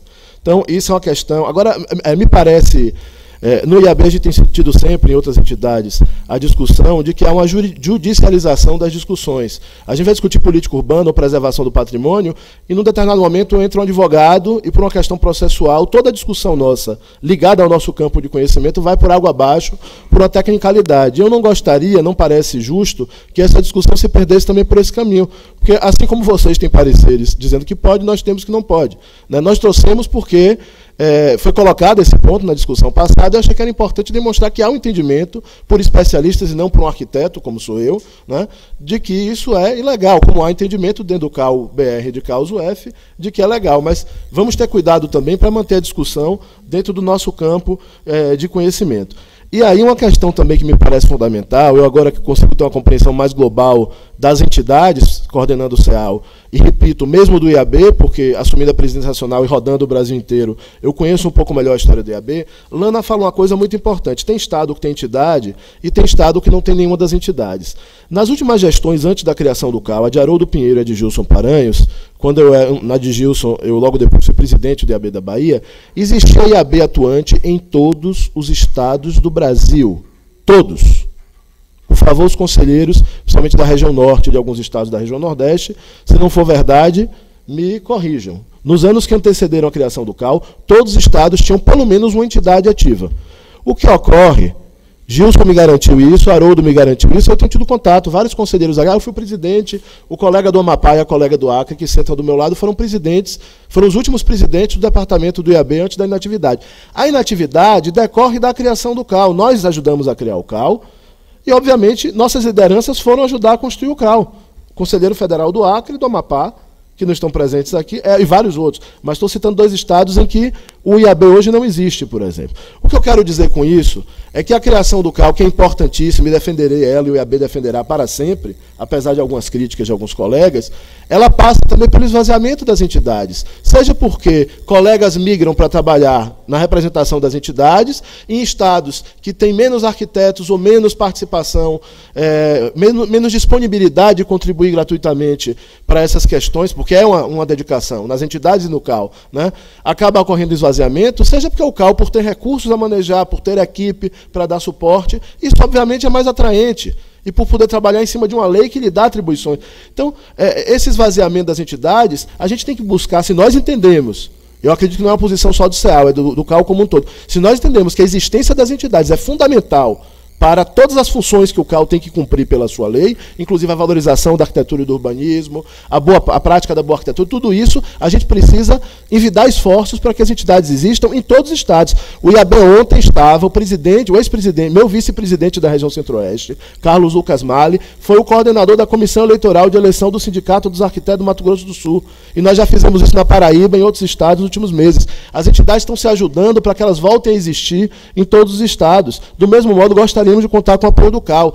E a oferta de serviços que as entidades já oferecem, podem vir oferecer com maior força, é parte fundamental. Existia um clientelismo na época do CREA em que havia repasse para as entidades. Eu sempre fui contra, e vários colegas foram contra, e quando se criou o CAL, se evitou isso. Nós não queremos repasse para as entidades existirem, mas nós queremos o apoio do CAL para que as entidades possam existir. E não vai ser a anuidade dos associados, pura e simplesmente, que vai garantir. É a oferta de serviços que já são oferecidos. Aí eu quero trazer alguns dados que eu acho que são importantes. A FNA oferece 1.500 planos de saúde hoje no Brasil. Existem 1.500 arquitetos no Brasil atendidos por plano de saúde oferecido pela FNA, enquanto o IAB Rio Grande do Sul oferece a mais de 500 associados, mais dependentes. Eu não estou falando dos dependentes, porque com os dependentes chega a 700. Eu estou falando dos associados, arquitetos, que têm plano de saúde. São 1.500 da FNA, 500 do IAB Rio Grande do Sul, 300 do IAB Paraná, mais de 300 do IAB Paraná e 480 do IAB Espírito Santo, segundo me informou o vice-presidente do IAB Espírito Santo e conselheiro federal Eduardo. Nós estamos falando só em três estados do IAB, mais FNA, de 2.800 arquitetos. E ontem o colega Simon informou que o plano oferecido pelo CalBR tem 2 mil inscritos. É, é, inclusive contraproducente, porque nós trabalhamos, as entidades trabalham com cooperativa, o que reduz o custo, e o CAL trabalha com empresa, o que faz. Foi a informação que me deram, não sou especialista no assunto. Eu acho que caberia ao CAL colaborar para que as entidades ofereçam esses, esses serviços, independente da legalidade. Não estou mais discutindo legalidade, estou discutindo aqui a legitimidade e a importância da atuação das entidades para a boa prática da arquitetura. Acho que ninguém aqui vai achar, por mais que um seja ligado à entidade A ou B e não goste da entidade C, ou que não seja ligado à entidade, todos concordam o papel importante histórico das entidades para a boa prática da arquitetura no Brasil. Então, o que está aqui se propondo é uma pactuação para além das questões legais, no sentido de reforçar o papel das entidades em todo o território brasileiro. Né? Então, assim, o aplicativo do Cal Pernambuco, colega Salomão, é excepcional, não temos nenhum questionamento a ele. O questionamento é o Clube Cal de Benefícios, CalPE de Benefícios, que é outra discussão, e que inclusive vai além de algo que poderia ser defensável, como é, desconto em revista, desconto em software, revista especializada em software, para oferecer desconto em lingerie, floricultura, café, restaurante. É toda outra discussão. Não há como defender que isso seja pugnar essa é a posição nossa, pugnar pela valorização da arquitetura. Mas a discussão não nasce, claro que ela toma força com a experiência de Pernambuco com o Clube CAL de benefícios, mas é um problema que desde que eu estou no IAB, vem sendo desde que o CAL foi criado, na verdade, e começou a oferecer plano de saúde, acho na primeira gestão do CAL ainda, que essa discussão vem, vem sendo candente nas entidades. E ela toma outro fôlego agora, evidentemente, com essa, essa discussão aqui do, do, do... Eu só queria ler, para passar a palavra, eu já me delonguei demais, é, um trecho do parecer da FNA na página 2, é um parágrafo que começa com equipes. Eu não sou advogado, não quero aqui cometer o, o erro do exercício legal da profissão, como, como comentamos na reunião passada. Página 2, o parágrafo começa com em. É o documento da FNA. Eu estou achando que esse é outro documento, o do IAB. Esse. Desça, por favor. Aí. Pois não que é, o colega aqui do, do, do Amapá estava comentando, pá, mas lá nós estamos sem entidade, não sei, é, uma conjectura. Primeiro, que haja um reforço de que as entidades possam cada vez mais crescer, todas, IAB, é, FNA, ASBEA, todas né, tenham o seu espaço. E que nós possamos é, fomentar para que as entidades tenham lá instrumentos que, na ausência de quem possa fazer o, o, o, o guarda-chuva de dar o atendimento, o benefício para o colega que está lá, que não tem aquela entidade, que nós possamos é, fomentar, para as entidades possam criar instrumentos que, por exemplo, se o, o, Amapá não tem hoje uma entidade que possa propiciar um plano de saúde, que o, a unidade federativa próxima, que, que, que de alguma, alguma maneira possa abranger temporariamente ou coisa parecida, possa criar claro. esse, esse, esse instrumento. O que eu quero dizer com isso é que a experiência nossa no Rio Grande do Sul foi que nós tínhamos um estatuto no IAB engessado, que não dava a possibilidade de nós ampliarmos a, a categoria de sócios para aquele. Eu estou dando exemplo por ser a, a, minha, a minha aldeia. E o que, que nós fizemos? Nós revisamos o estatuto, alteramos o estatuto, para que ele, dentro da legalidade, pudesse dar essa abrangência e contemplar outros, outra modalidade de, de, de, de sócio né, na, na, no item e que pudesse também ser contemplado com o benefício de um plano ou coisa que valha. Então, a ausência das entidades que devem ser é, fomentadas para que elas estejam presentes, todas elas, é, não exclui a possibilidade de se criar instrumentos para que entidade que possa estar presente mais próximo possível possa dar o benefício que se queira e aí é, depois tempo, né, de uma maneira ou outra gradativamente fomentar o é, é, pacificar o Ednézer, você tem toda a razão. Evidentemente, as entidades não estão defendendo aqui deixar desabrigados sem plano de saúde os arquitetos. É a construção de um processo que não é simplesmente cortar os, a oferta de plano de saúde imediato, é a construção de processo, pode passar por isso. E só para registrar, esses estados que eu citei, vou falar do IAB mais uma vez, porque é o que eu conheço melhor. É, o número de associados desses estados cresceu imensamente, você pode falar pelo Rio Grande do Sul, e você pelo Espírito Santo, e Jefferson pelo Paraná, porque ele foi, foi presidente do IAB do, do Espírito Santo, o, o, past president, o último, antes da atual. Jefferson foi alguns anos atrás, e você é vice-presidente atual. O número de associados cresceu imensamente na medida em que o IAB passou a ofertar. Nós acabamos de aprovar no último, na última reunião do Conselho Superior do IAB que é, o FUNSAL, que é o Fundo de Assistência aos Arquitetos Urbanistas, criado no IAB do Paraná, se estenderá, e que já está sendo implantado em Santa Catarina, se estenderá a todos os departamentos. Eu tenho certeza que isso será um incentivo para o crescimento dos IABs já ativos e certamente um grande incentivo para a reativação dos IABs que estão inativos. Eu estou percorrendo o Brasil inteiro, já reativamos Rondônia, Roraima está reativado, Nixon me relatou, estamos reativando o Piauí, Pará, que andou inativo, está sendo reativado. Estou conversando com colegas também de outros estados. Então, o objetivo é que as entidades voltem, os sindicatos arquitetos a mesma coisa, estão sendo reativados vários, como já citei, e poderemos oferecer esses convênios. A oferta de planos de saúde, só para citar esse ponto e não falar das outras, dos outros benefícios, ela reforça as entidades, aumenta o número de associados e ajuda as entidades a cumprir o seu papel de colaborar para a boa qualidade da produção arquitetônica e valorização do arquiteto. E, portanto, é um trabalho complementar ao do CAL. Não cabe ao CAL ocupar esse espaço, deve ajudar as entidades a fazê-lo. E, claro, sem desabrigar os colegas que estão em estados. Eu sempre fui o defensor do NDAB nas discussões do assunto, de que não pode ser uma ruptura, nós não podemos exigir agora que o CAL não ofereça em estados que não tem entidade nenhuma. O objetivo nosso não é deixar os colegas sem oferta do plano de saúde, mas encontrar uma solução que não seja essa. Não temos mais os repasses, que eu sou a favor de que não tenha, do Conselho, como tínhamos do CREA, não temos uma fonte de renda e os associados não se associam porque as ofertas que nós poderíamos dar estão sendo ofertadas também pelo e, Conselho. Nivaldo, me permite, presidente, me permite. E mais, eu, eu, a colocação que eu também faço, e a minha. Tem uma lista de inscrições. É só para completar, presidente, por favor, é, eu acho que é importante. É, a minha manifestação anterior, é só para registrar, de que é para salvaguardar o Conselho, o que eu coloquei.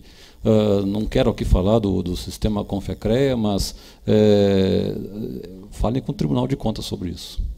Que eu acho que vocês vão, vão ter maiores informações a respeito desse tipo de ações que tanto o sistema Confecrea viu que tinha que ser através de uma caixa de assistência. Então, investigar e, e pesquisar Caixa de assistência do Confecreia, que tem a legitimidade, mas como é que ela está e como é que se dá, é muito importante. Um dos maiores planos de saúde do Rio Grande do Sul hoje é do Sindicato dos Engenheiros, que tem lá uma, uma, uma carta de quase, acho que 80 mil profissionais. Então, é, vejam que de que maneira isso, eh, essa relação se dá para poder atender os benefícios aos profissionais. Só concluindo, presidente, não vou ler o texto, porque está disponibilizado, a, a, as colaboradoras aqui vão encaminhar para todo mundo, que elas já tiveram acesso. Eu só queria comentar por que se entende que pode firmar convênios, ao entendimento do parecer da FNA, por exemplo, de que podem ser firmados convênios com entidades privadas e públicas, mas que isso não contemplaria esse tipo de benefício, o entendimento é que tem que cumprir as funções. O instrumento é firmar o convênio, mas a finalidade é o que importa, e as finalidades são aquelas que estão expressas no artigo não, claro, a interpretação. Repito que são interpretações, mas o entendimento nosso de que não é lícito, não é correto fazer isso, é de que tem que cumprir as finalidades e não é pugnar pela, pela da arquitetura, etc, etc, etc. Ok. Obrigado, Nivaldo. Nós temos aqui, colegas, inscrito Claudemir, Eduardo e Lana. Estamos às 13 horas e 15 minutos. É? Presidente, só me perdoe, tem alguns inscritos, mas também já tem uma proposta que eu fiz na minha fala, de encaminhar esse assunto para a COA, que possa fazer uma minuta e encaminhar essa, essa questão para esclarecimento inicial da plenária. Já estava anotado aqui, conselheiro Jefferson, proposta. Eu quero. A plenária tem todo o direito de decidir o que, que quer fazer, inclusive com os horários. Eu tenho um, um evento às 14 horas, vou pedir licença, não tem problema. O conselheiro Guivaldo está aqui. Né? Mas eu vou pedir um minuto só, antes de passar a palavra dos dois, que eu tenho uma compreensão muito clara sobre essa questão das entidades e do trabalho do CAL. A independência financeira das entidades é fundamental. Convivi no sistema Confiacrea e via como era o jogo político, a interferência de e nós não queremos que aconteça isso no nosso sistema. O CEAL é fundamental o trabalho do CEAL. E estamos dando todo o apoio. Né? Hoje mesmo, na conclusão daquele documento, é um exemplo da, do trabalho coletivo entre CAL, IAB e demais entidades.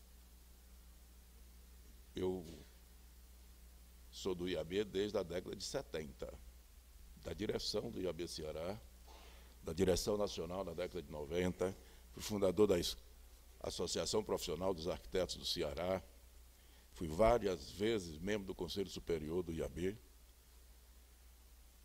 fui representante do sistema que é indicado pelo IAB durante várias gestões, e acho que nós só conseguimos o que somos até hoje por conta dessa compreensão da unidade entre CAL e entidade nacional. Evidentemente, respeitando a autonomia e as obrigações. Em 2011, quando a gente estava na transição, tinha proposta de limitar as atribuições do CAL sobre a questão da cidade. E eu usei uma expressão, um exemplo muito simples porque o artigo 24 é bem claro, pugnar. E eu dizia, imagine uma situação em que o repórter chega para o presidente do CAL e pergunta a ele sobre a política urbana do país. Ele diz que não pode se manifestar, não é papel do CAL. E chega para o presidente da Ordem dos Advogados do Brasil e pergunta sobre a política urbana e ele. Não pode ser assim, tem que haver isso que nós estamos construindo, que é o exemplo mais recente, é essa, esse documento aos candidatos. É, essa questão da colaboração entre as entidades é fundamental. É, compreender o, o, o, as limitações, compreender não, conhecer das limitações jurídicas é fundamental. Nós não podemos correr risco, colocar o nosso nome como conselheiro, como gestor, né, num processo administrativo que envolva recurso financeiro. Então, por isso é que eu falei, já havia pedido ao, ao assessor jurídico atenção sobre esse assunto, para que a gente possa. Então, eram essas observações que eu quero fazer, da compreensão que eu tenho. O, o, o, o Eduardo também fez uma proposta, de, discutimos, para saber o que, que nós vamos. Sempre vai acontecer, esse, essa, essa questão está em construção. O tema saneamento, trouxemos hoje aqui, amanhã é outro, o, o, o das entidades, o envolvimento das entidades, o relacionamento com as entidades, né, já já está também clareando. E eu vou passar então a palavra ao então, Claudemir, Eduardo e Lana. Eu só quero perguntar aos conselheiros se eles querem sugerir um, um horário para parar para almoço. Se não tem sugestão, vamos em frente. Conselheiro Claudemir. serei, bem rápido, presidente. É, na realidade, pessoal, vejam bem, em resumo, após ouvir todo mundo, são duas situações, né? Benefícios. Benefícios na ponta e benefícios no meio. O na ponta é o arquiteto, é aquele que geralmente cobra do CAL, cobra do IAB, cobra de todas as entidades. O que, que eu ganho, né? O que, que eu ganho ao pagar anuidade, o que, que eu ganho ao me associar, me associar. É o que está lá na ponta, é o que vai se beneficiar com essa parceria. E um outro lado é a questão do benefício da entidade. Né? Eu entendo, no, no, no fringir de tudo isso, é que, na realidade, o CAL, ao fazer essas parcerias, a princípio não ganha nada. Né? Só que, no entanto, tira, tá? tira do IAB e das outras entidades que ganham um repasse sim. E tem muitas é, entidades que sobrevivem dessas parcerias. E uma vez que o público maior do CAL é o universo do Exército dos Arquitetos Brasileiros, o exército menorzinho das entidades é aqueles que procuram e se associam. Então, esse aí que é a grande questão. Né? Enquanto que o CAL faz parcerias em todo o Brasil, não tira proveito próprio, digamos assim, mas dá o benefício ao, aos, aos arquitetos, e isso que é importante, não podemos tirar do foco isso, o benefício é para o arquiteto, não é para as entidades. As entidades usufruem dessas parcerias. Então, o, o foco é esse. Né? Realmente, essas parcerias que o CAL está fazendo estão tirando o poder financeiro ou a liberdade financeira, ou está dando dificuldade para que essas entidades sobrevivam, e eu já fui presidente de EAB e realmente é complicado, né? É, e essas parcerias são fundamentais para, a sobrevivência financeira delas. Esse que é o grande foco.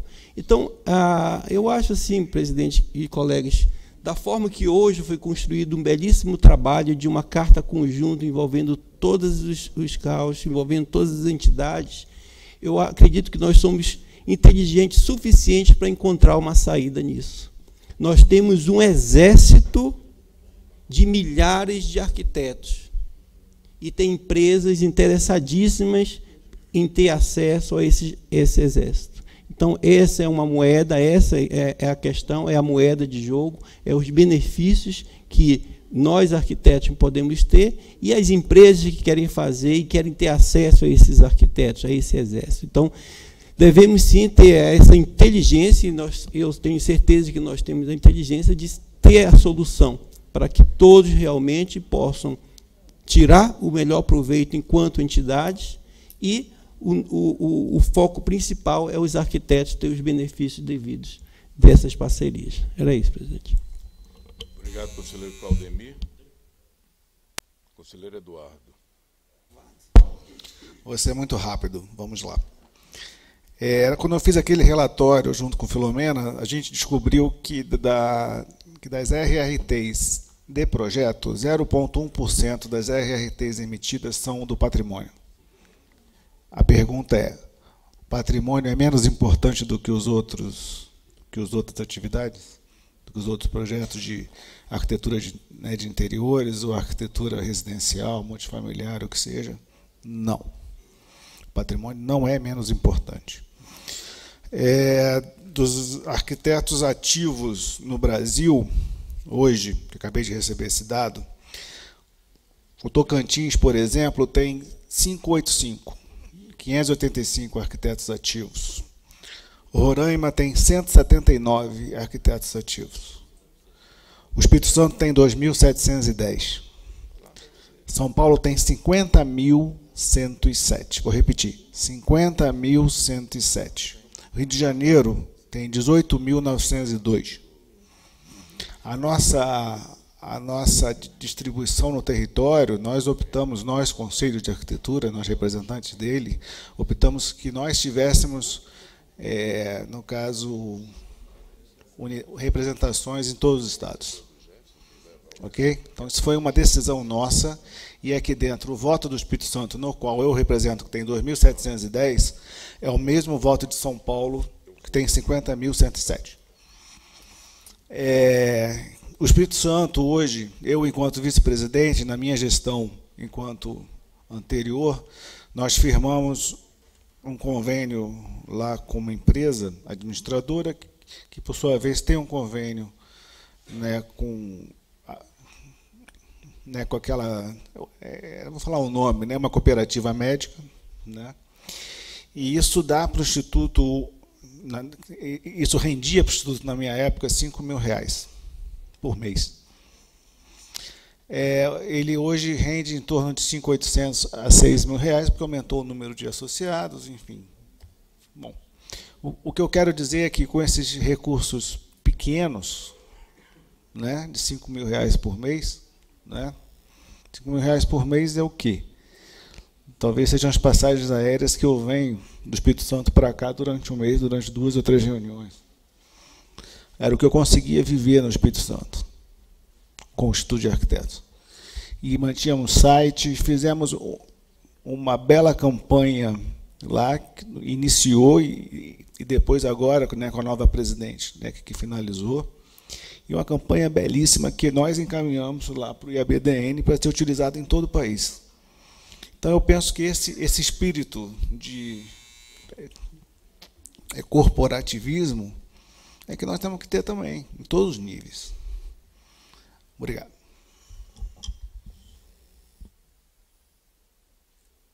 Obrigado, conselheiro Eduardo. Agora, Lana. E vou Bom, propor. Eu vou na, centrar. E vou propor, na, na fala de Lana, encerrar as inscrições. Depois de Lana, eu estou inscrito aqui também. Então, eu faço uma proposta devido adiantado da hora. Na fala de Lana, vamos encerrar inscrições. Tá?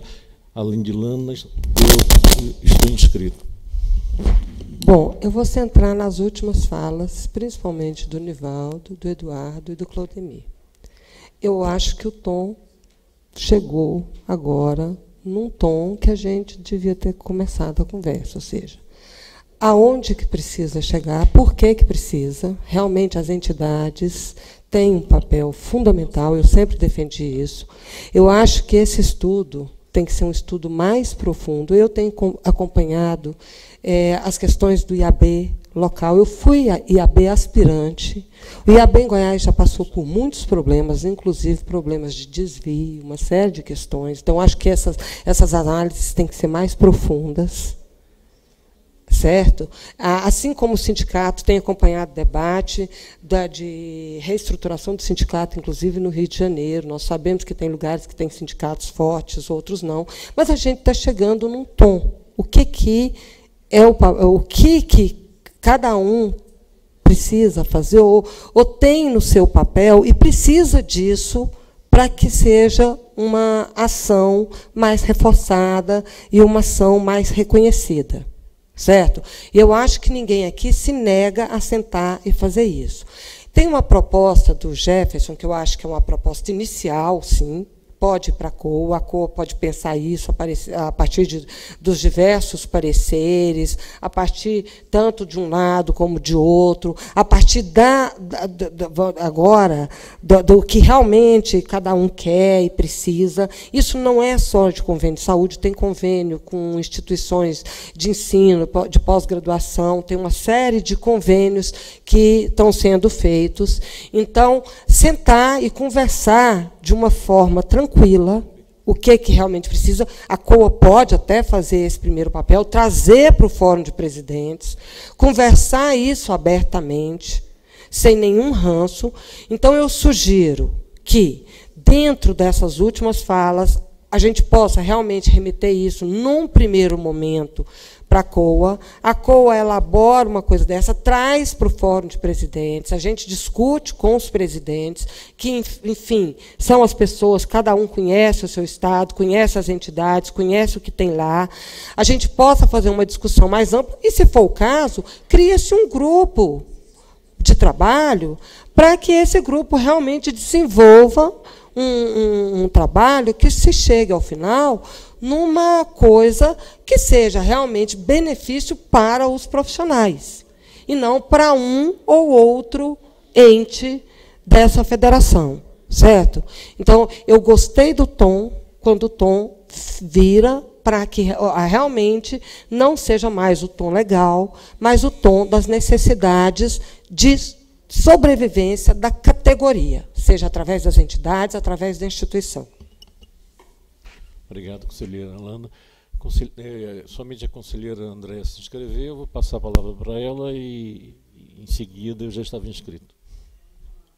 Ação muito rápida. Nós temos uma deliberação plenária que estabelece que convênios com a instituição de ensino não são permitidos, por razões óbvias. Não seremos nós a estabelecer, não, essa é boa, a gente pode, vamos colocar no site. Não, essa não é não, então não vamos colocar. Não, não somos nós que estabelecemos isso. E por enquanto a gente pode estar aqui todo mundo com o mesmo com pensamento comum, né? E que a gente sabe estabelecer diferenciar o joio do trigo. Mas e os próximos mandatos? Isso vai acontecer sempre? Então, por isso que temos essa deliberação plenária. Obrigado, André.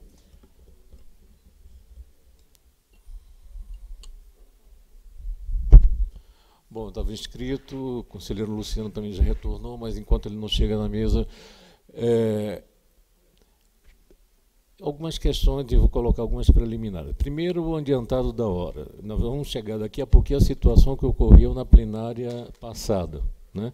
Um assunto da importância da dimensão dessa, que envolve é, um universo bastante diversificado. Por um lado, o Instituto CAL, pelo outro lado, o Instituto de Entes, de Entidades. Né? É, na plenária passada, e ela já estava bastante esvaziada, já com quase problema de, de, de coro, é, eu me manifestei na perspectiva de se construir um pacto. E que esse assunto ele ficasse permanente até que se esgotasse essas tratativas e se de fato construísse um pacto. O conselheiro Jefferson ele fez uma proposta é, de o assunto ser tratado no, no âmbito da cor, né, e isso tem um viés, e, mas o pacto ele tem um, um, um ele sinaliza para um horizonte é, maior e isso não exclui uh, o, o, fato do assunto ser tratado na cor, até porque no âmbito do, do CAU seria o assunto pertinente, depois então a plenária. Então acho que é possível, e aí então a razão da minha inscrição, eu acho que é possível se construir uma coisa nesse sentido, né? na perspectiva de se construir um pacto. Né? A COA, é, no âmbito do, do CAL, seria essa instância de representar o, é, o, o Conselho até que se construísse um juízo dentro da COA, e isso viria depois a plenário né, para deliberarmos.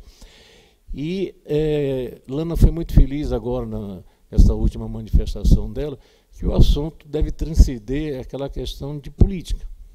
Né? Ou seja, algumas premissas precisam ser consideradas, ou seja, a manutenção, como estamos tendo aqui agora, de um clima respeitoso, né? É, com um propósito final, e aí eu insisto, na construção de um pacto. Por que, que eu estou colocando nisso? Porque o pacto, naquele momento, de, depois de de exaustivas rodadas de discussões e de entendimento, e alguns já ficaram claros aqui agora, ou seja, ficou claro que é fundamental para as entidades a questão da, sobre, da, da sua saúde financeira como opções de, de, de, de, de serviços. E há impedimentos, por outro lado, do Conselho. A, a conselheira André acaba de colocar um impedimento, com, né, que é já decisão de plenária. Então, o que eu vou propor é o seguinte: pelo adiantado da hora, nós não vamos esgotar esse assunto agora. O meu risco, a minha preocupação é de que se avançarmos, nós não teríamos a serenidade para para decidir. Né? É, esse assunto só se pode avançar e se concluir se ficarmos no patamar do bom senso, do bom senso, eu não vejo outro caminho. A minha sugestão é que é, acho que essa primeira rodada de discussão nós já estamos começando a enxergar, eu, eu particularmente já estou começando a enxergar é, alguns é, alinhamentos né, e convergência. Então, a minha proposta é, é, uma rodada de discussão, encerrarmos hoje aqui esse assunto, sinalizar para a COA ela avançar em estudos, transcendendo o aspecto meramente legal, né, aquilo que está previsto em normativa, ou seja, numa, numa outra dimensão, é, ver o que já se tem pensado no âmbito da assessoria jurídica do, do CAL, é, contemplar esse novo documento aqui e sinalizar dentro de um cronograma de trabalho, ou seja, é, fica no compromisso de que o ACOA, nesse entendimento com o CEAL, construir uma pauta de discussão, um cronograma de discussão e trazermos à plenária. Eu não vejo como nós avançarmos hoje mais. Né?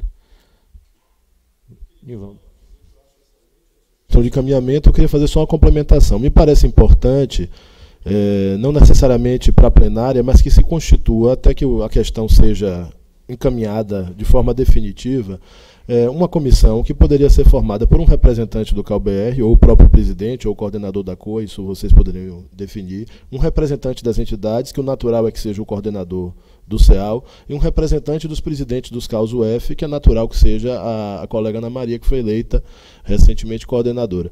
É, para além da discussão interna do CAL, que você deu esse encaminhamento, eu acho importante que haja essa instância política, porque é, é, o que Lana falou é de não judicializarmos a questão, com que eu concordo, mas a dimensão política não pode ser deixada de lado. Dimensão política é entendida como o reconhecimento da importância das entidades para a valorização da profissão e do profissional no Brasil e o papel que o CAL deve ter nesse processo de não dificultar a existência das entidades, e aqui só um parênteses, em vários estados não há repasse dos planos de saúde para os IABs, mas os IABs conseguem se manter, os tais 5 mil que Eduardo se referiu, dá para manter um IAB médio, como do Espírito Santo, com secretária, condomínio, etc, etc. É, é, estamos falando da, da, existência do IAB. E é só das, das mensalidades, das anuidades esse valor. Não é repasse. Em alguns estados, não é repasse do plano, é só o fato de você ter um número maior de associados em dia, porque eles precisam estar em dia para ter o plano. Isso já garante uma saúde financeira que garante a existência da entidade. Então, essa é dimensão política que não pode ser perdida. Eu sugiro a criação desse grupo, de, de dessa comissão, para discutir com um representante das entidades, um do CalBR, ou mais de um, mas pelo menos um, representante, um representantes ou representante das entidades do CalBR para acompanhar esse processo, para que as discussões cheguem aqui já sendo resultado de uma, de uma concordância entre elas. Eu, enquanto for coordenador do CEL, levarei a discussão Deixarei as entidades informadas, o representante ou representante do CalBR deixarão os demais conselheiros informados e a presidente do, a coordenadora do fórum de presidentes dos CAUS UF deixará os seus colegas informados e representará nessas discussões. Uma sugestão de encaminhamento, complementação à sua, presidente. Isso, presidente em exercício. Eu estou enxergando dessa forma, ela se complementa. É, o Jefferson pediu primeiro, eu passo em seguida para você, Roberto. Jefferson, por favor. É, eu, eu como autor inicial da proposta ampliada, estou de acordo, acho que o CEAL é, é, tem que ser ouvido também, tem que construir isso também, né? os presidentes também devem ser ouvidos, claro, mas é, é uma construção coletiva, mas essa minha fala é, não é no, nesse sentido, é no sentido de apenas duas colocações. As entidades têm um papel fundamental no sentido de do, da continuidade da existência do CAL. A renovação dos, desta plenária, as plenárias estaduais, seja, seja sob o aspecto de, de forma, seja o aspecto de conteúdo, seja o aspecto de quantidade, ela depende fundamentalmente da saúde das entidades. Há o exemplo que temos aqui próximo, a Argentina, tem o cal há vinte e poucos anos, hoje tem que pescar, pescar colegas argentinos que queiram participar do, do colégio, porque eles simplesmente extinguiram as entidades.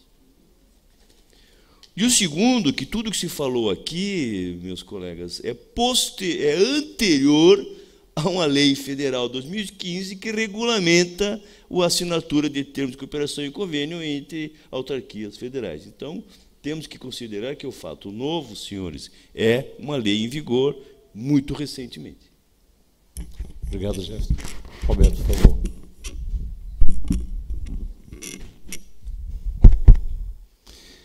Eu acho a ideia da, da comissão muito saudável. Eu acho a ideia da comissão saudável. Agora, eu acho que, em vez de decidirmos aqui quem participa dessa, dessa comissão, eu acho que isso deveria levar, eu, eu insisto, porque é importante a gente trabalhar isso na perspectiva de uma concertação maior, porque o sistema CAL não é só CAL-BR, você tem os CAL-UF.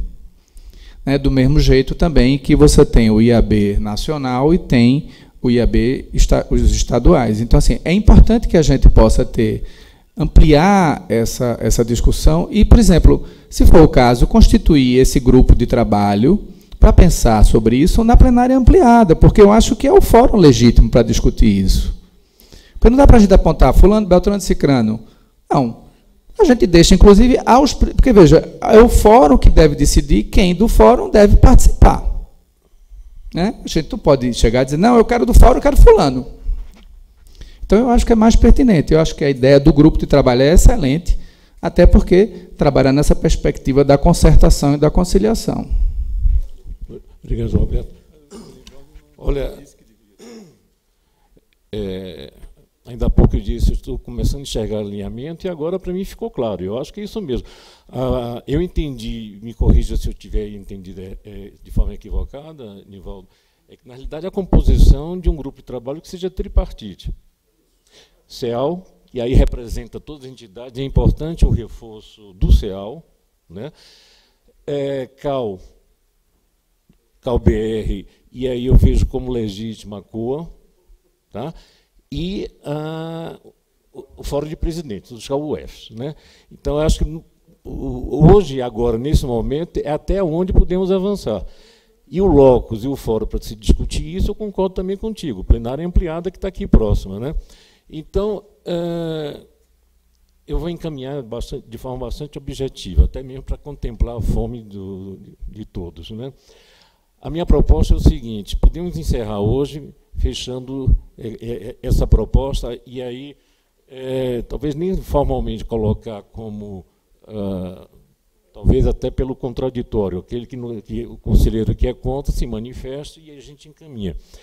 Uma, ah, uma proposta nesse sentido, pautar para a plenária ampliada esse assunto, a composição de um grupo de trabalho, de uma equipe de trabalho, e que fica assegurada a composição tripartite. Ok? Como? Sim, eu acho que, veja bem, na plenária ampliada teremos o fórum de. Sim, claro.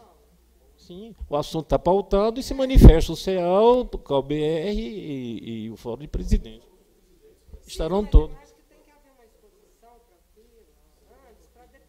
Ah, sim, na hora que fomos para o Conselho Diretor pensar na pauta, a gente já trabalha dessa forma, Alana, concordo. Bom.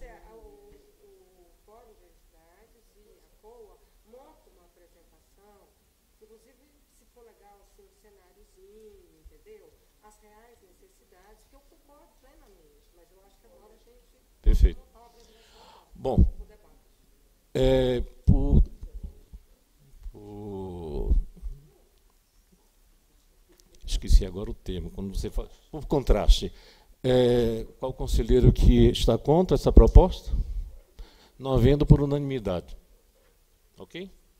Então, pautar na próxima reunião o assunto, um grupo de trabalho com, com a composição tripartite. Foi isso que acabamos de aprovar agora. Bom almoço, retornamos o que? Às 14h30? Não. Não? Não. 15 horas? 15 horas então. Bom almoço para todos.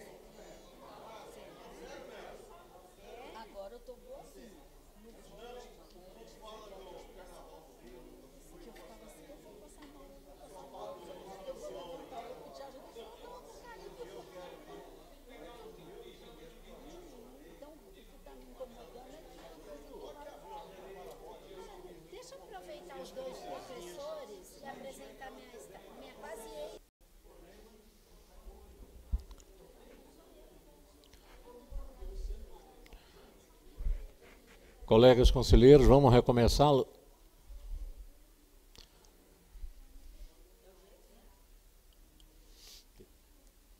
Temos que começar, né?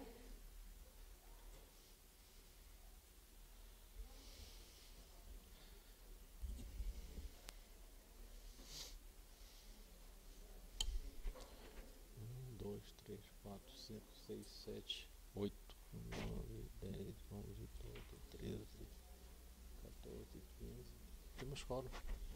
Temos. 16. Um. É.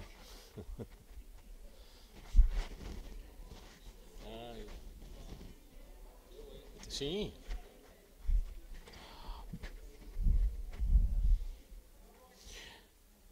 Item 7 da pauta, comunicação dos conselheiros. Ednesa. Deixa eu pegar aqui um papel para anotar.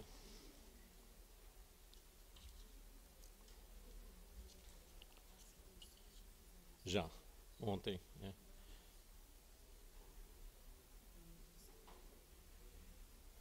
O Ednese, é, como a conselheira Andréa não estava ontem, ela tava, precisou se ausentar para um outro compromisso, tem a ver com a. Hã? Então vamos, é, antes de, de, passar a palavra para os conselheiros, para as suas comunicações, eu vou passar a palavra para a conselheira Andréa fazer o relato né, da comissão de ensino, que não pôde ser feita ontem. Conselheira Andréa, por favor. É, na verdade, a comissão de ensino ainda não se reuniu esse mês. A gente vai se reunir segunda e terça no Rio de Janeiro, por ocasião do Seminário Internacional de Ensino de Arquitetura e Urbanismo, que está acontecendo ontem, hoje e amanhã, em parceria com o CEAL. Então, a nossa reunião foi para lá.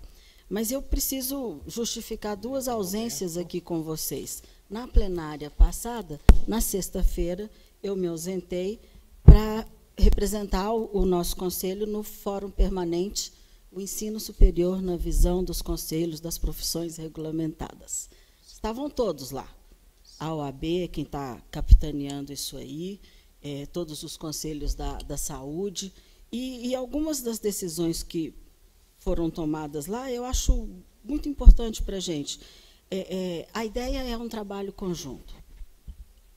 Por exemplo, em relação à educação à distância, é legal. A gente pode se opor a um curso 100% EAD? Não.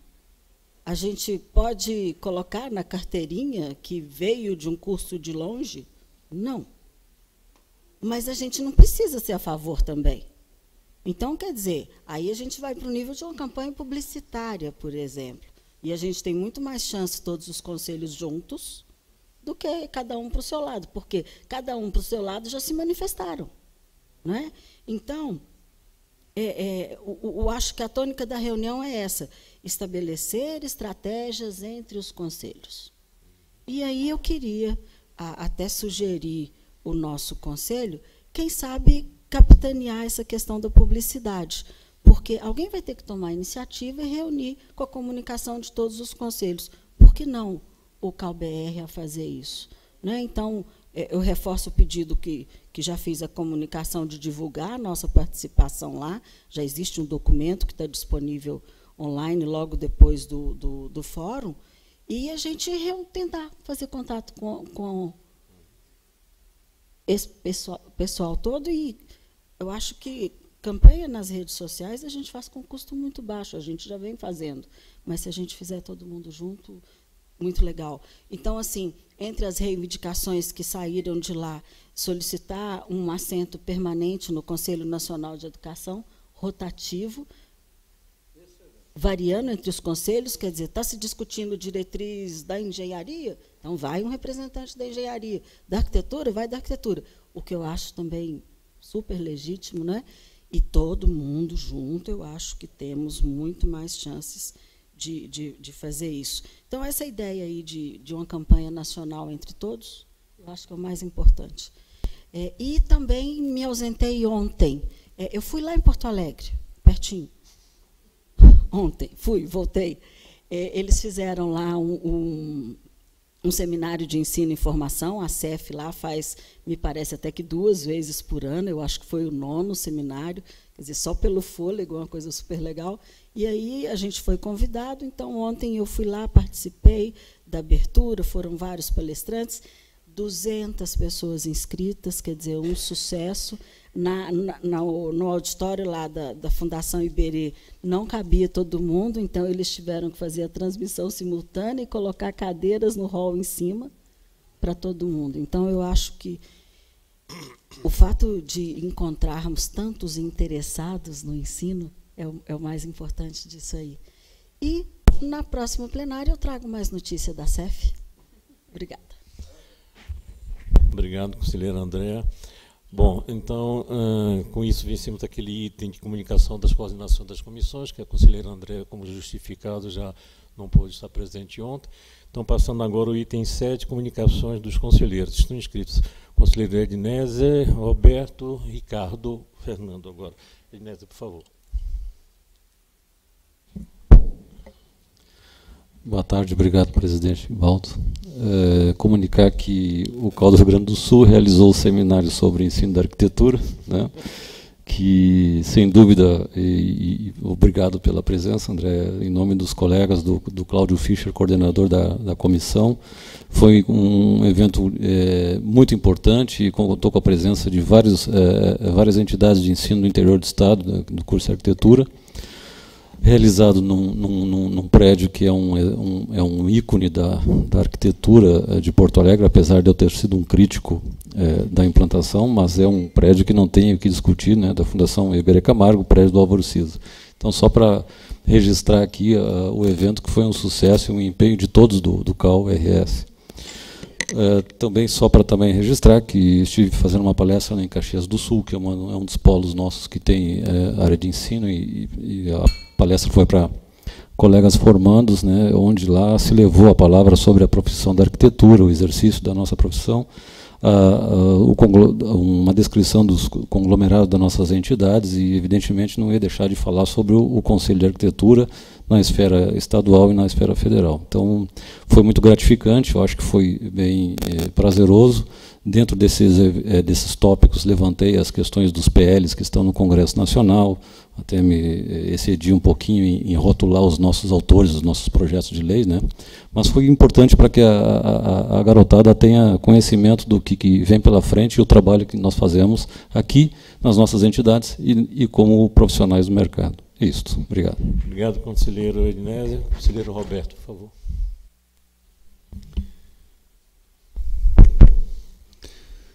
Boa tarde a todas e a todos.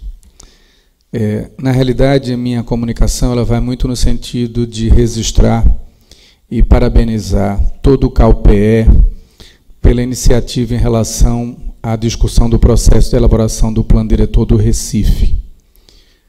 É, o, o, a revisão do plano diretor, que, que vem sendo processada pela Prefeitura do Recife, suscitou um conjunto de críticas de vários setores da sociedade, com relação ao prazo que a prefeitura tinha definido para cumprir o prazo da revisão e queria comprometer fortemente, tanto no que diz respeito à participação, como, consequentemente, ao resultado do próprio, do próprio documento, do próprio plano.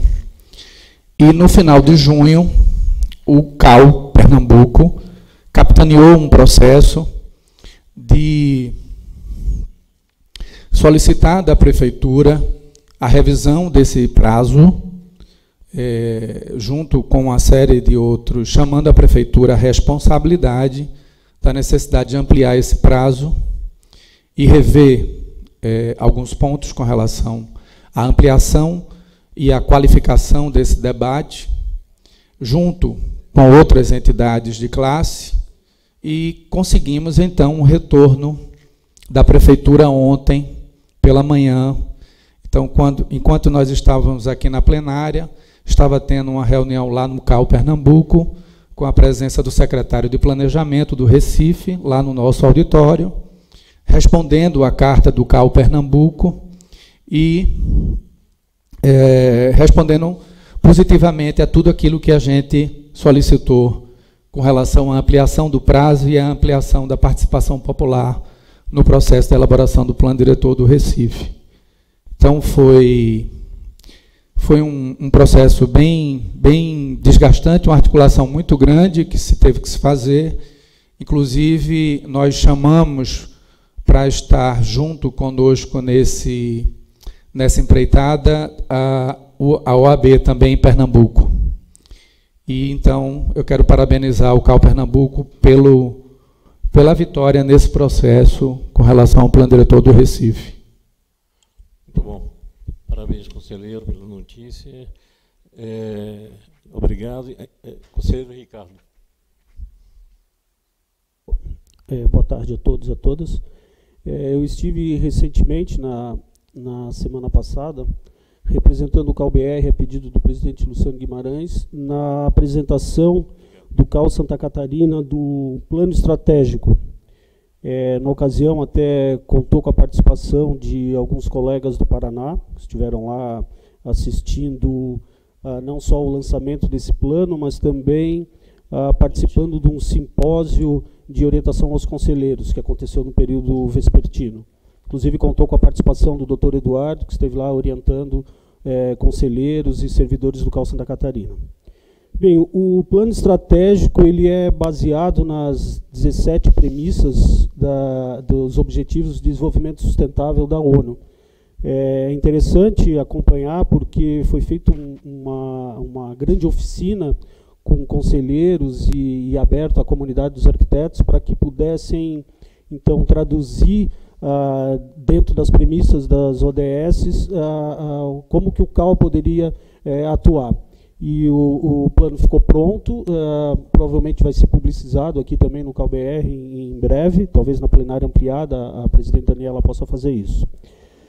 Uh, estive também, uh, em função de uma, de uma provocação positiva que eu fiz de, ao Conselho Diretor do Cal Santa Catarina, de, de retomar o diálogo com o CREA eh, catarinense. Ah, nas gestões passadas, uh, sempre houve uma, um diálogo muito transparente e, e convergente entre as, as, presidências. E como agora recente eh, mudaram os, os atores, né, o cenário continuou o mesmo, mas os atores são novos. Então, eh, eu provoquei esse encontro e o, o, o, presidente, o atual presidente do CRESA da Catarina, engenheiro agrônomo, foi, foi bastante sensível e abriu espaço na agenda dele, quase que na, na sequência da, da, da, nossa solicitação.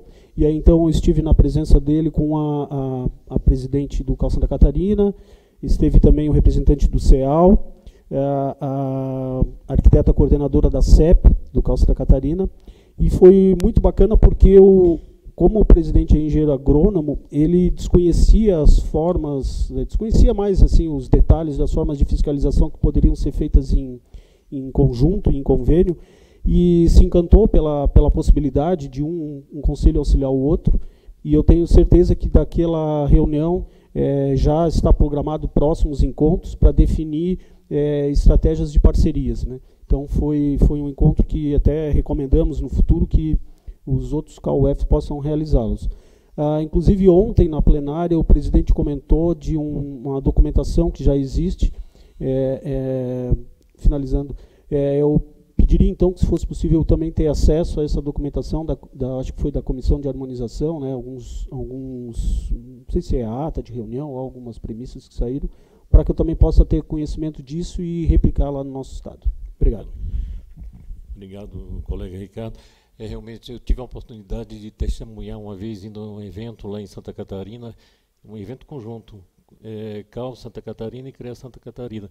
E realmente saí de lá com essa impressão de uma harmonia, inclusive no, no, no, no enfoque da fiscalização. Né? Parabéns. É, conselheiro Fernando Márcio, por favor. É, o Cal Sergipe é, entrou com a liminar, requereu e ganhou recentemente a decisão liminar de mandato de segurança coletivo contra, contra a Energisa, empresa de energia, companhia de energia do estado de Sergipe, que é, acho que tem em outros estados, se não me engano, é mineira. Bahia. Era, é, nós, nós entramos também, também, na Bahia. É. é nós ganhamos a, a, o mandato de segurança coletivo e eles estão obrigados a aceitar os projetos executados por arquitetos. Acho que isso é uma, é uma, uma notícia ótima, apesar de ser uma, uma coisa que a gente trata como um, obviedade, né? mas, enfim, essa luta está em todo o país, é bom a gente compartilhar isso até de, é, é, no Fórum dos Presidentes. Bom, é isso. Obrigado, conselheiro. Doutor Zalém, tem escrito Godoy antes. Tá. É porque a empresa Energisa também opera lá em Tocantins e a gente nunca teve nenhum registro ou reclamação de arquitetos. Eu queria saber se ela impõe essa restrição ao serviço de medição agrupada. Lá em Tocantins, pelo menos, é, um, é a única análise do projeto envolvendo elétrica para edificações é quando você tem é, edificações seriadas e aí você vai ter medição agrupada.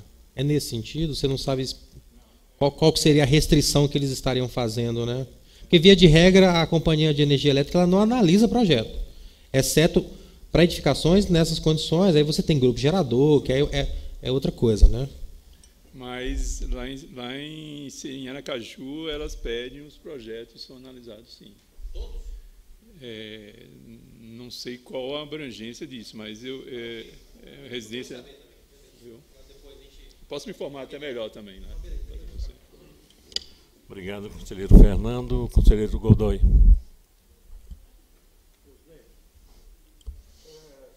Vou falar de uma maneira cifrada, para tentar não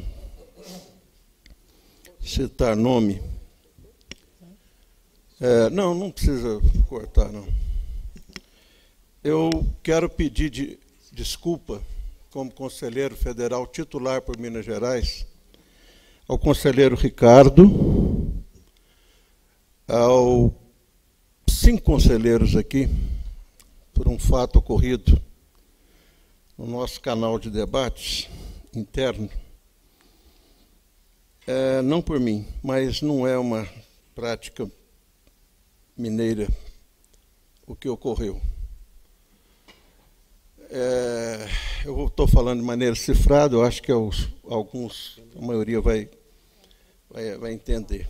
Eu acho que local de discussão do nosso grupo, do CalBR, é, para debate de arquitetura e urbanismo do nosso Conselho e atividades afins.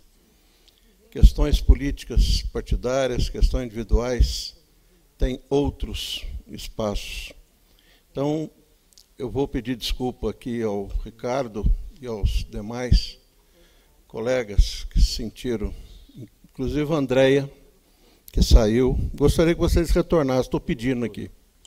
Ah, eu conversei com o Danilo, Conversei com a coordenadora do nosso grupo, a Rose, presidente do IAB. Fiquei muito magoado, vocês nos perdoem, que essa não é a atitude que o Conselho de Minas ou os conselheiros é, fazem. Né? Todos conhecem minha posição política, da porta para fora.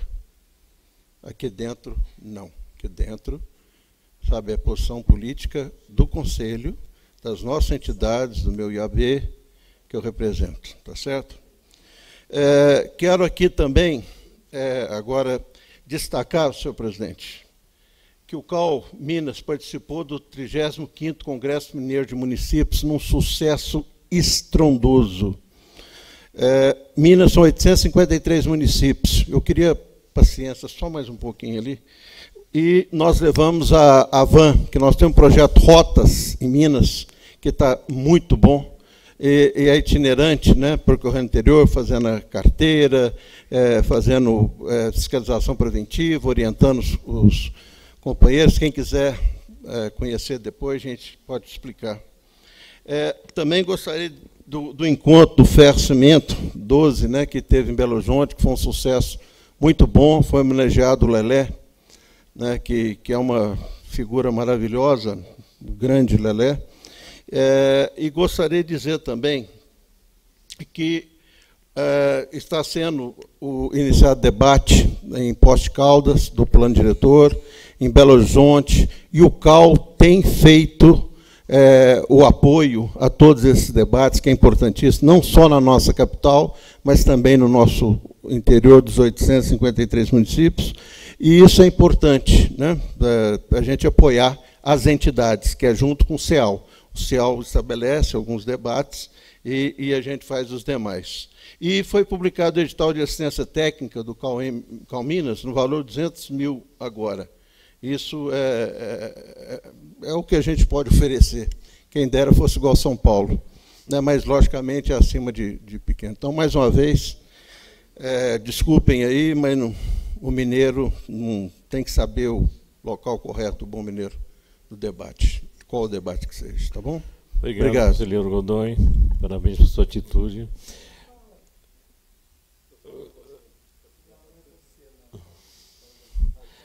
Conselheiro Claudemir, por favor. Presidente, perdão, Claudemir, só um breve é, é, depoimento, então.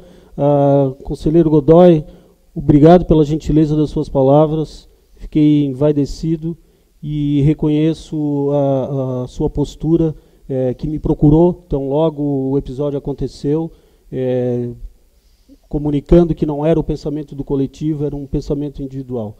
Eu agradeço profundamente a sua deferência e suas palavras.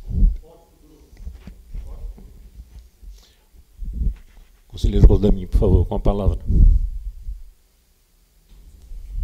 Bom, é, só para comunicar e parabenizar um pouco o Cal Amazonas no, no aspecto de um, de um projeto, de um programa que estão chamando de Cal Orienta que é, na, na realidade, presidente e colegas, nada mais do que tentar chegar aos demais municípios do Amazonas.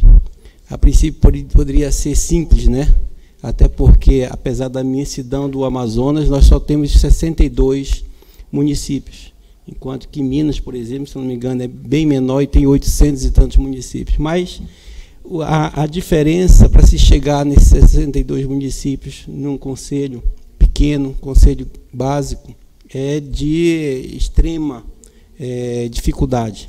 Inclusive pelas distâncias geográficas, é, existem cidades, municípios de, distante da capital, é, quase três horas de voo, então é como se fosse Manaus, Brasília, bem mais distante. Então, queria louvar aí a, a, a iniciativa do CAL Amazonas, é, por essa, esse desafio de fazer com que o Conselho esteja chegando a alguns municípios, não todos, alguns, né? É, e pelo menos os principais, porque a, a, a, grande maioria dos, dos profissionais do Amazonas estão na capital, 99% com certeza.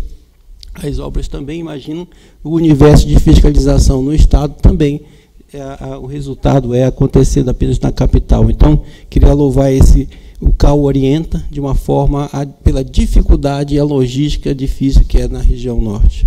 E também, já finalizando, é, convidar, está né, tá acontecendo agora de 13 a 16 de agosto, o sétimo seminário do Comomo, Norte e Nordeste.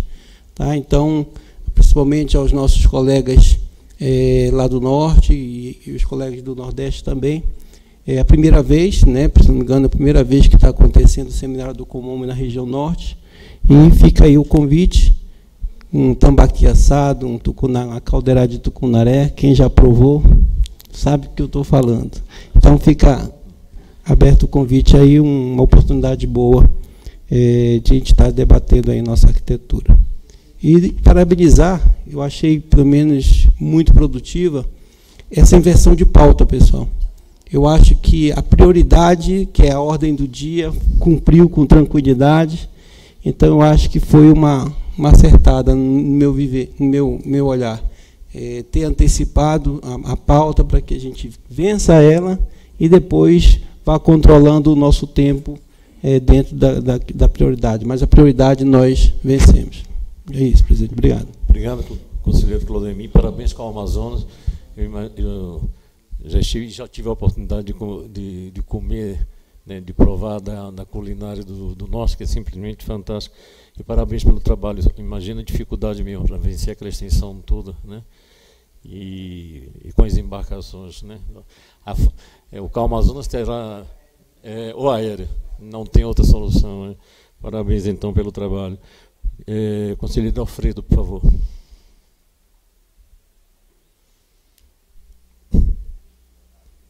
É, um momento agora de agradecimento. Eu queria agradecer o conselheiro Carlos Fernando, nosso amigo carioca, Rio de Janeiro, pela palestra que ele fez lá no Acre é, sobre patrimônio histórico. Afinal de contas, foi a custo zero, né, professor? E eu quero agradecer aqui em nome da presidente, da Verônica Castro, e de todos os conselheiros, e principalmente do público-alvo lá, dos estudantes, principalmente. Muito obrigado. Obrigado, conselheiro Alfredo.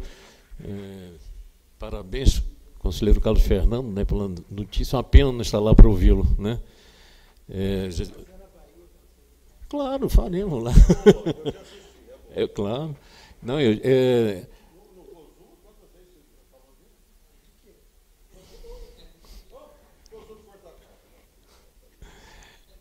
Ele esconde é, os fatos. Conselheiro Matusalém, por favor. Não? É que pensei que naquela hora você queria. Conselheiro Fabrício, então. Não, é que o Matusalém, você tinha levantado a mão naquela hora, eu registrei aqui. Bom, boa tarde a todos. Bom, os dois comunicados que eu quero fazer aqui do nosso CAL Piauí. É, primeiro, que já foi até falado pelo presidente Luciano, do, da reunião que houve entre o CAL e o CREA, lá no Piauí. Na verdade, foi até uma reunião antes, solicitada pelo presidente, para ver mesmo essa aproximação né, dos dois conselhos, mas que não tinha surgido ainda na, na agenda do presidente do CAL a possibilidade. Mas depois de um certo período que a fiscalização andou notificando alguns profissionais de engenharia por estarem fazendo uma prática que não deveria ser da parte deles, o presidente do CREA então solicitou uma reunião com o nosso CAL e lá foram tidas essas conversas exatamente para esclarecer o que estava acontecendo e e justamente também para explicar que as notificações foram justamente para que se garantisse que a, aquilo que está na resolução 51 das ações que são exclusivas dos arquitetos forem fossem de projetos de arquitetura fossem executados elaborados apenas por arquitetos o que não estava acontecendo com alguns outros profissionais de, de engenharia. Na ocasião inclusive o presidente também do CREA solicitou para a, que houvesse a suspensão dessas notificações e, e algo que ainda vai ser discutido em plenária no local. E outro comunicado que eu achei interessante de fazer é que estava vendo, houve a publicação do edital para um concurso público do, do Ministério Público do Estado e, e não constava lá o concurso aberto para arquitetos, embora o que estava sendo as atribuições que estavam constando lá no concurso eram justamente também para arquitetos e, e lá só estavam contemplando os engenheiros. Então o CAL Piauí entrou com uma solicitação de suspensão do edital é, desse concurso público. Então era, eram essas duas, duas comunicações que eu gostaria de dar para você. Obrigado, conselheiro Fabrício. Parabéns também pela iniciativa lá da, do encontro com o CREA Piauí. Né? Ah, igualmente com o CREA Santa Catarina, eu acho que esse é o caminho. Ações locais dão um bom resultado, sim. Parabéns, então, conselheiro. É, não, tinha, não tenho mais nenhum conselheiro inscrito aqui. Continua franqueada a palavra para comunicações. Bom, não havendo então, vamos avançar para o item 8.3, portal de manifestações. E aí eu peço então a. Só um minutinho que ela está conversando com o conselheiro Ricardo. Ali. Por favor. O item 8.3, você agora, Luciano. Só um minutinho que antes o conselheiro Ednésio pediu a palavra, depois eu passo para ti. Não, é, é, rapidinho, presidente. Obrigado. Só para complementar aqui também, no, nos mesmos modos de outros conselhos, o nosso conselho esteve reunido com o, o Conselho Regional de Engenharia no Rio Grande do Sul, Já também, é, eu, eu, postei no grupo alguma informação, mas só para registrar que também já se pensando em ações em conjunto e dando prioritário para as questões de fiscalização. Só para dizer que está em andamento aí todo um trabalho de, em ações em conjunto com o Conselho de Engenharia do Rio Grande do Sul. Bacana. Parabéns, Conselho de Engenharia. Parabéns, ao Rio Grande do Sul, CREA Rio Grande do Sul, por essa iniciativa, esse trabalho conjunto aí. Isso é um bom caminho. Bom, o item 8.3, portal de manifestações, eu passo a palavra agora para a nossa assessora institucional e parlamentar, Luciana Rubino, mais uma vez registrando o excelente trabalho que a nossa colaboradora Luciana vem realizando. Mais uma vez registro aqui publicamente o nosso agradecimento, Luciana, em reconhecendo o seu trabalho, né? assim como essa, de resto, toda essa valiosa equipe do CalBR. Por favor, Luciana. É, muito obrigada, presidente Guivaldo. Boa tarde a todas, a todos. É, a gente volta aqui para dizer a importância da, do portal Manifestações. A ideia desde o início foi tornar o processo mais democrático e, e, e melhor para todo mundo. Inclusive, o formato do seminário legislativo foi mudado por conta desse portal. Então, eu queria fazer um apelo aos conselheiros, aos presidentes também, aos conselheiros estaduais que puderem participar desse processo e incluírem as suas manifestações, porque se a gente não, por enquanto, o portal está aberto, acho que desde maio, se eu não me engano, não, não, não teve nenhuma manifestação ainda, de nenhum projeto. Nós temos 150 projetos abertos para manifestação é, seria importante que talvez essa sistemática, se não funcionar assim, a gente vai ter que talvez dividir essa tarefa com as comissões permanentes, temporárias. É, e aí eu queria abrir, abrir para debate, ouvir as sugestões de vocês, o que está faltando, que, vocês estão precisando de algum apoio, alguma informação. Mais? Eu vou, eu vou ser demitida, hein, conselheiro? É, não, é, então, eu, eu acho que a gente precisa começar a, a alimentar o, o, portal, né? É, se vocês precisarem, a, a assessoria parlamentar está à disposição, qualquer informação, qualquer apoio, qualquer. É, é importante também que a gente é, peça o apoio dos CAUS UFs para que eles também participem. É, a gente não abriu para todos os profissionais com, me, com, com a preocupação de que isso é, viesse a ser uma avalanche de informações e a gente não desse conta de processar. Né? Mas é, se a gente não conseguir dessa forma, nós vamos ter que voltar ao formato do seminário legislativo, em que a gente fazia ah, algumas participações muito. É, muito simplistas, né? muito sem, sem aprofundar na matéria. E aí a gente não, não tem um bom resultado, né? porque o meu trabalho no Congresso Nacional é pautado no que vocês me balizam. As informações que vocês me passam é o que eu posso avançar dentro do Congresso Nacional. Então, se não tem uma informação técnica, se não tem uma, um posicionamento do, desse colegiado, a gente não consegue avançar no Congresso Nacional. E, e, o convencimento dos parlamentares depende da manifestação de todos. Né? Então, a minha ideia era que, depois que isso fosse feito, depois que a gente tivesse essas manifestações também, é, criar uma agenda legislativa do CAL. E essa agenda ia ser publicada e divulgada para todos os parlamentares, onde o nosso posicionamento ficaria muito bem consolidado, mas a gente não pode publicar uma agenda sem manifestação, né? Então, e a equipe do, da assessoria parlamentar não tem competência para se manifestar em relação à matéria técnica. Então, único, único, os únicos é, participantes do conselho que podem se manifestar dessa forma são, são os conselheiros os estaduais, federais, os presidentes, né, que são quem compõe esse colegiado. Era isso. Se alguém tiver alguma dúvida, eu estou à disposição. Franqueada a palavra. Lana. Lana, por favor. Obrigado, Luciano. vou lhe pedir ainda mais um pouquinho de. Não quer uma cadeira para você sentar? Tá bem? Tá bem? É, Luciana, você disse dos 150 projetos que estão lá para manifestação.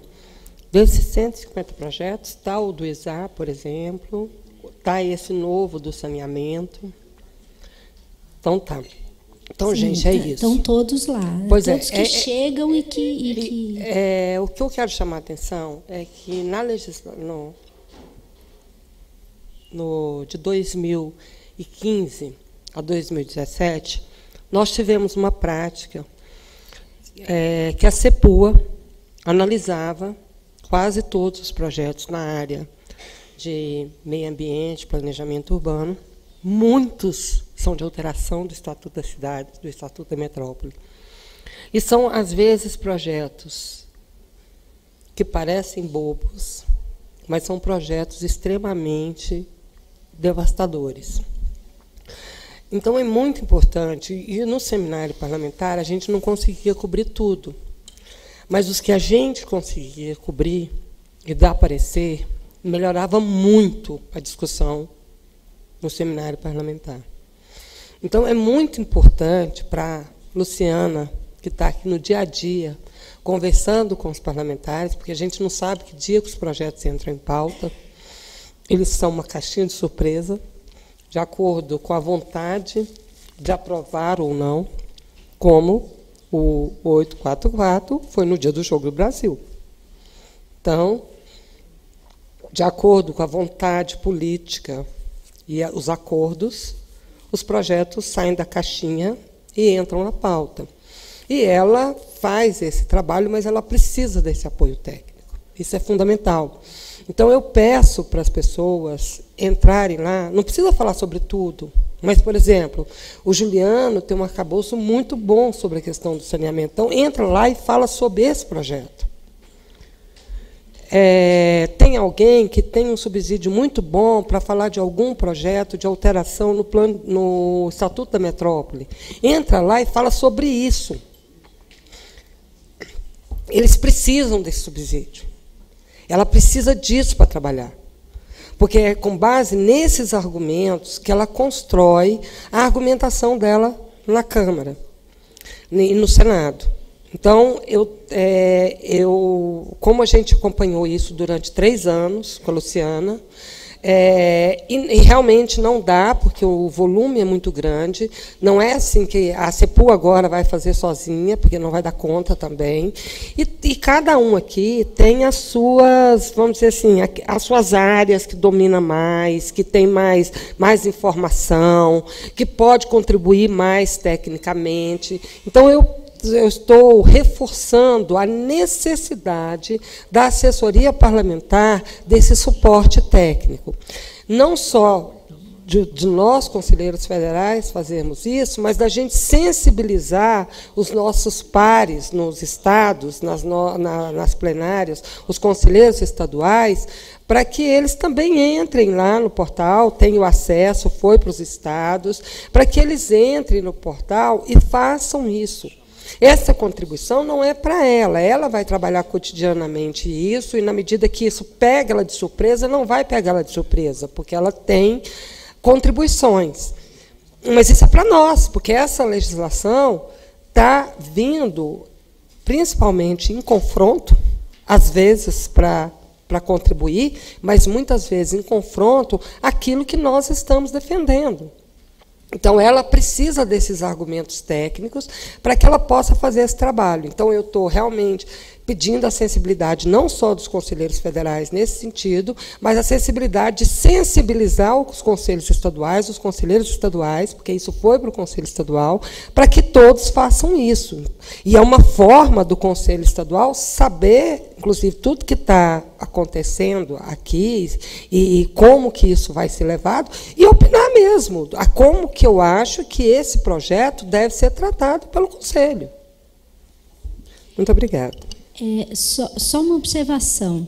É, eu, a minha, eu e a minha equipe nós fazemos a- uma prévia seleção dos projetos.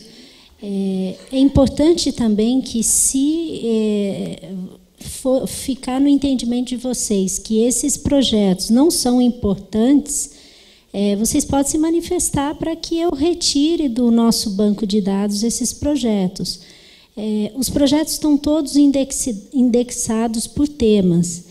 E, e, e, fica fácil também, se principalmente os conselheiros, os presidentes que são professores ou que lidam com muito conteúdo de aluno, se quiserem é, publicar algum material, algum projeto, alguma tese de aluno, algum artigo, algum, alguma informação que diz respeito àquele projeto, Lá no portal existe um, um, um espaço para vocês publicarem é, artigos, matérias de jornais, é, qualquer, qualquer material que colabore com, com o nosso trabalho. Então, é, o portal foi feito assim de uma maneira para facilitar. É, vocês podem acessar de qualquer lugar do mundo, contanto que tenha acesso à internet. Então, está bem mais fácil, bem mais prático. E qualquer, qualquer dúvida, qualquer informação, a gente está à disposição. Muito obrigada. Obrigado, Luciana. Retornando aqui os trabalhos, estava a Caixa Econômica, uma reunião boa, depois a gente pode. Não, sempre dá a notícia geral do conselheiro Wilson. Alô. É, é só para reforçar esse pedido da Luciana, porque eu fui incumbido de participar de um debate é, na Câmara dos Deputados sobre a, a, a medida provisória que alterou a, o Estatuto das Cidades, aliás, da, da metrópole, e, e, é importante que a gente tenha aqui no CAL um acervo, um conjunto de opinamento dos colegas, até para fundamentar a nossa participação nesses eventos, para tentar falar né, a linguagem de que está circulando dentro do conselho, dentro da profissão.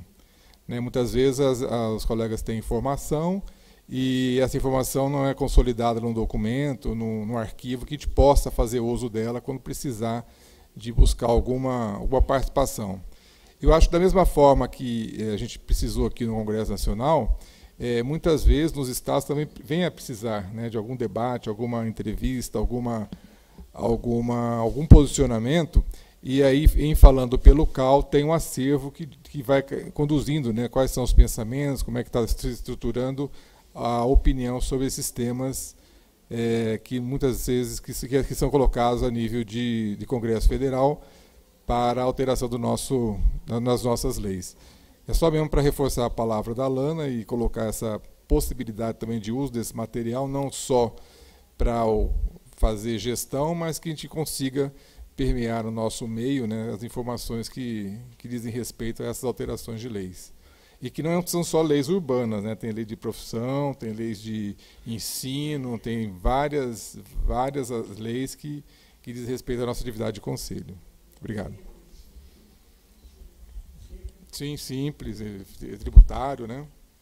Obrigado, conselheiro Wilson. Mais alguma manifestação?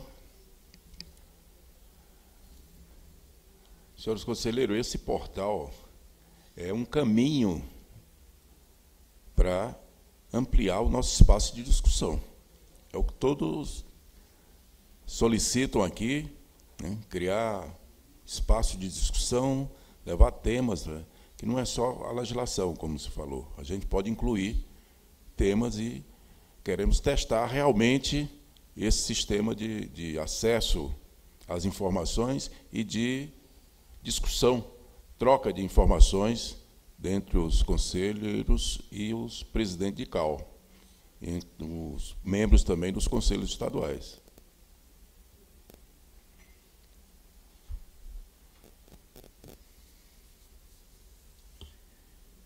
Segundo a informação do Guivaldo, passamos por todos os itens. Eu pergunto só, conselheiro Wilson, presidente Nivaldo precisou se ausentar, né? Eu, eu, pergunto só se seria interessante que o, o Júlio passasse aquela estratégia de, que está sendo construída para a divulgação do documento? É, é, o Júlio já tem um material pensado, né? E seria bom que ele apresentasse qual é a, a, a linha que ele está querendo orientar aqui na comunicação do CAL, até para os colegas conselheiros tomar conhecimento, né? E a hora que tiver estruturado adequadamente, a gente faz uma divulgação oficial como que ficou fechado a estratégia em comum acordo com, com as entidades que vão trabalhar conosco nessa nessa segunda fase. Ótimo. Júlio, por favor. Microfone para o Júlio.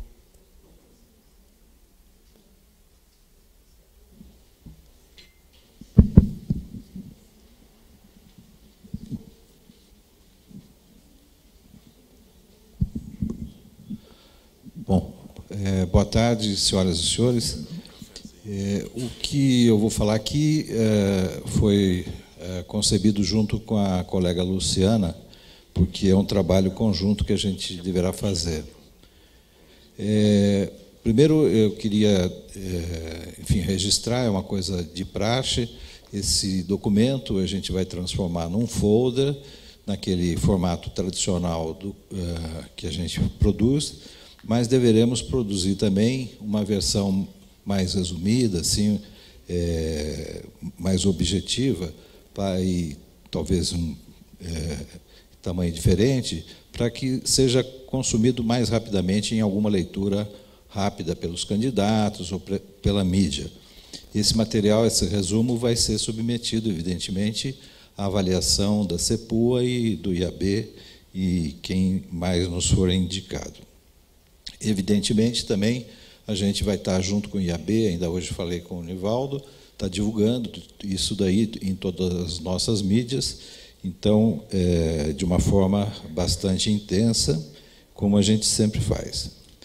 É, em relação à mídia espontânea, o que eu estou pensando é, é, o seguinte: a gente tem normalmente a distribuição de releases sobre os assuntos que a gente, das nossas ações, Evidentemente, a gente vai fazer isso é, e vai tentar fazer o que a gente chama de follow-up junto a algumas redações para realmente obter uma conquista daquele espaço.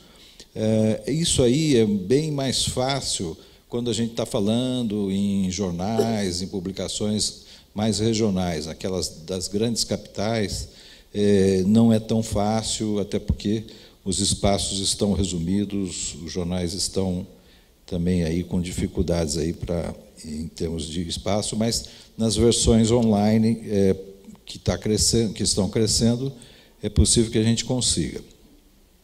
Eu estou prevendo também que a gente possa organizar visitas às redações é, ao, do Globo, Folha, Estadão, Valor Econômico e Correio Brasiliense, dos presidentes Luciano Nivaldo, e aí também dos presidentes do, do, do IAB São Paulo, do CAL São Paulo, do IAB, do, do IAB Rio e do CAL é, RJ, é, na tentativa de que sensibilizá-los também para não só a questão do, do documento em si, mas também para, pela, para as nossas causas e da importância de se colocar o tema das cidades nas discussões do que eles promovam também junto aos candidatos tal.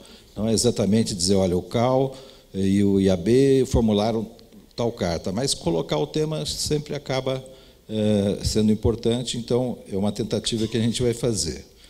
É, os, é, a gente pretende estar entrando também em contato com os produtores dos debates televisivos, com os candidatos, justamente para também tentar influenciar a colocação do tema das cidades, baseado na carta, nesses debates. Né?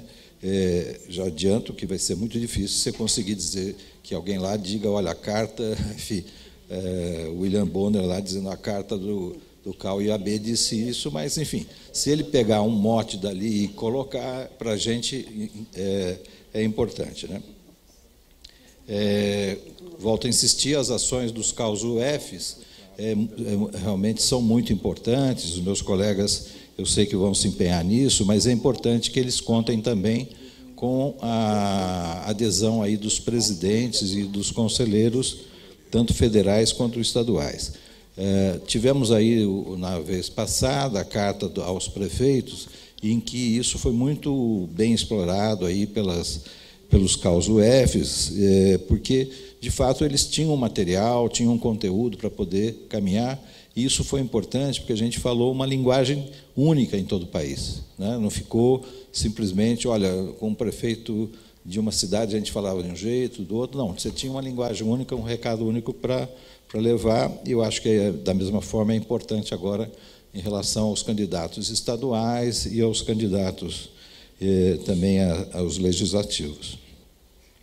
Em termos de mídia paga, é uma coisa que a gente tem restrições orçamentárias do ponto de vista do CAL. É, as entidades também a gente sabe que tem até é, na mesma linha esse problema, mas é, estou colocando aqui como uma hipótese na, no segundo turno de alguma publicação de meia página em algum jornal de grande circulação, de um momento que pudesse ser é, quente. Isso daí tem um custo na medida, para os senhores saber, quando você assina um material institucional, ele é mais caro do que, é, do que um anúncio normal, e, e quando você leva um logo de uma entidade, é um preço, quando leva dois, é 30% a mais. Enfim, tem toda uma, tem toda uma. Então, nesse caso aí, assinando as duas entidades já vai ter um custo. Mas vamos batalhar para a gente poder conquistar isso.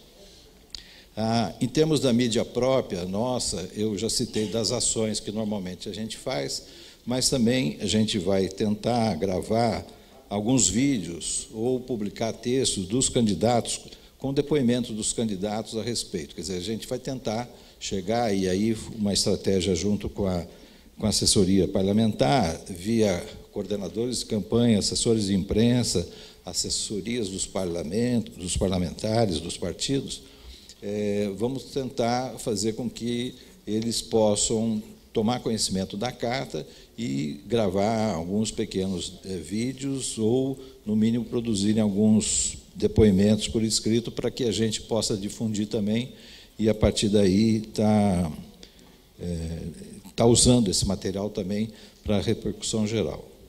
É, bom, de início é isso que a gente está imaginando, eu estou aqui à disposição para prestar mais algum esclarecimento e sempre sempre é bom também ouvir aí outros conselhos, porque de comunicação eu sei que os senhores entendem também.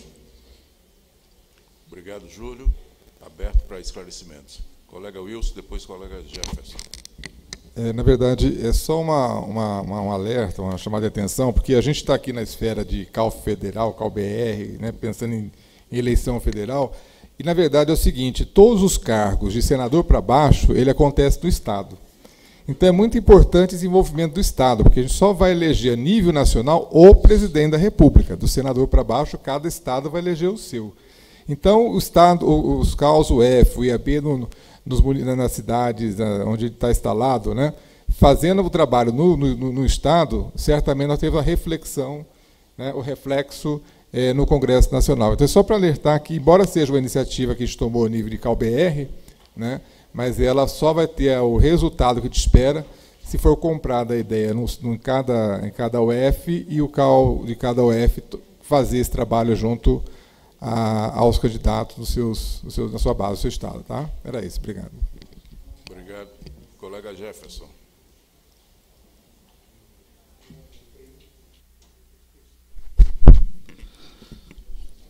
É, colegas e juro só por uma questão de estratégia, o, o, o calendário que se que se IAB e CAL se propuseram tem, tem uma, um espelho com as eleições. Nós estamos exatamente no limite de convenções. A partir desse fim de semana começam as convenções e imediatamente já se nomeiam comitês de, de, de campanha de plataforma. Então, uh, bem diretamente, para que não se perda, não se perca, não se perca alguma dessas manifestações, é, ver o time de cada partido e a hora que tiver o comitê, a hora que tiver o responsável pela plataforma, fazer uma comunicação direta para ele. Senão isso pode ficar perdido de uma outra burocracia e a gente não, não atinge todos os comitês de campanha. É, já, já tem partido fazendo convenção partir agora. Desse Exatamente. E aí com, automaticamente começo a montar plataformas, que é o que a gente imagina, imagino que seja a nossa intenção, é que isso componha as plataformas dos candidatos. Né? Se o compromisso é esse. Obrigado. Colega Ricardo. A partir dessas datas que definem ah, as, as, prévias dos partidos, as convenções que vão indicar os candidatos às assembleias legislativas e à Câmara Federal, é, a partir dali a gente terá já então os nomes dos candidatos e era, era interessante a gente ter a, a, o mapa de quais candidatos são arquitetos e urbanistas para que também façamos daí um contato mais direto com esses colegas, né, levando a carta para eles. Quem sabe eles serviriam até como, como prováveis porta-voz também da nossa mensagem. Né? Então fica essa sugestão. Obrigado, conselheiro Ricardo. Mais alguma, algum esclarecimento? Nós vamos fazer chegar todas aquelas. aquelas. Pois não, Carlos Fernando comunicação, que eu não, sempre brinco, não sei se isso é sintoma, né? se é uma demanda da sociedade ou se é doença, a doença em si, mas hoje nós temos dois jornais diários do Rio de Janeiro com cinco arquitetos escrevendo semanalmente. Né? É, o Janot, que vocês conheceram aqui, foi o meu antecessor, escreve no Globo, Sérgio Magalhães, que é uma pessoa que não é daqui, mas todo mundo sabe quem é, né? foi presidente nacional do IAB, também escreve no Globo. O Washington Fajardo, que é meu suplente aqui, escreve no Globo. É, o Adir, que foi presidente nacional, foi presidente do IAB-RJ há muitos anos, várias gestões, escreve no JB. E, e eu, Carlos Fernando. E eu também estou no JB. Então. Me permite? Claro. Caríssimo conselheiro. Uh, o ex-conselheiro federal pela Bahia, o, o, Paulo Ormindo, também tem um artigo no Jornal à Tarde, que é um jornal de grande circulação no, no estado e no Nordeste da Bahia. Acrescentar esse, esse rol de iluminados. Eu imagino que no Brasil inteiro tem mais. Eu falei de dois jornais do Rio de Janeiro, mas se você quiser me doar a Bahia ao Rio, como um, um, em algum momento fomos do mesmo estado do Brasil, não é? Será o maior prazer. Mas eu acho que é interessante a gente ter essa, né, essa coisa. Hum. O que, que é? Não, não, eu... É interessante que a gente ter cinco arquitetos, dos quais tantos ligados ao, ao, ao sistema CAL, né, escrevendo em jornais diários de uma cidade grande. Né? Eu acho que nunca antes na história desse país tivemos isso.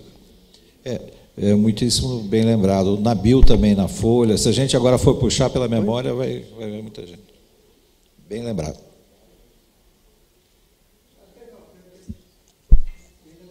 Vicente Loureiro, né, que é um cara que talvez você saiba quem é, que hoje em dia ele é da agência metropolitana do Rio de Janeiro, criaram uma agência em substituição, que ele escreve no jornal da Baixada Fluminense, que esse então eu acho essencial, né? A gente poder chegar a locais onde normalmente os arquitetos não chegam, ele escreve na, no Globo Baixada. Obrigado. Mas nós vamos chegar, fazer chegar de imediato também aos gestores municipais, às entidades que congregam os gestores municipais, porque eles são a base também de apoio aos futuros candidatos. Mais alguma manifestação? Não havendo um comunicado, nós passamos uma cópia de uma deliberação da, da Comissão de Harmonização, CAL, CONFEA, que justamente trata das atribuições profissionais, né, em que foi acordado por essas duas comissões que as atribuições profissionais são justamente em função das diretrizes curriculares. Isso é nossa referência básica para as atribuições profissionais.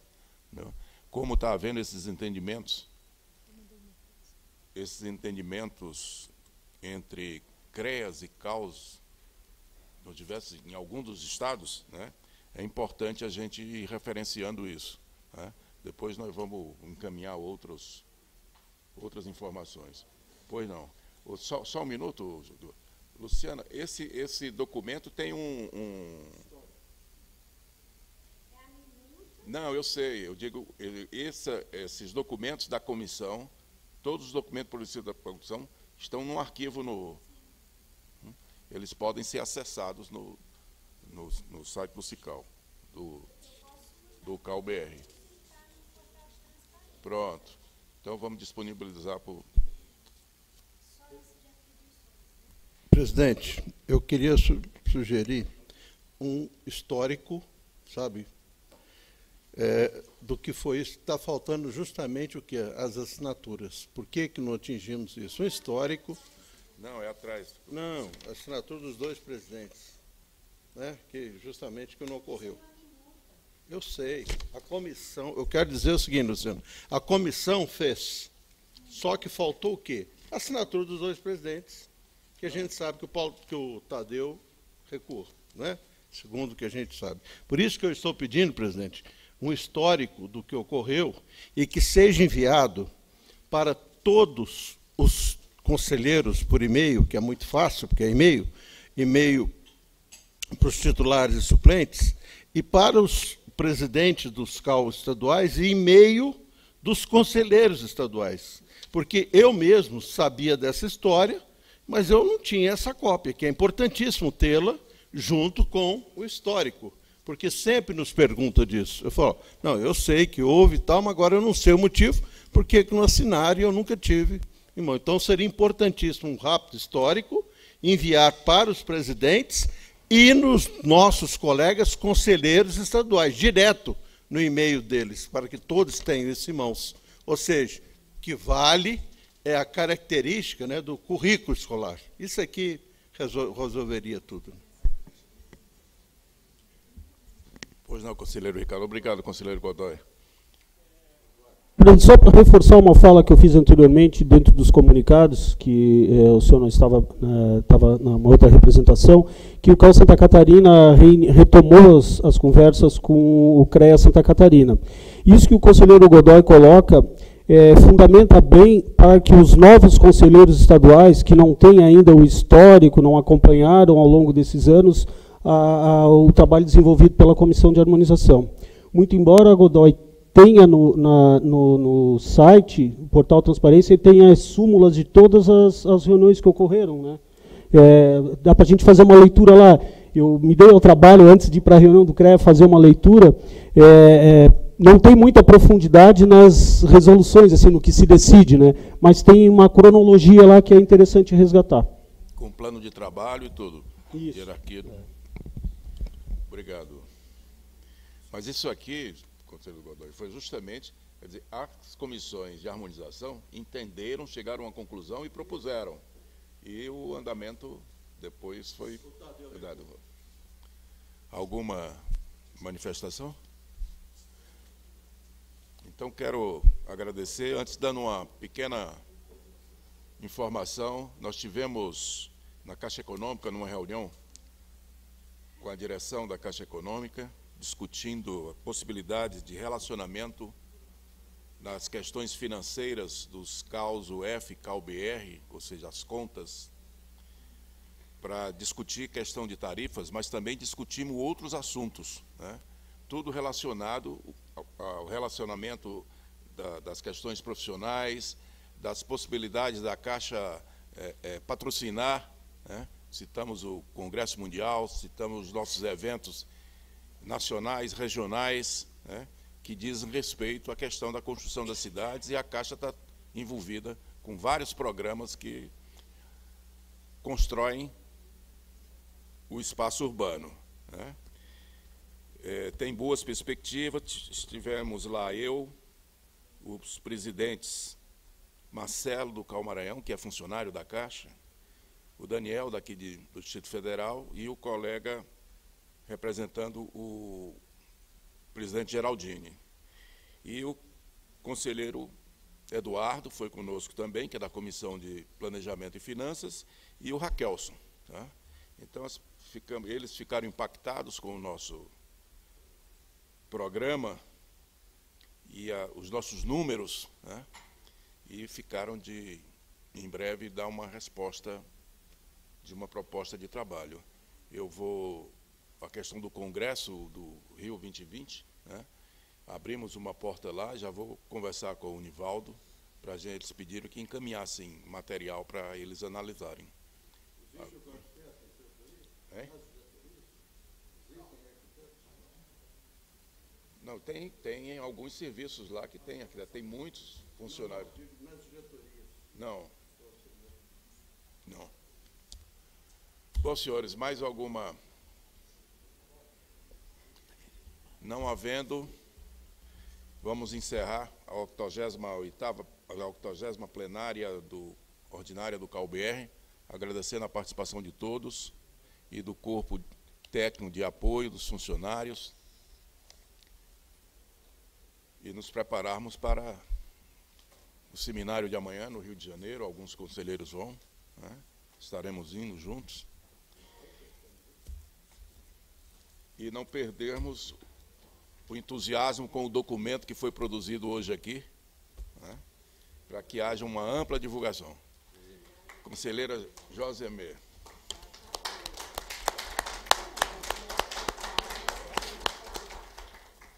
Conselheira Josemê.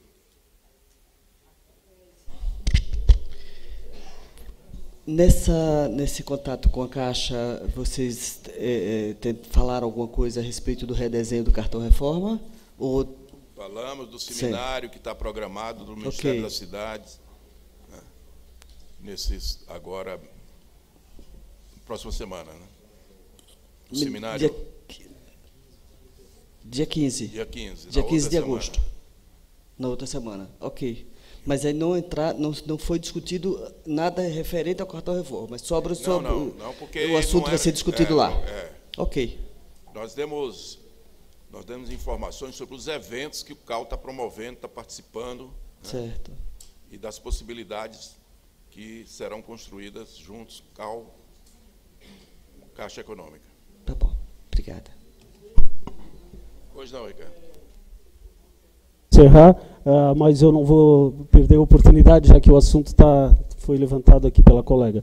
É, nessas, nessas conversas com a Caixa Econômica e, e, as, e as anteriores com o Banco do Brasil, existe alguma, alguma, é, alguma abertura, algum diálogo para que se possa também é, traduzir é, até vou usar uma palavra que se usou muito hoje aqui, alguns benefícios para os arquitetos que abram conta nessas instituições bancárias, ou seja, que possam ter créditos para adquirir equipamentos, software, é, é, para construção. Isso foi abordado foi também. abordado também. Excelente, excelente.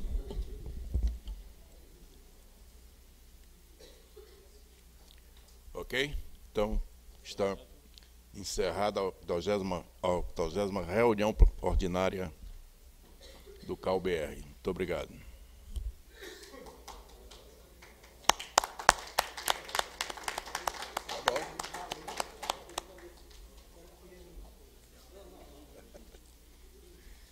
Tempo agora é todo seu, Carlos Fernando.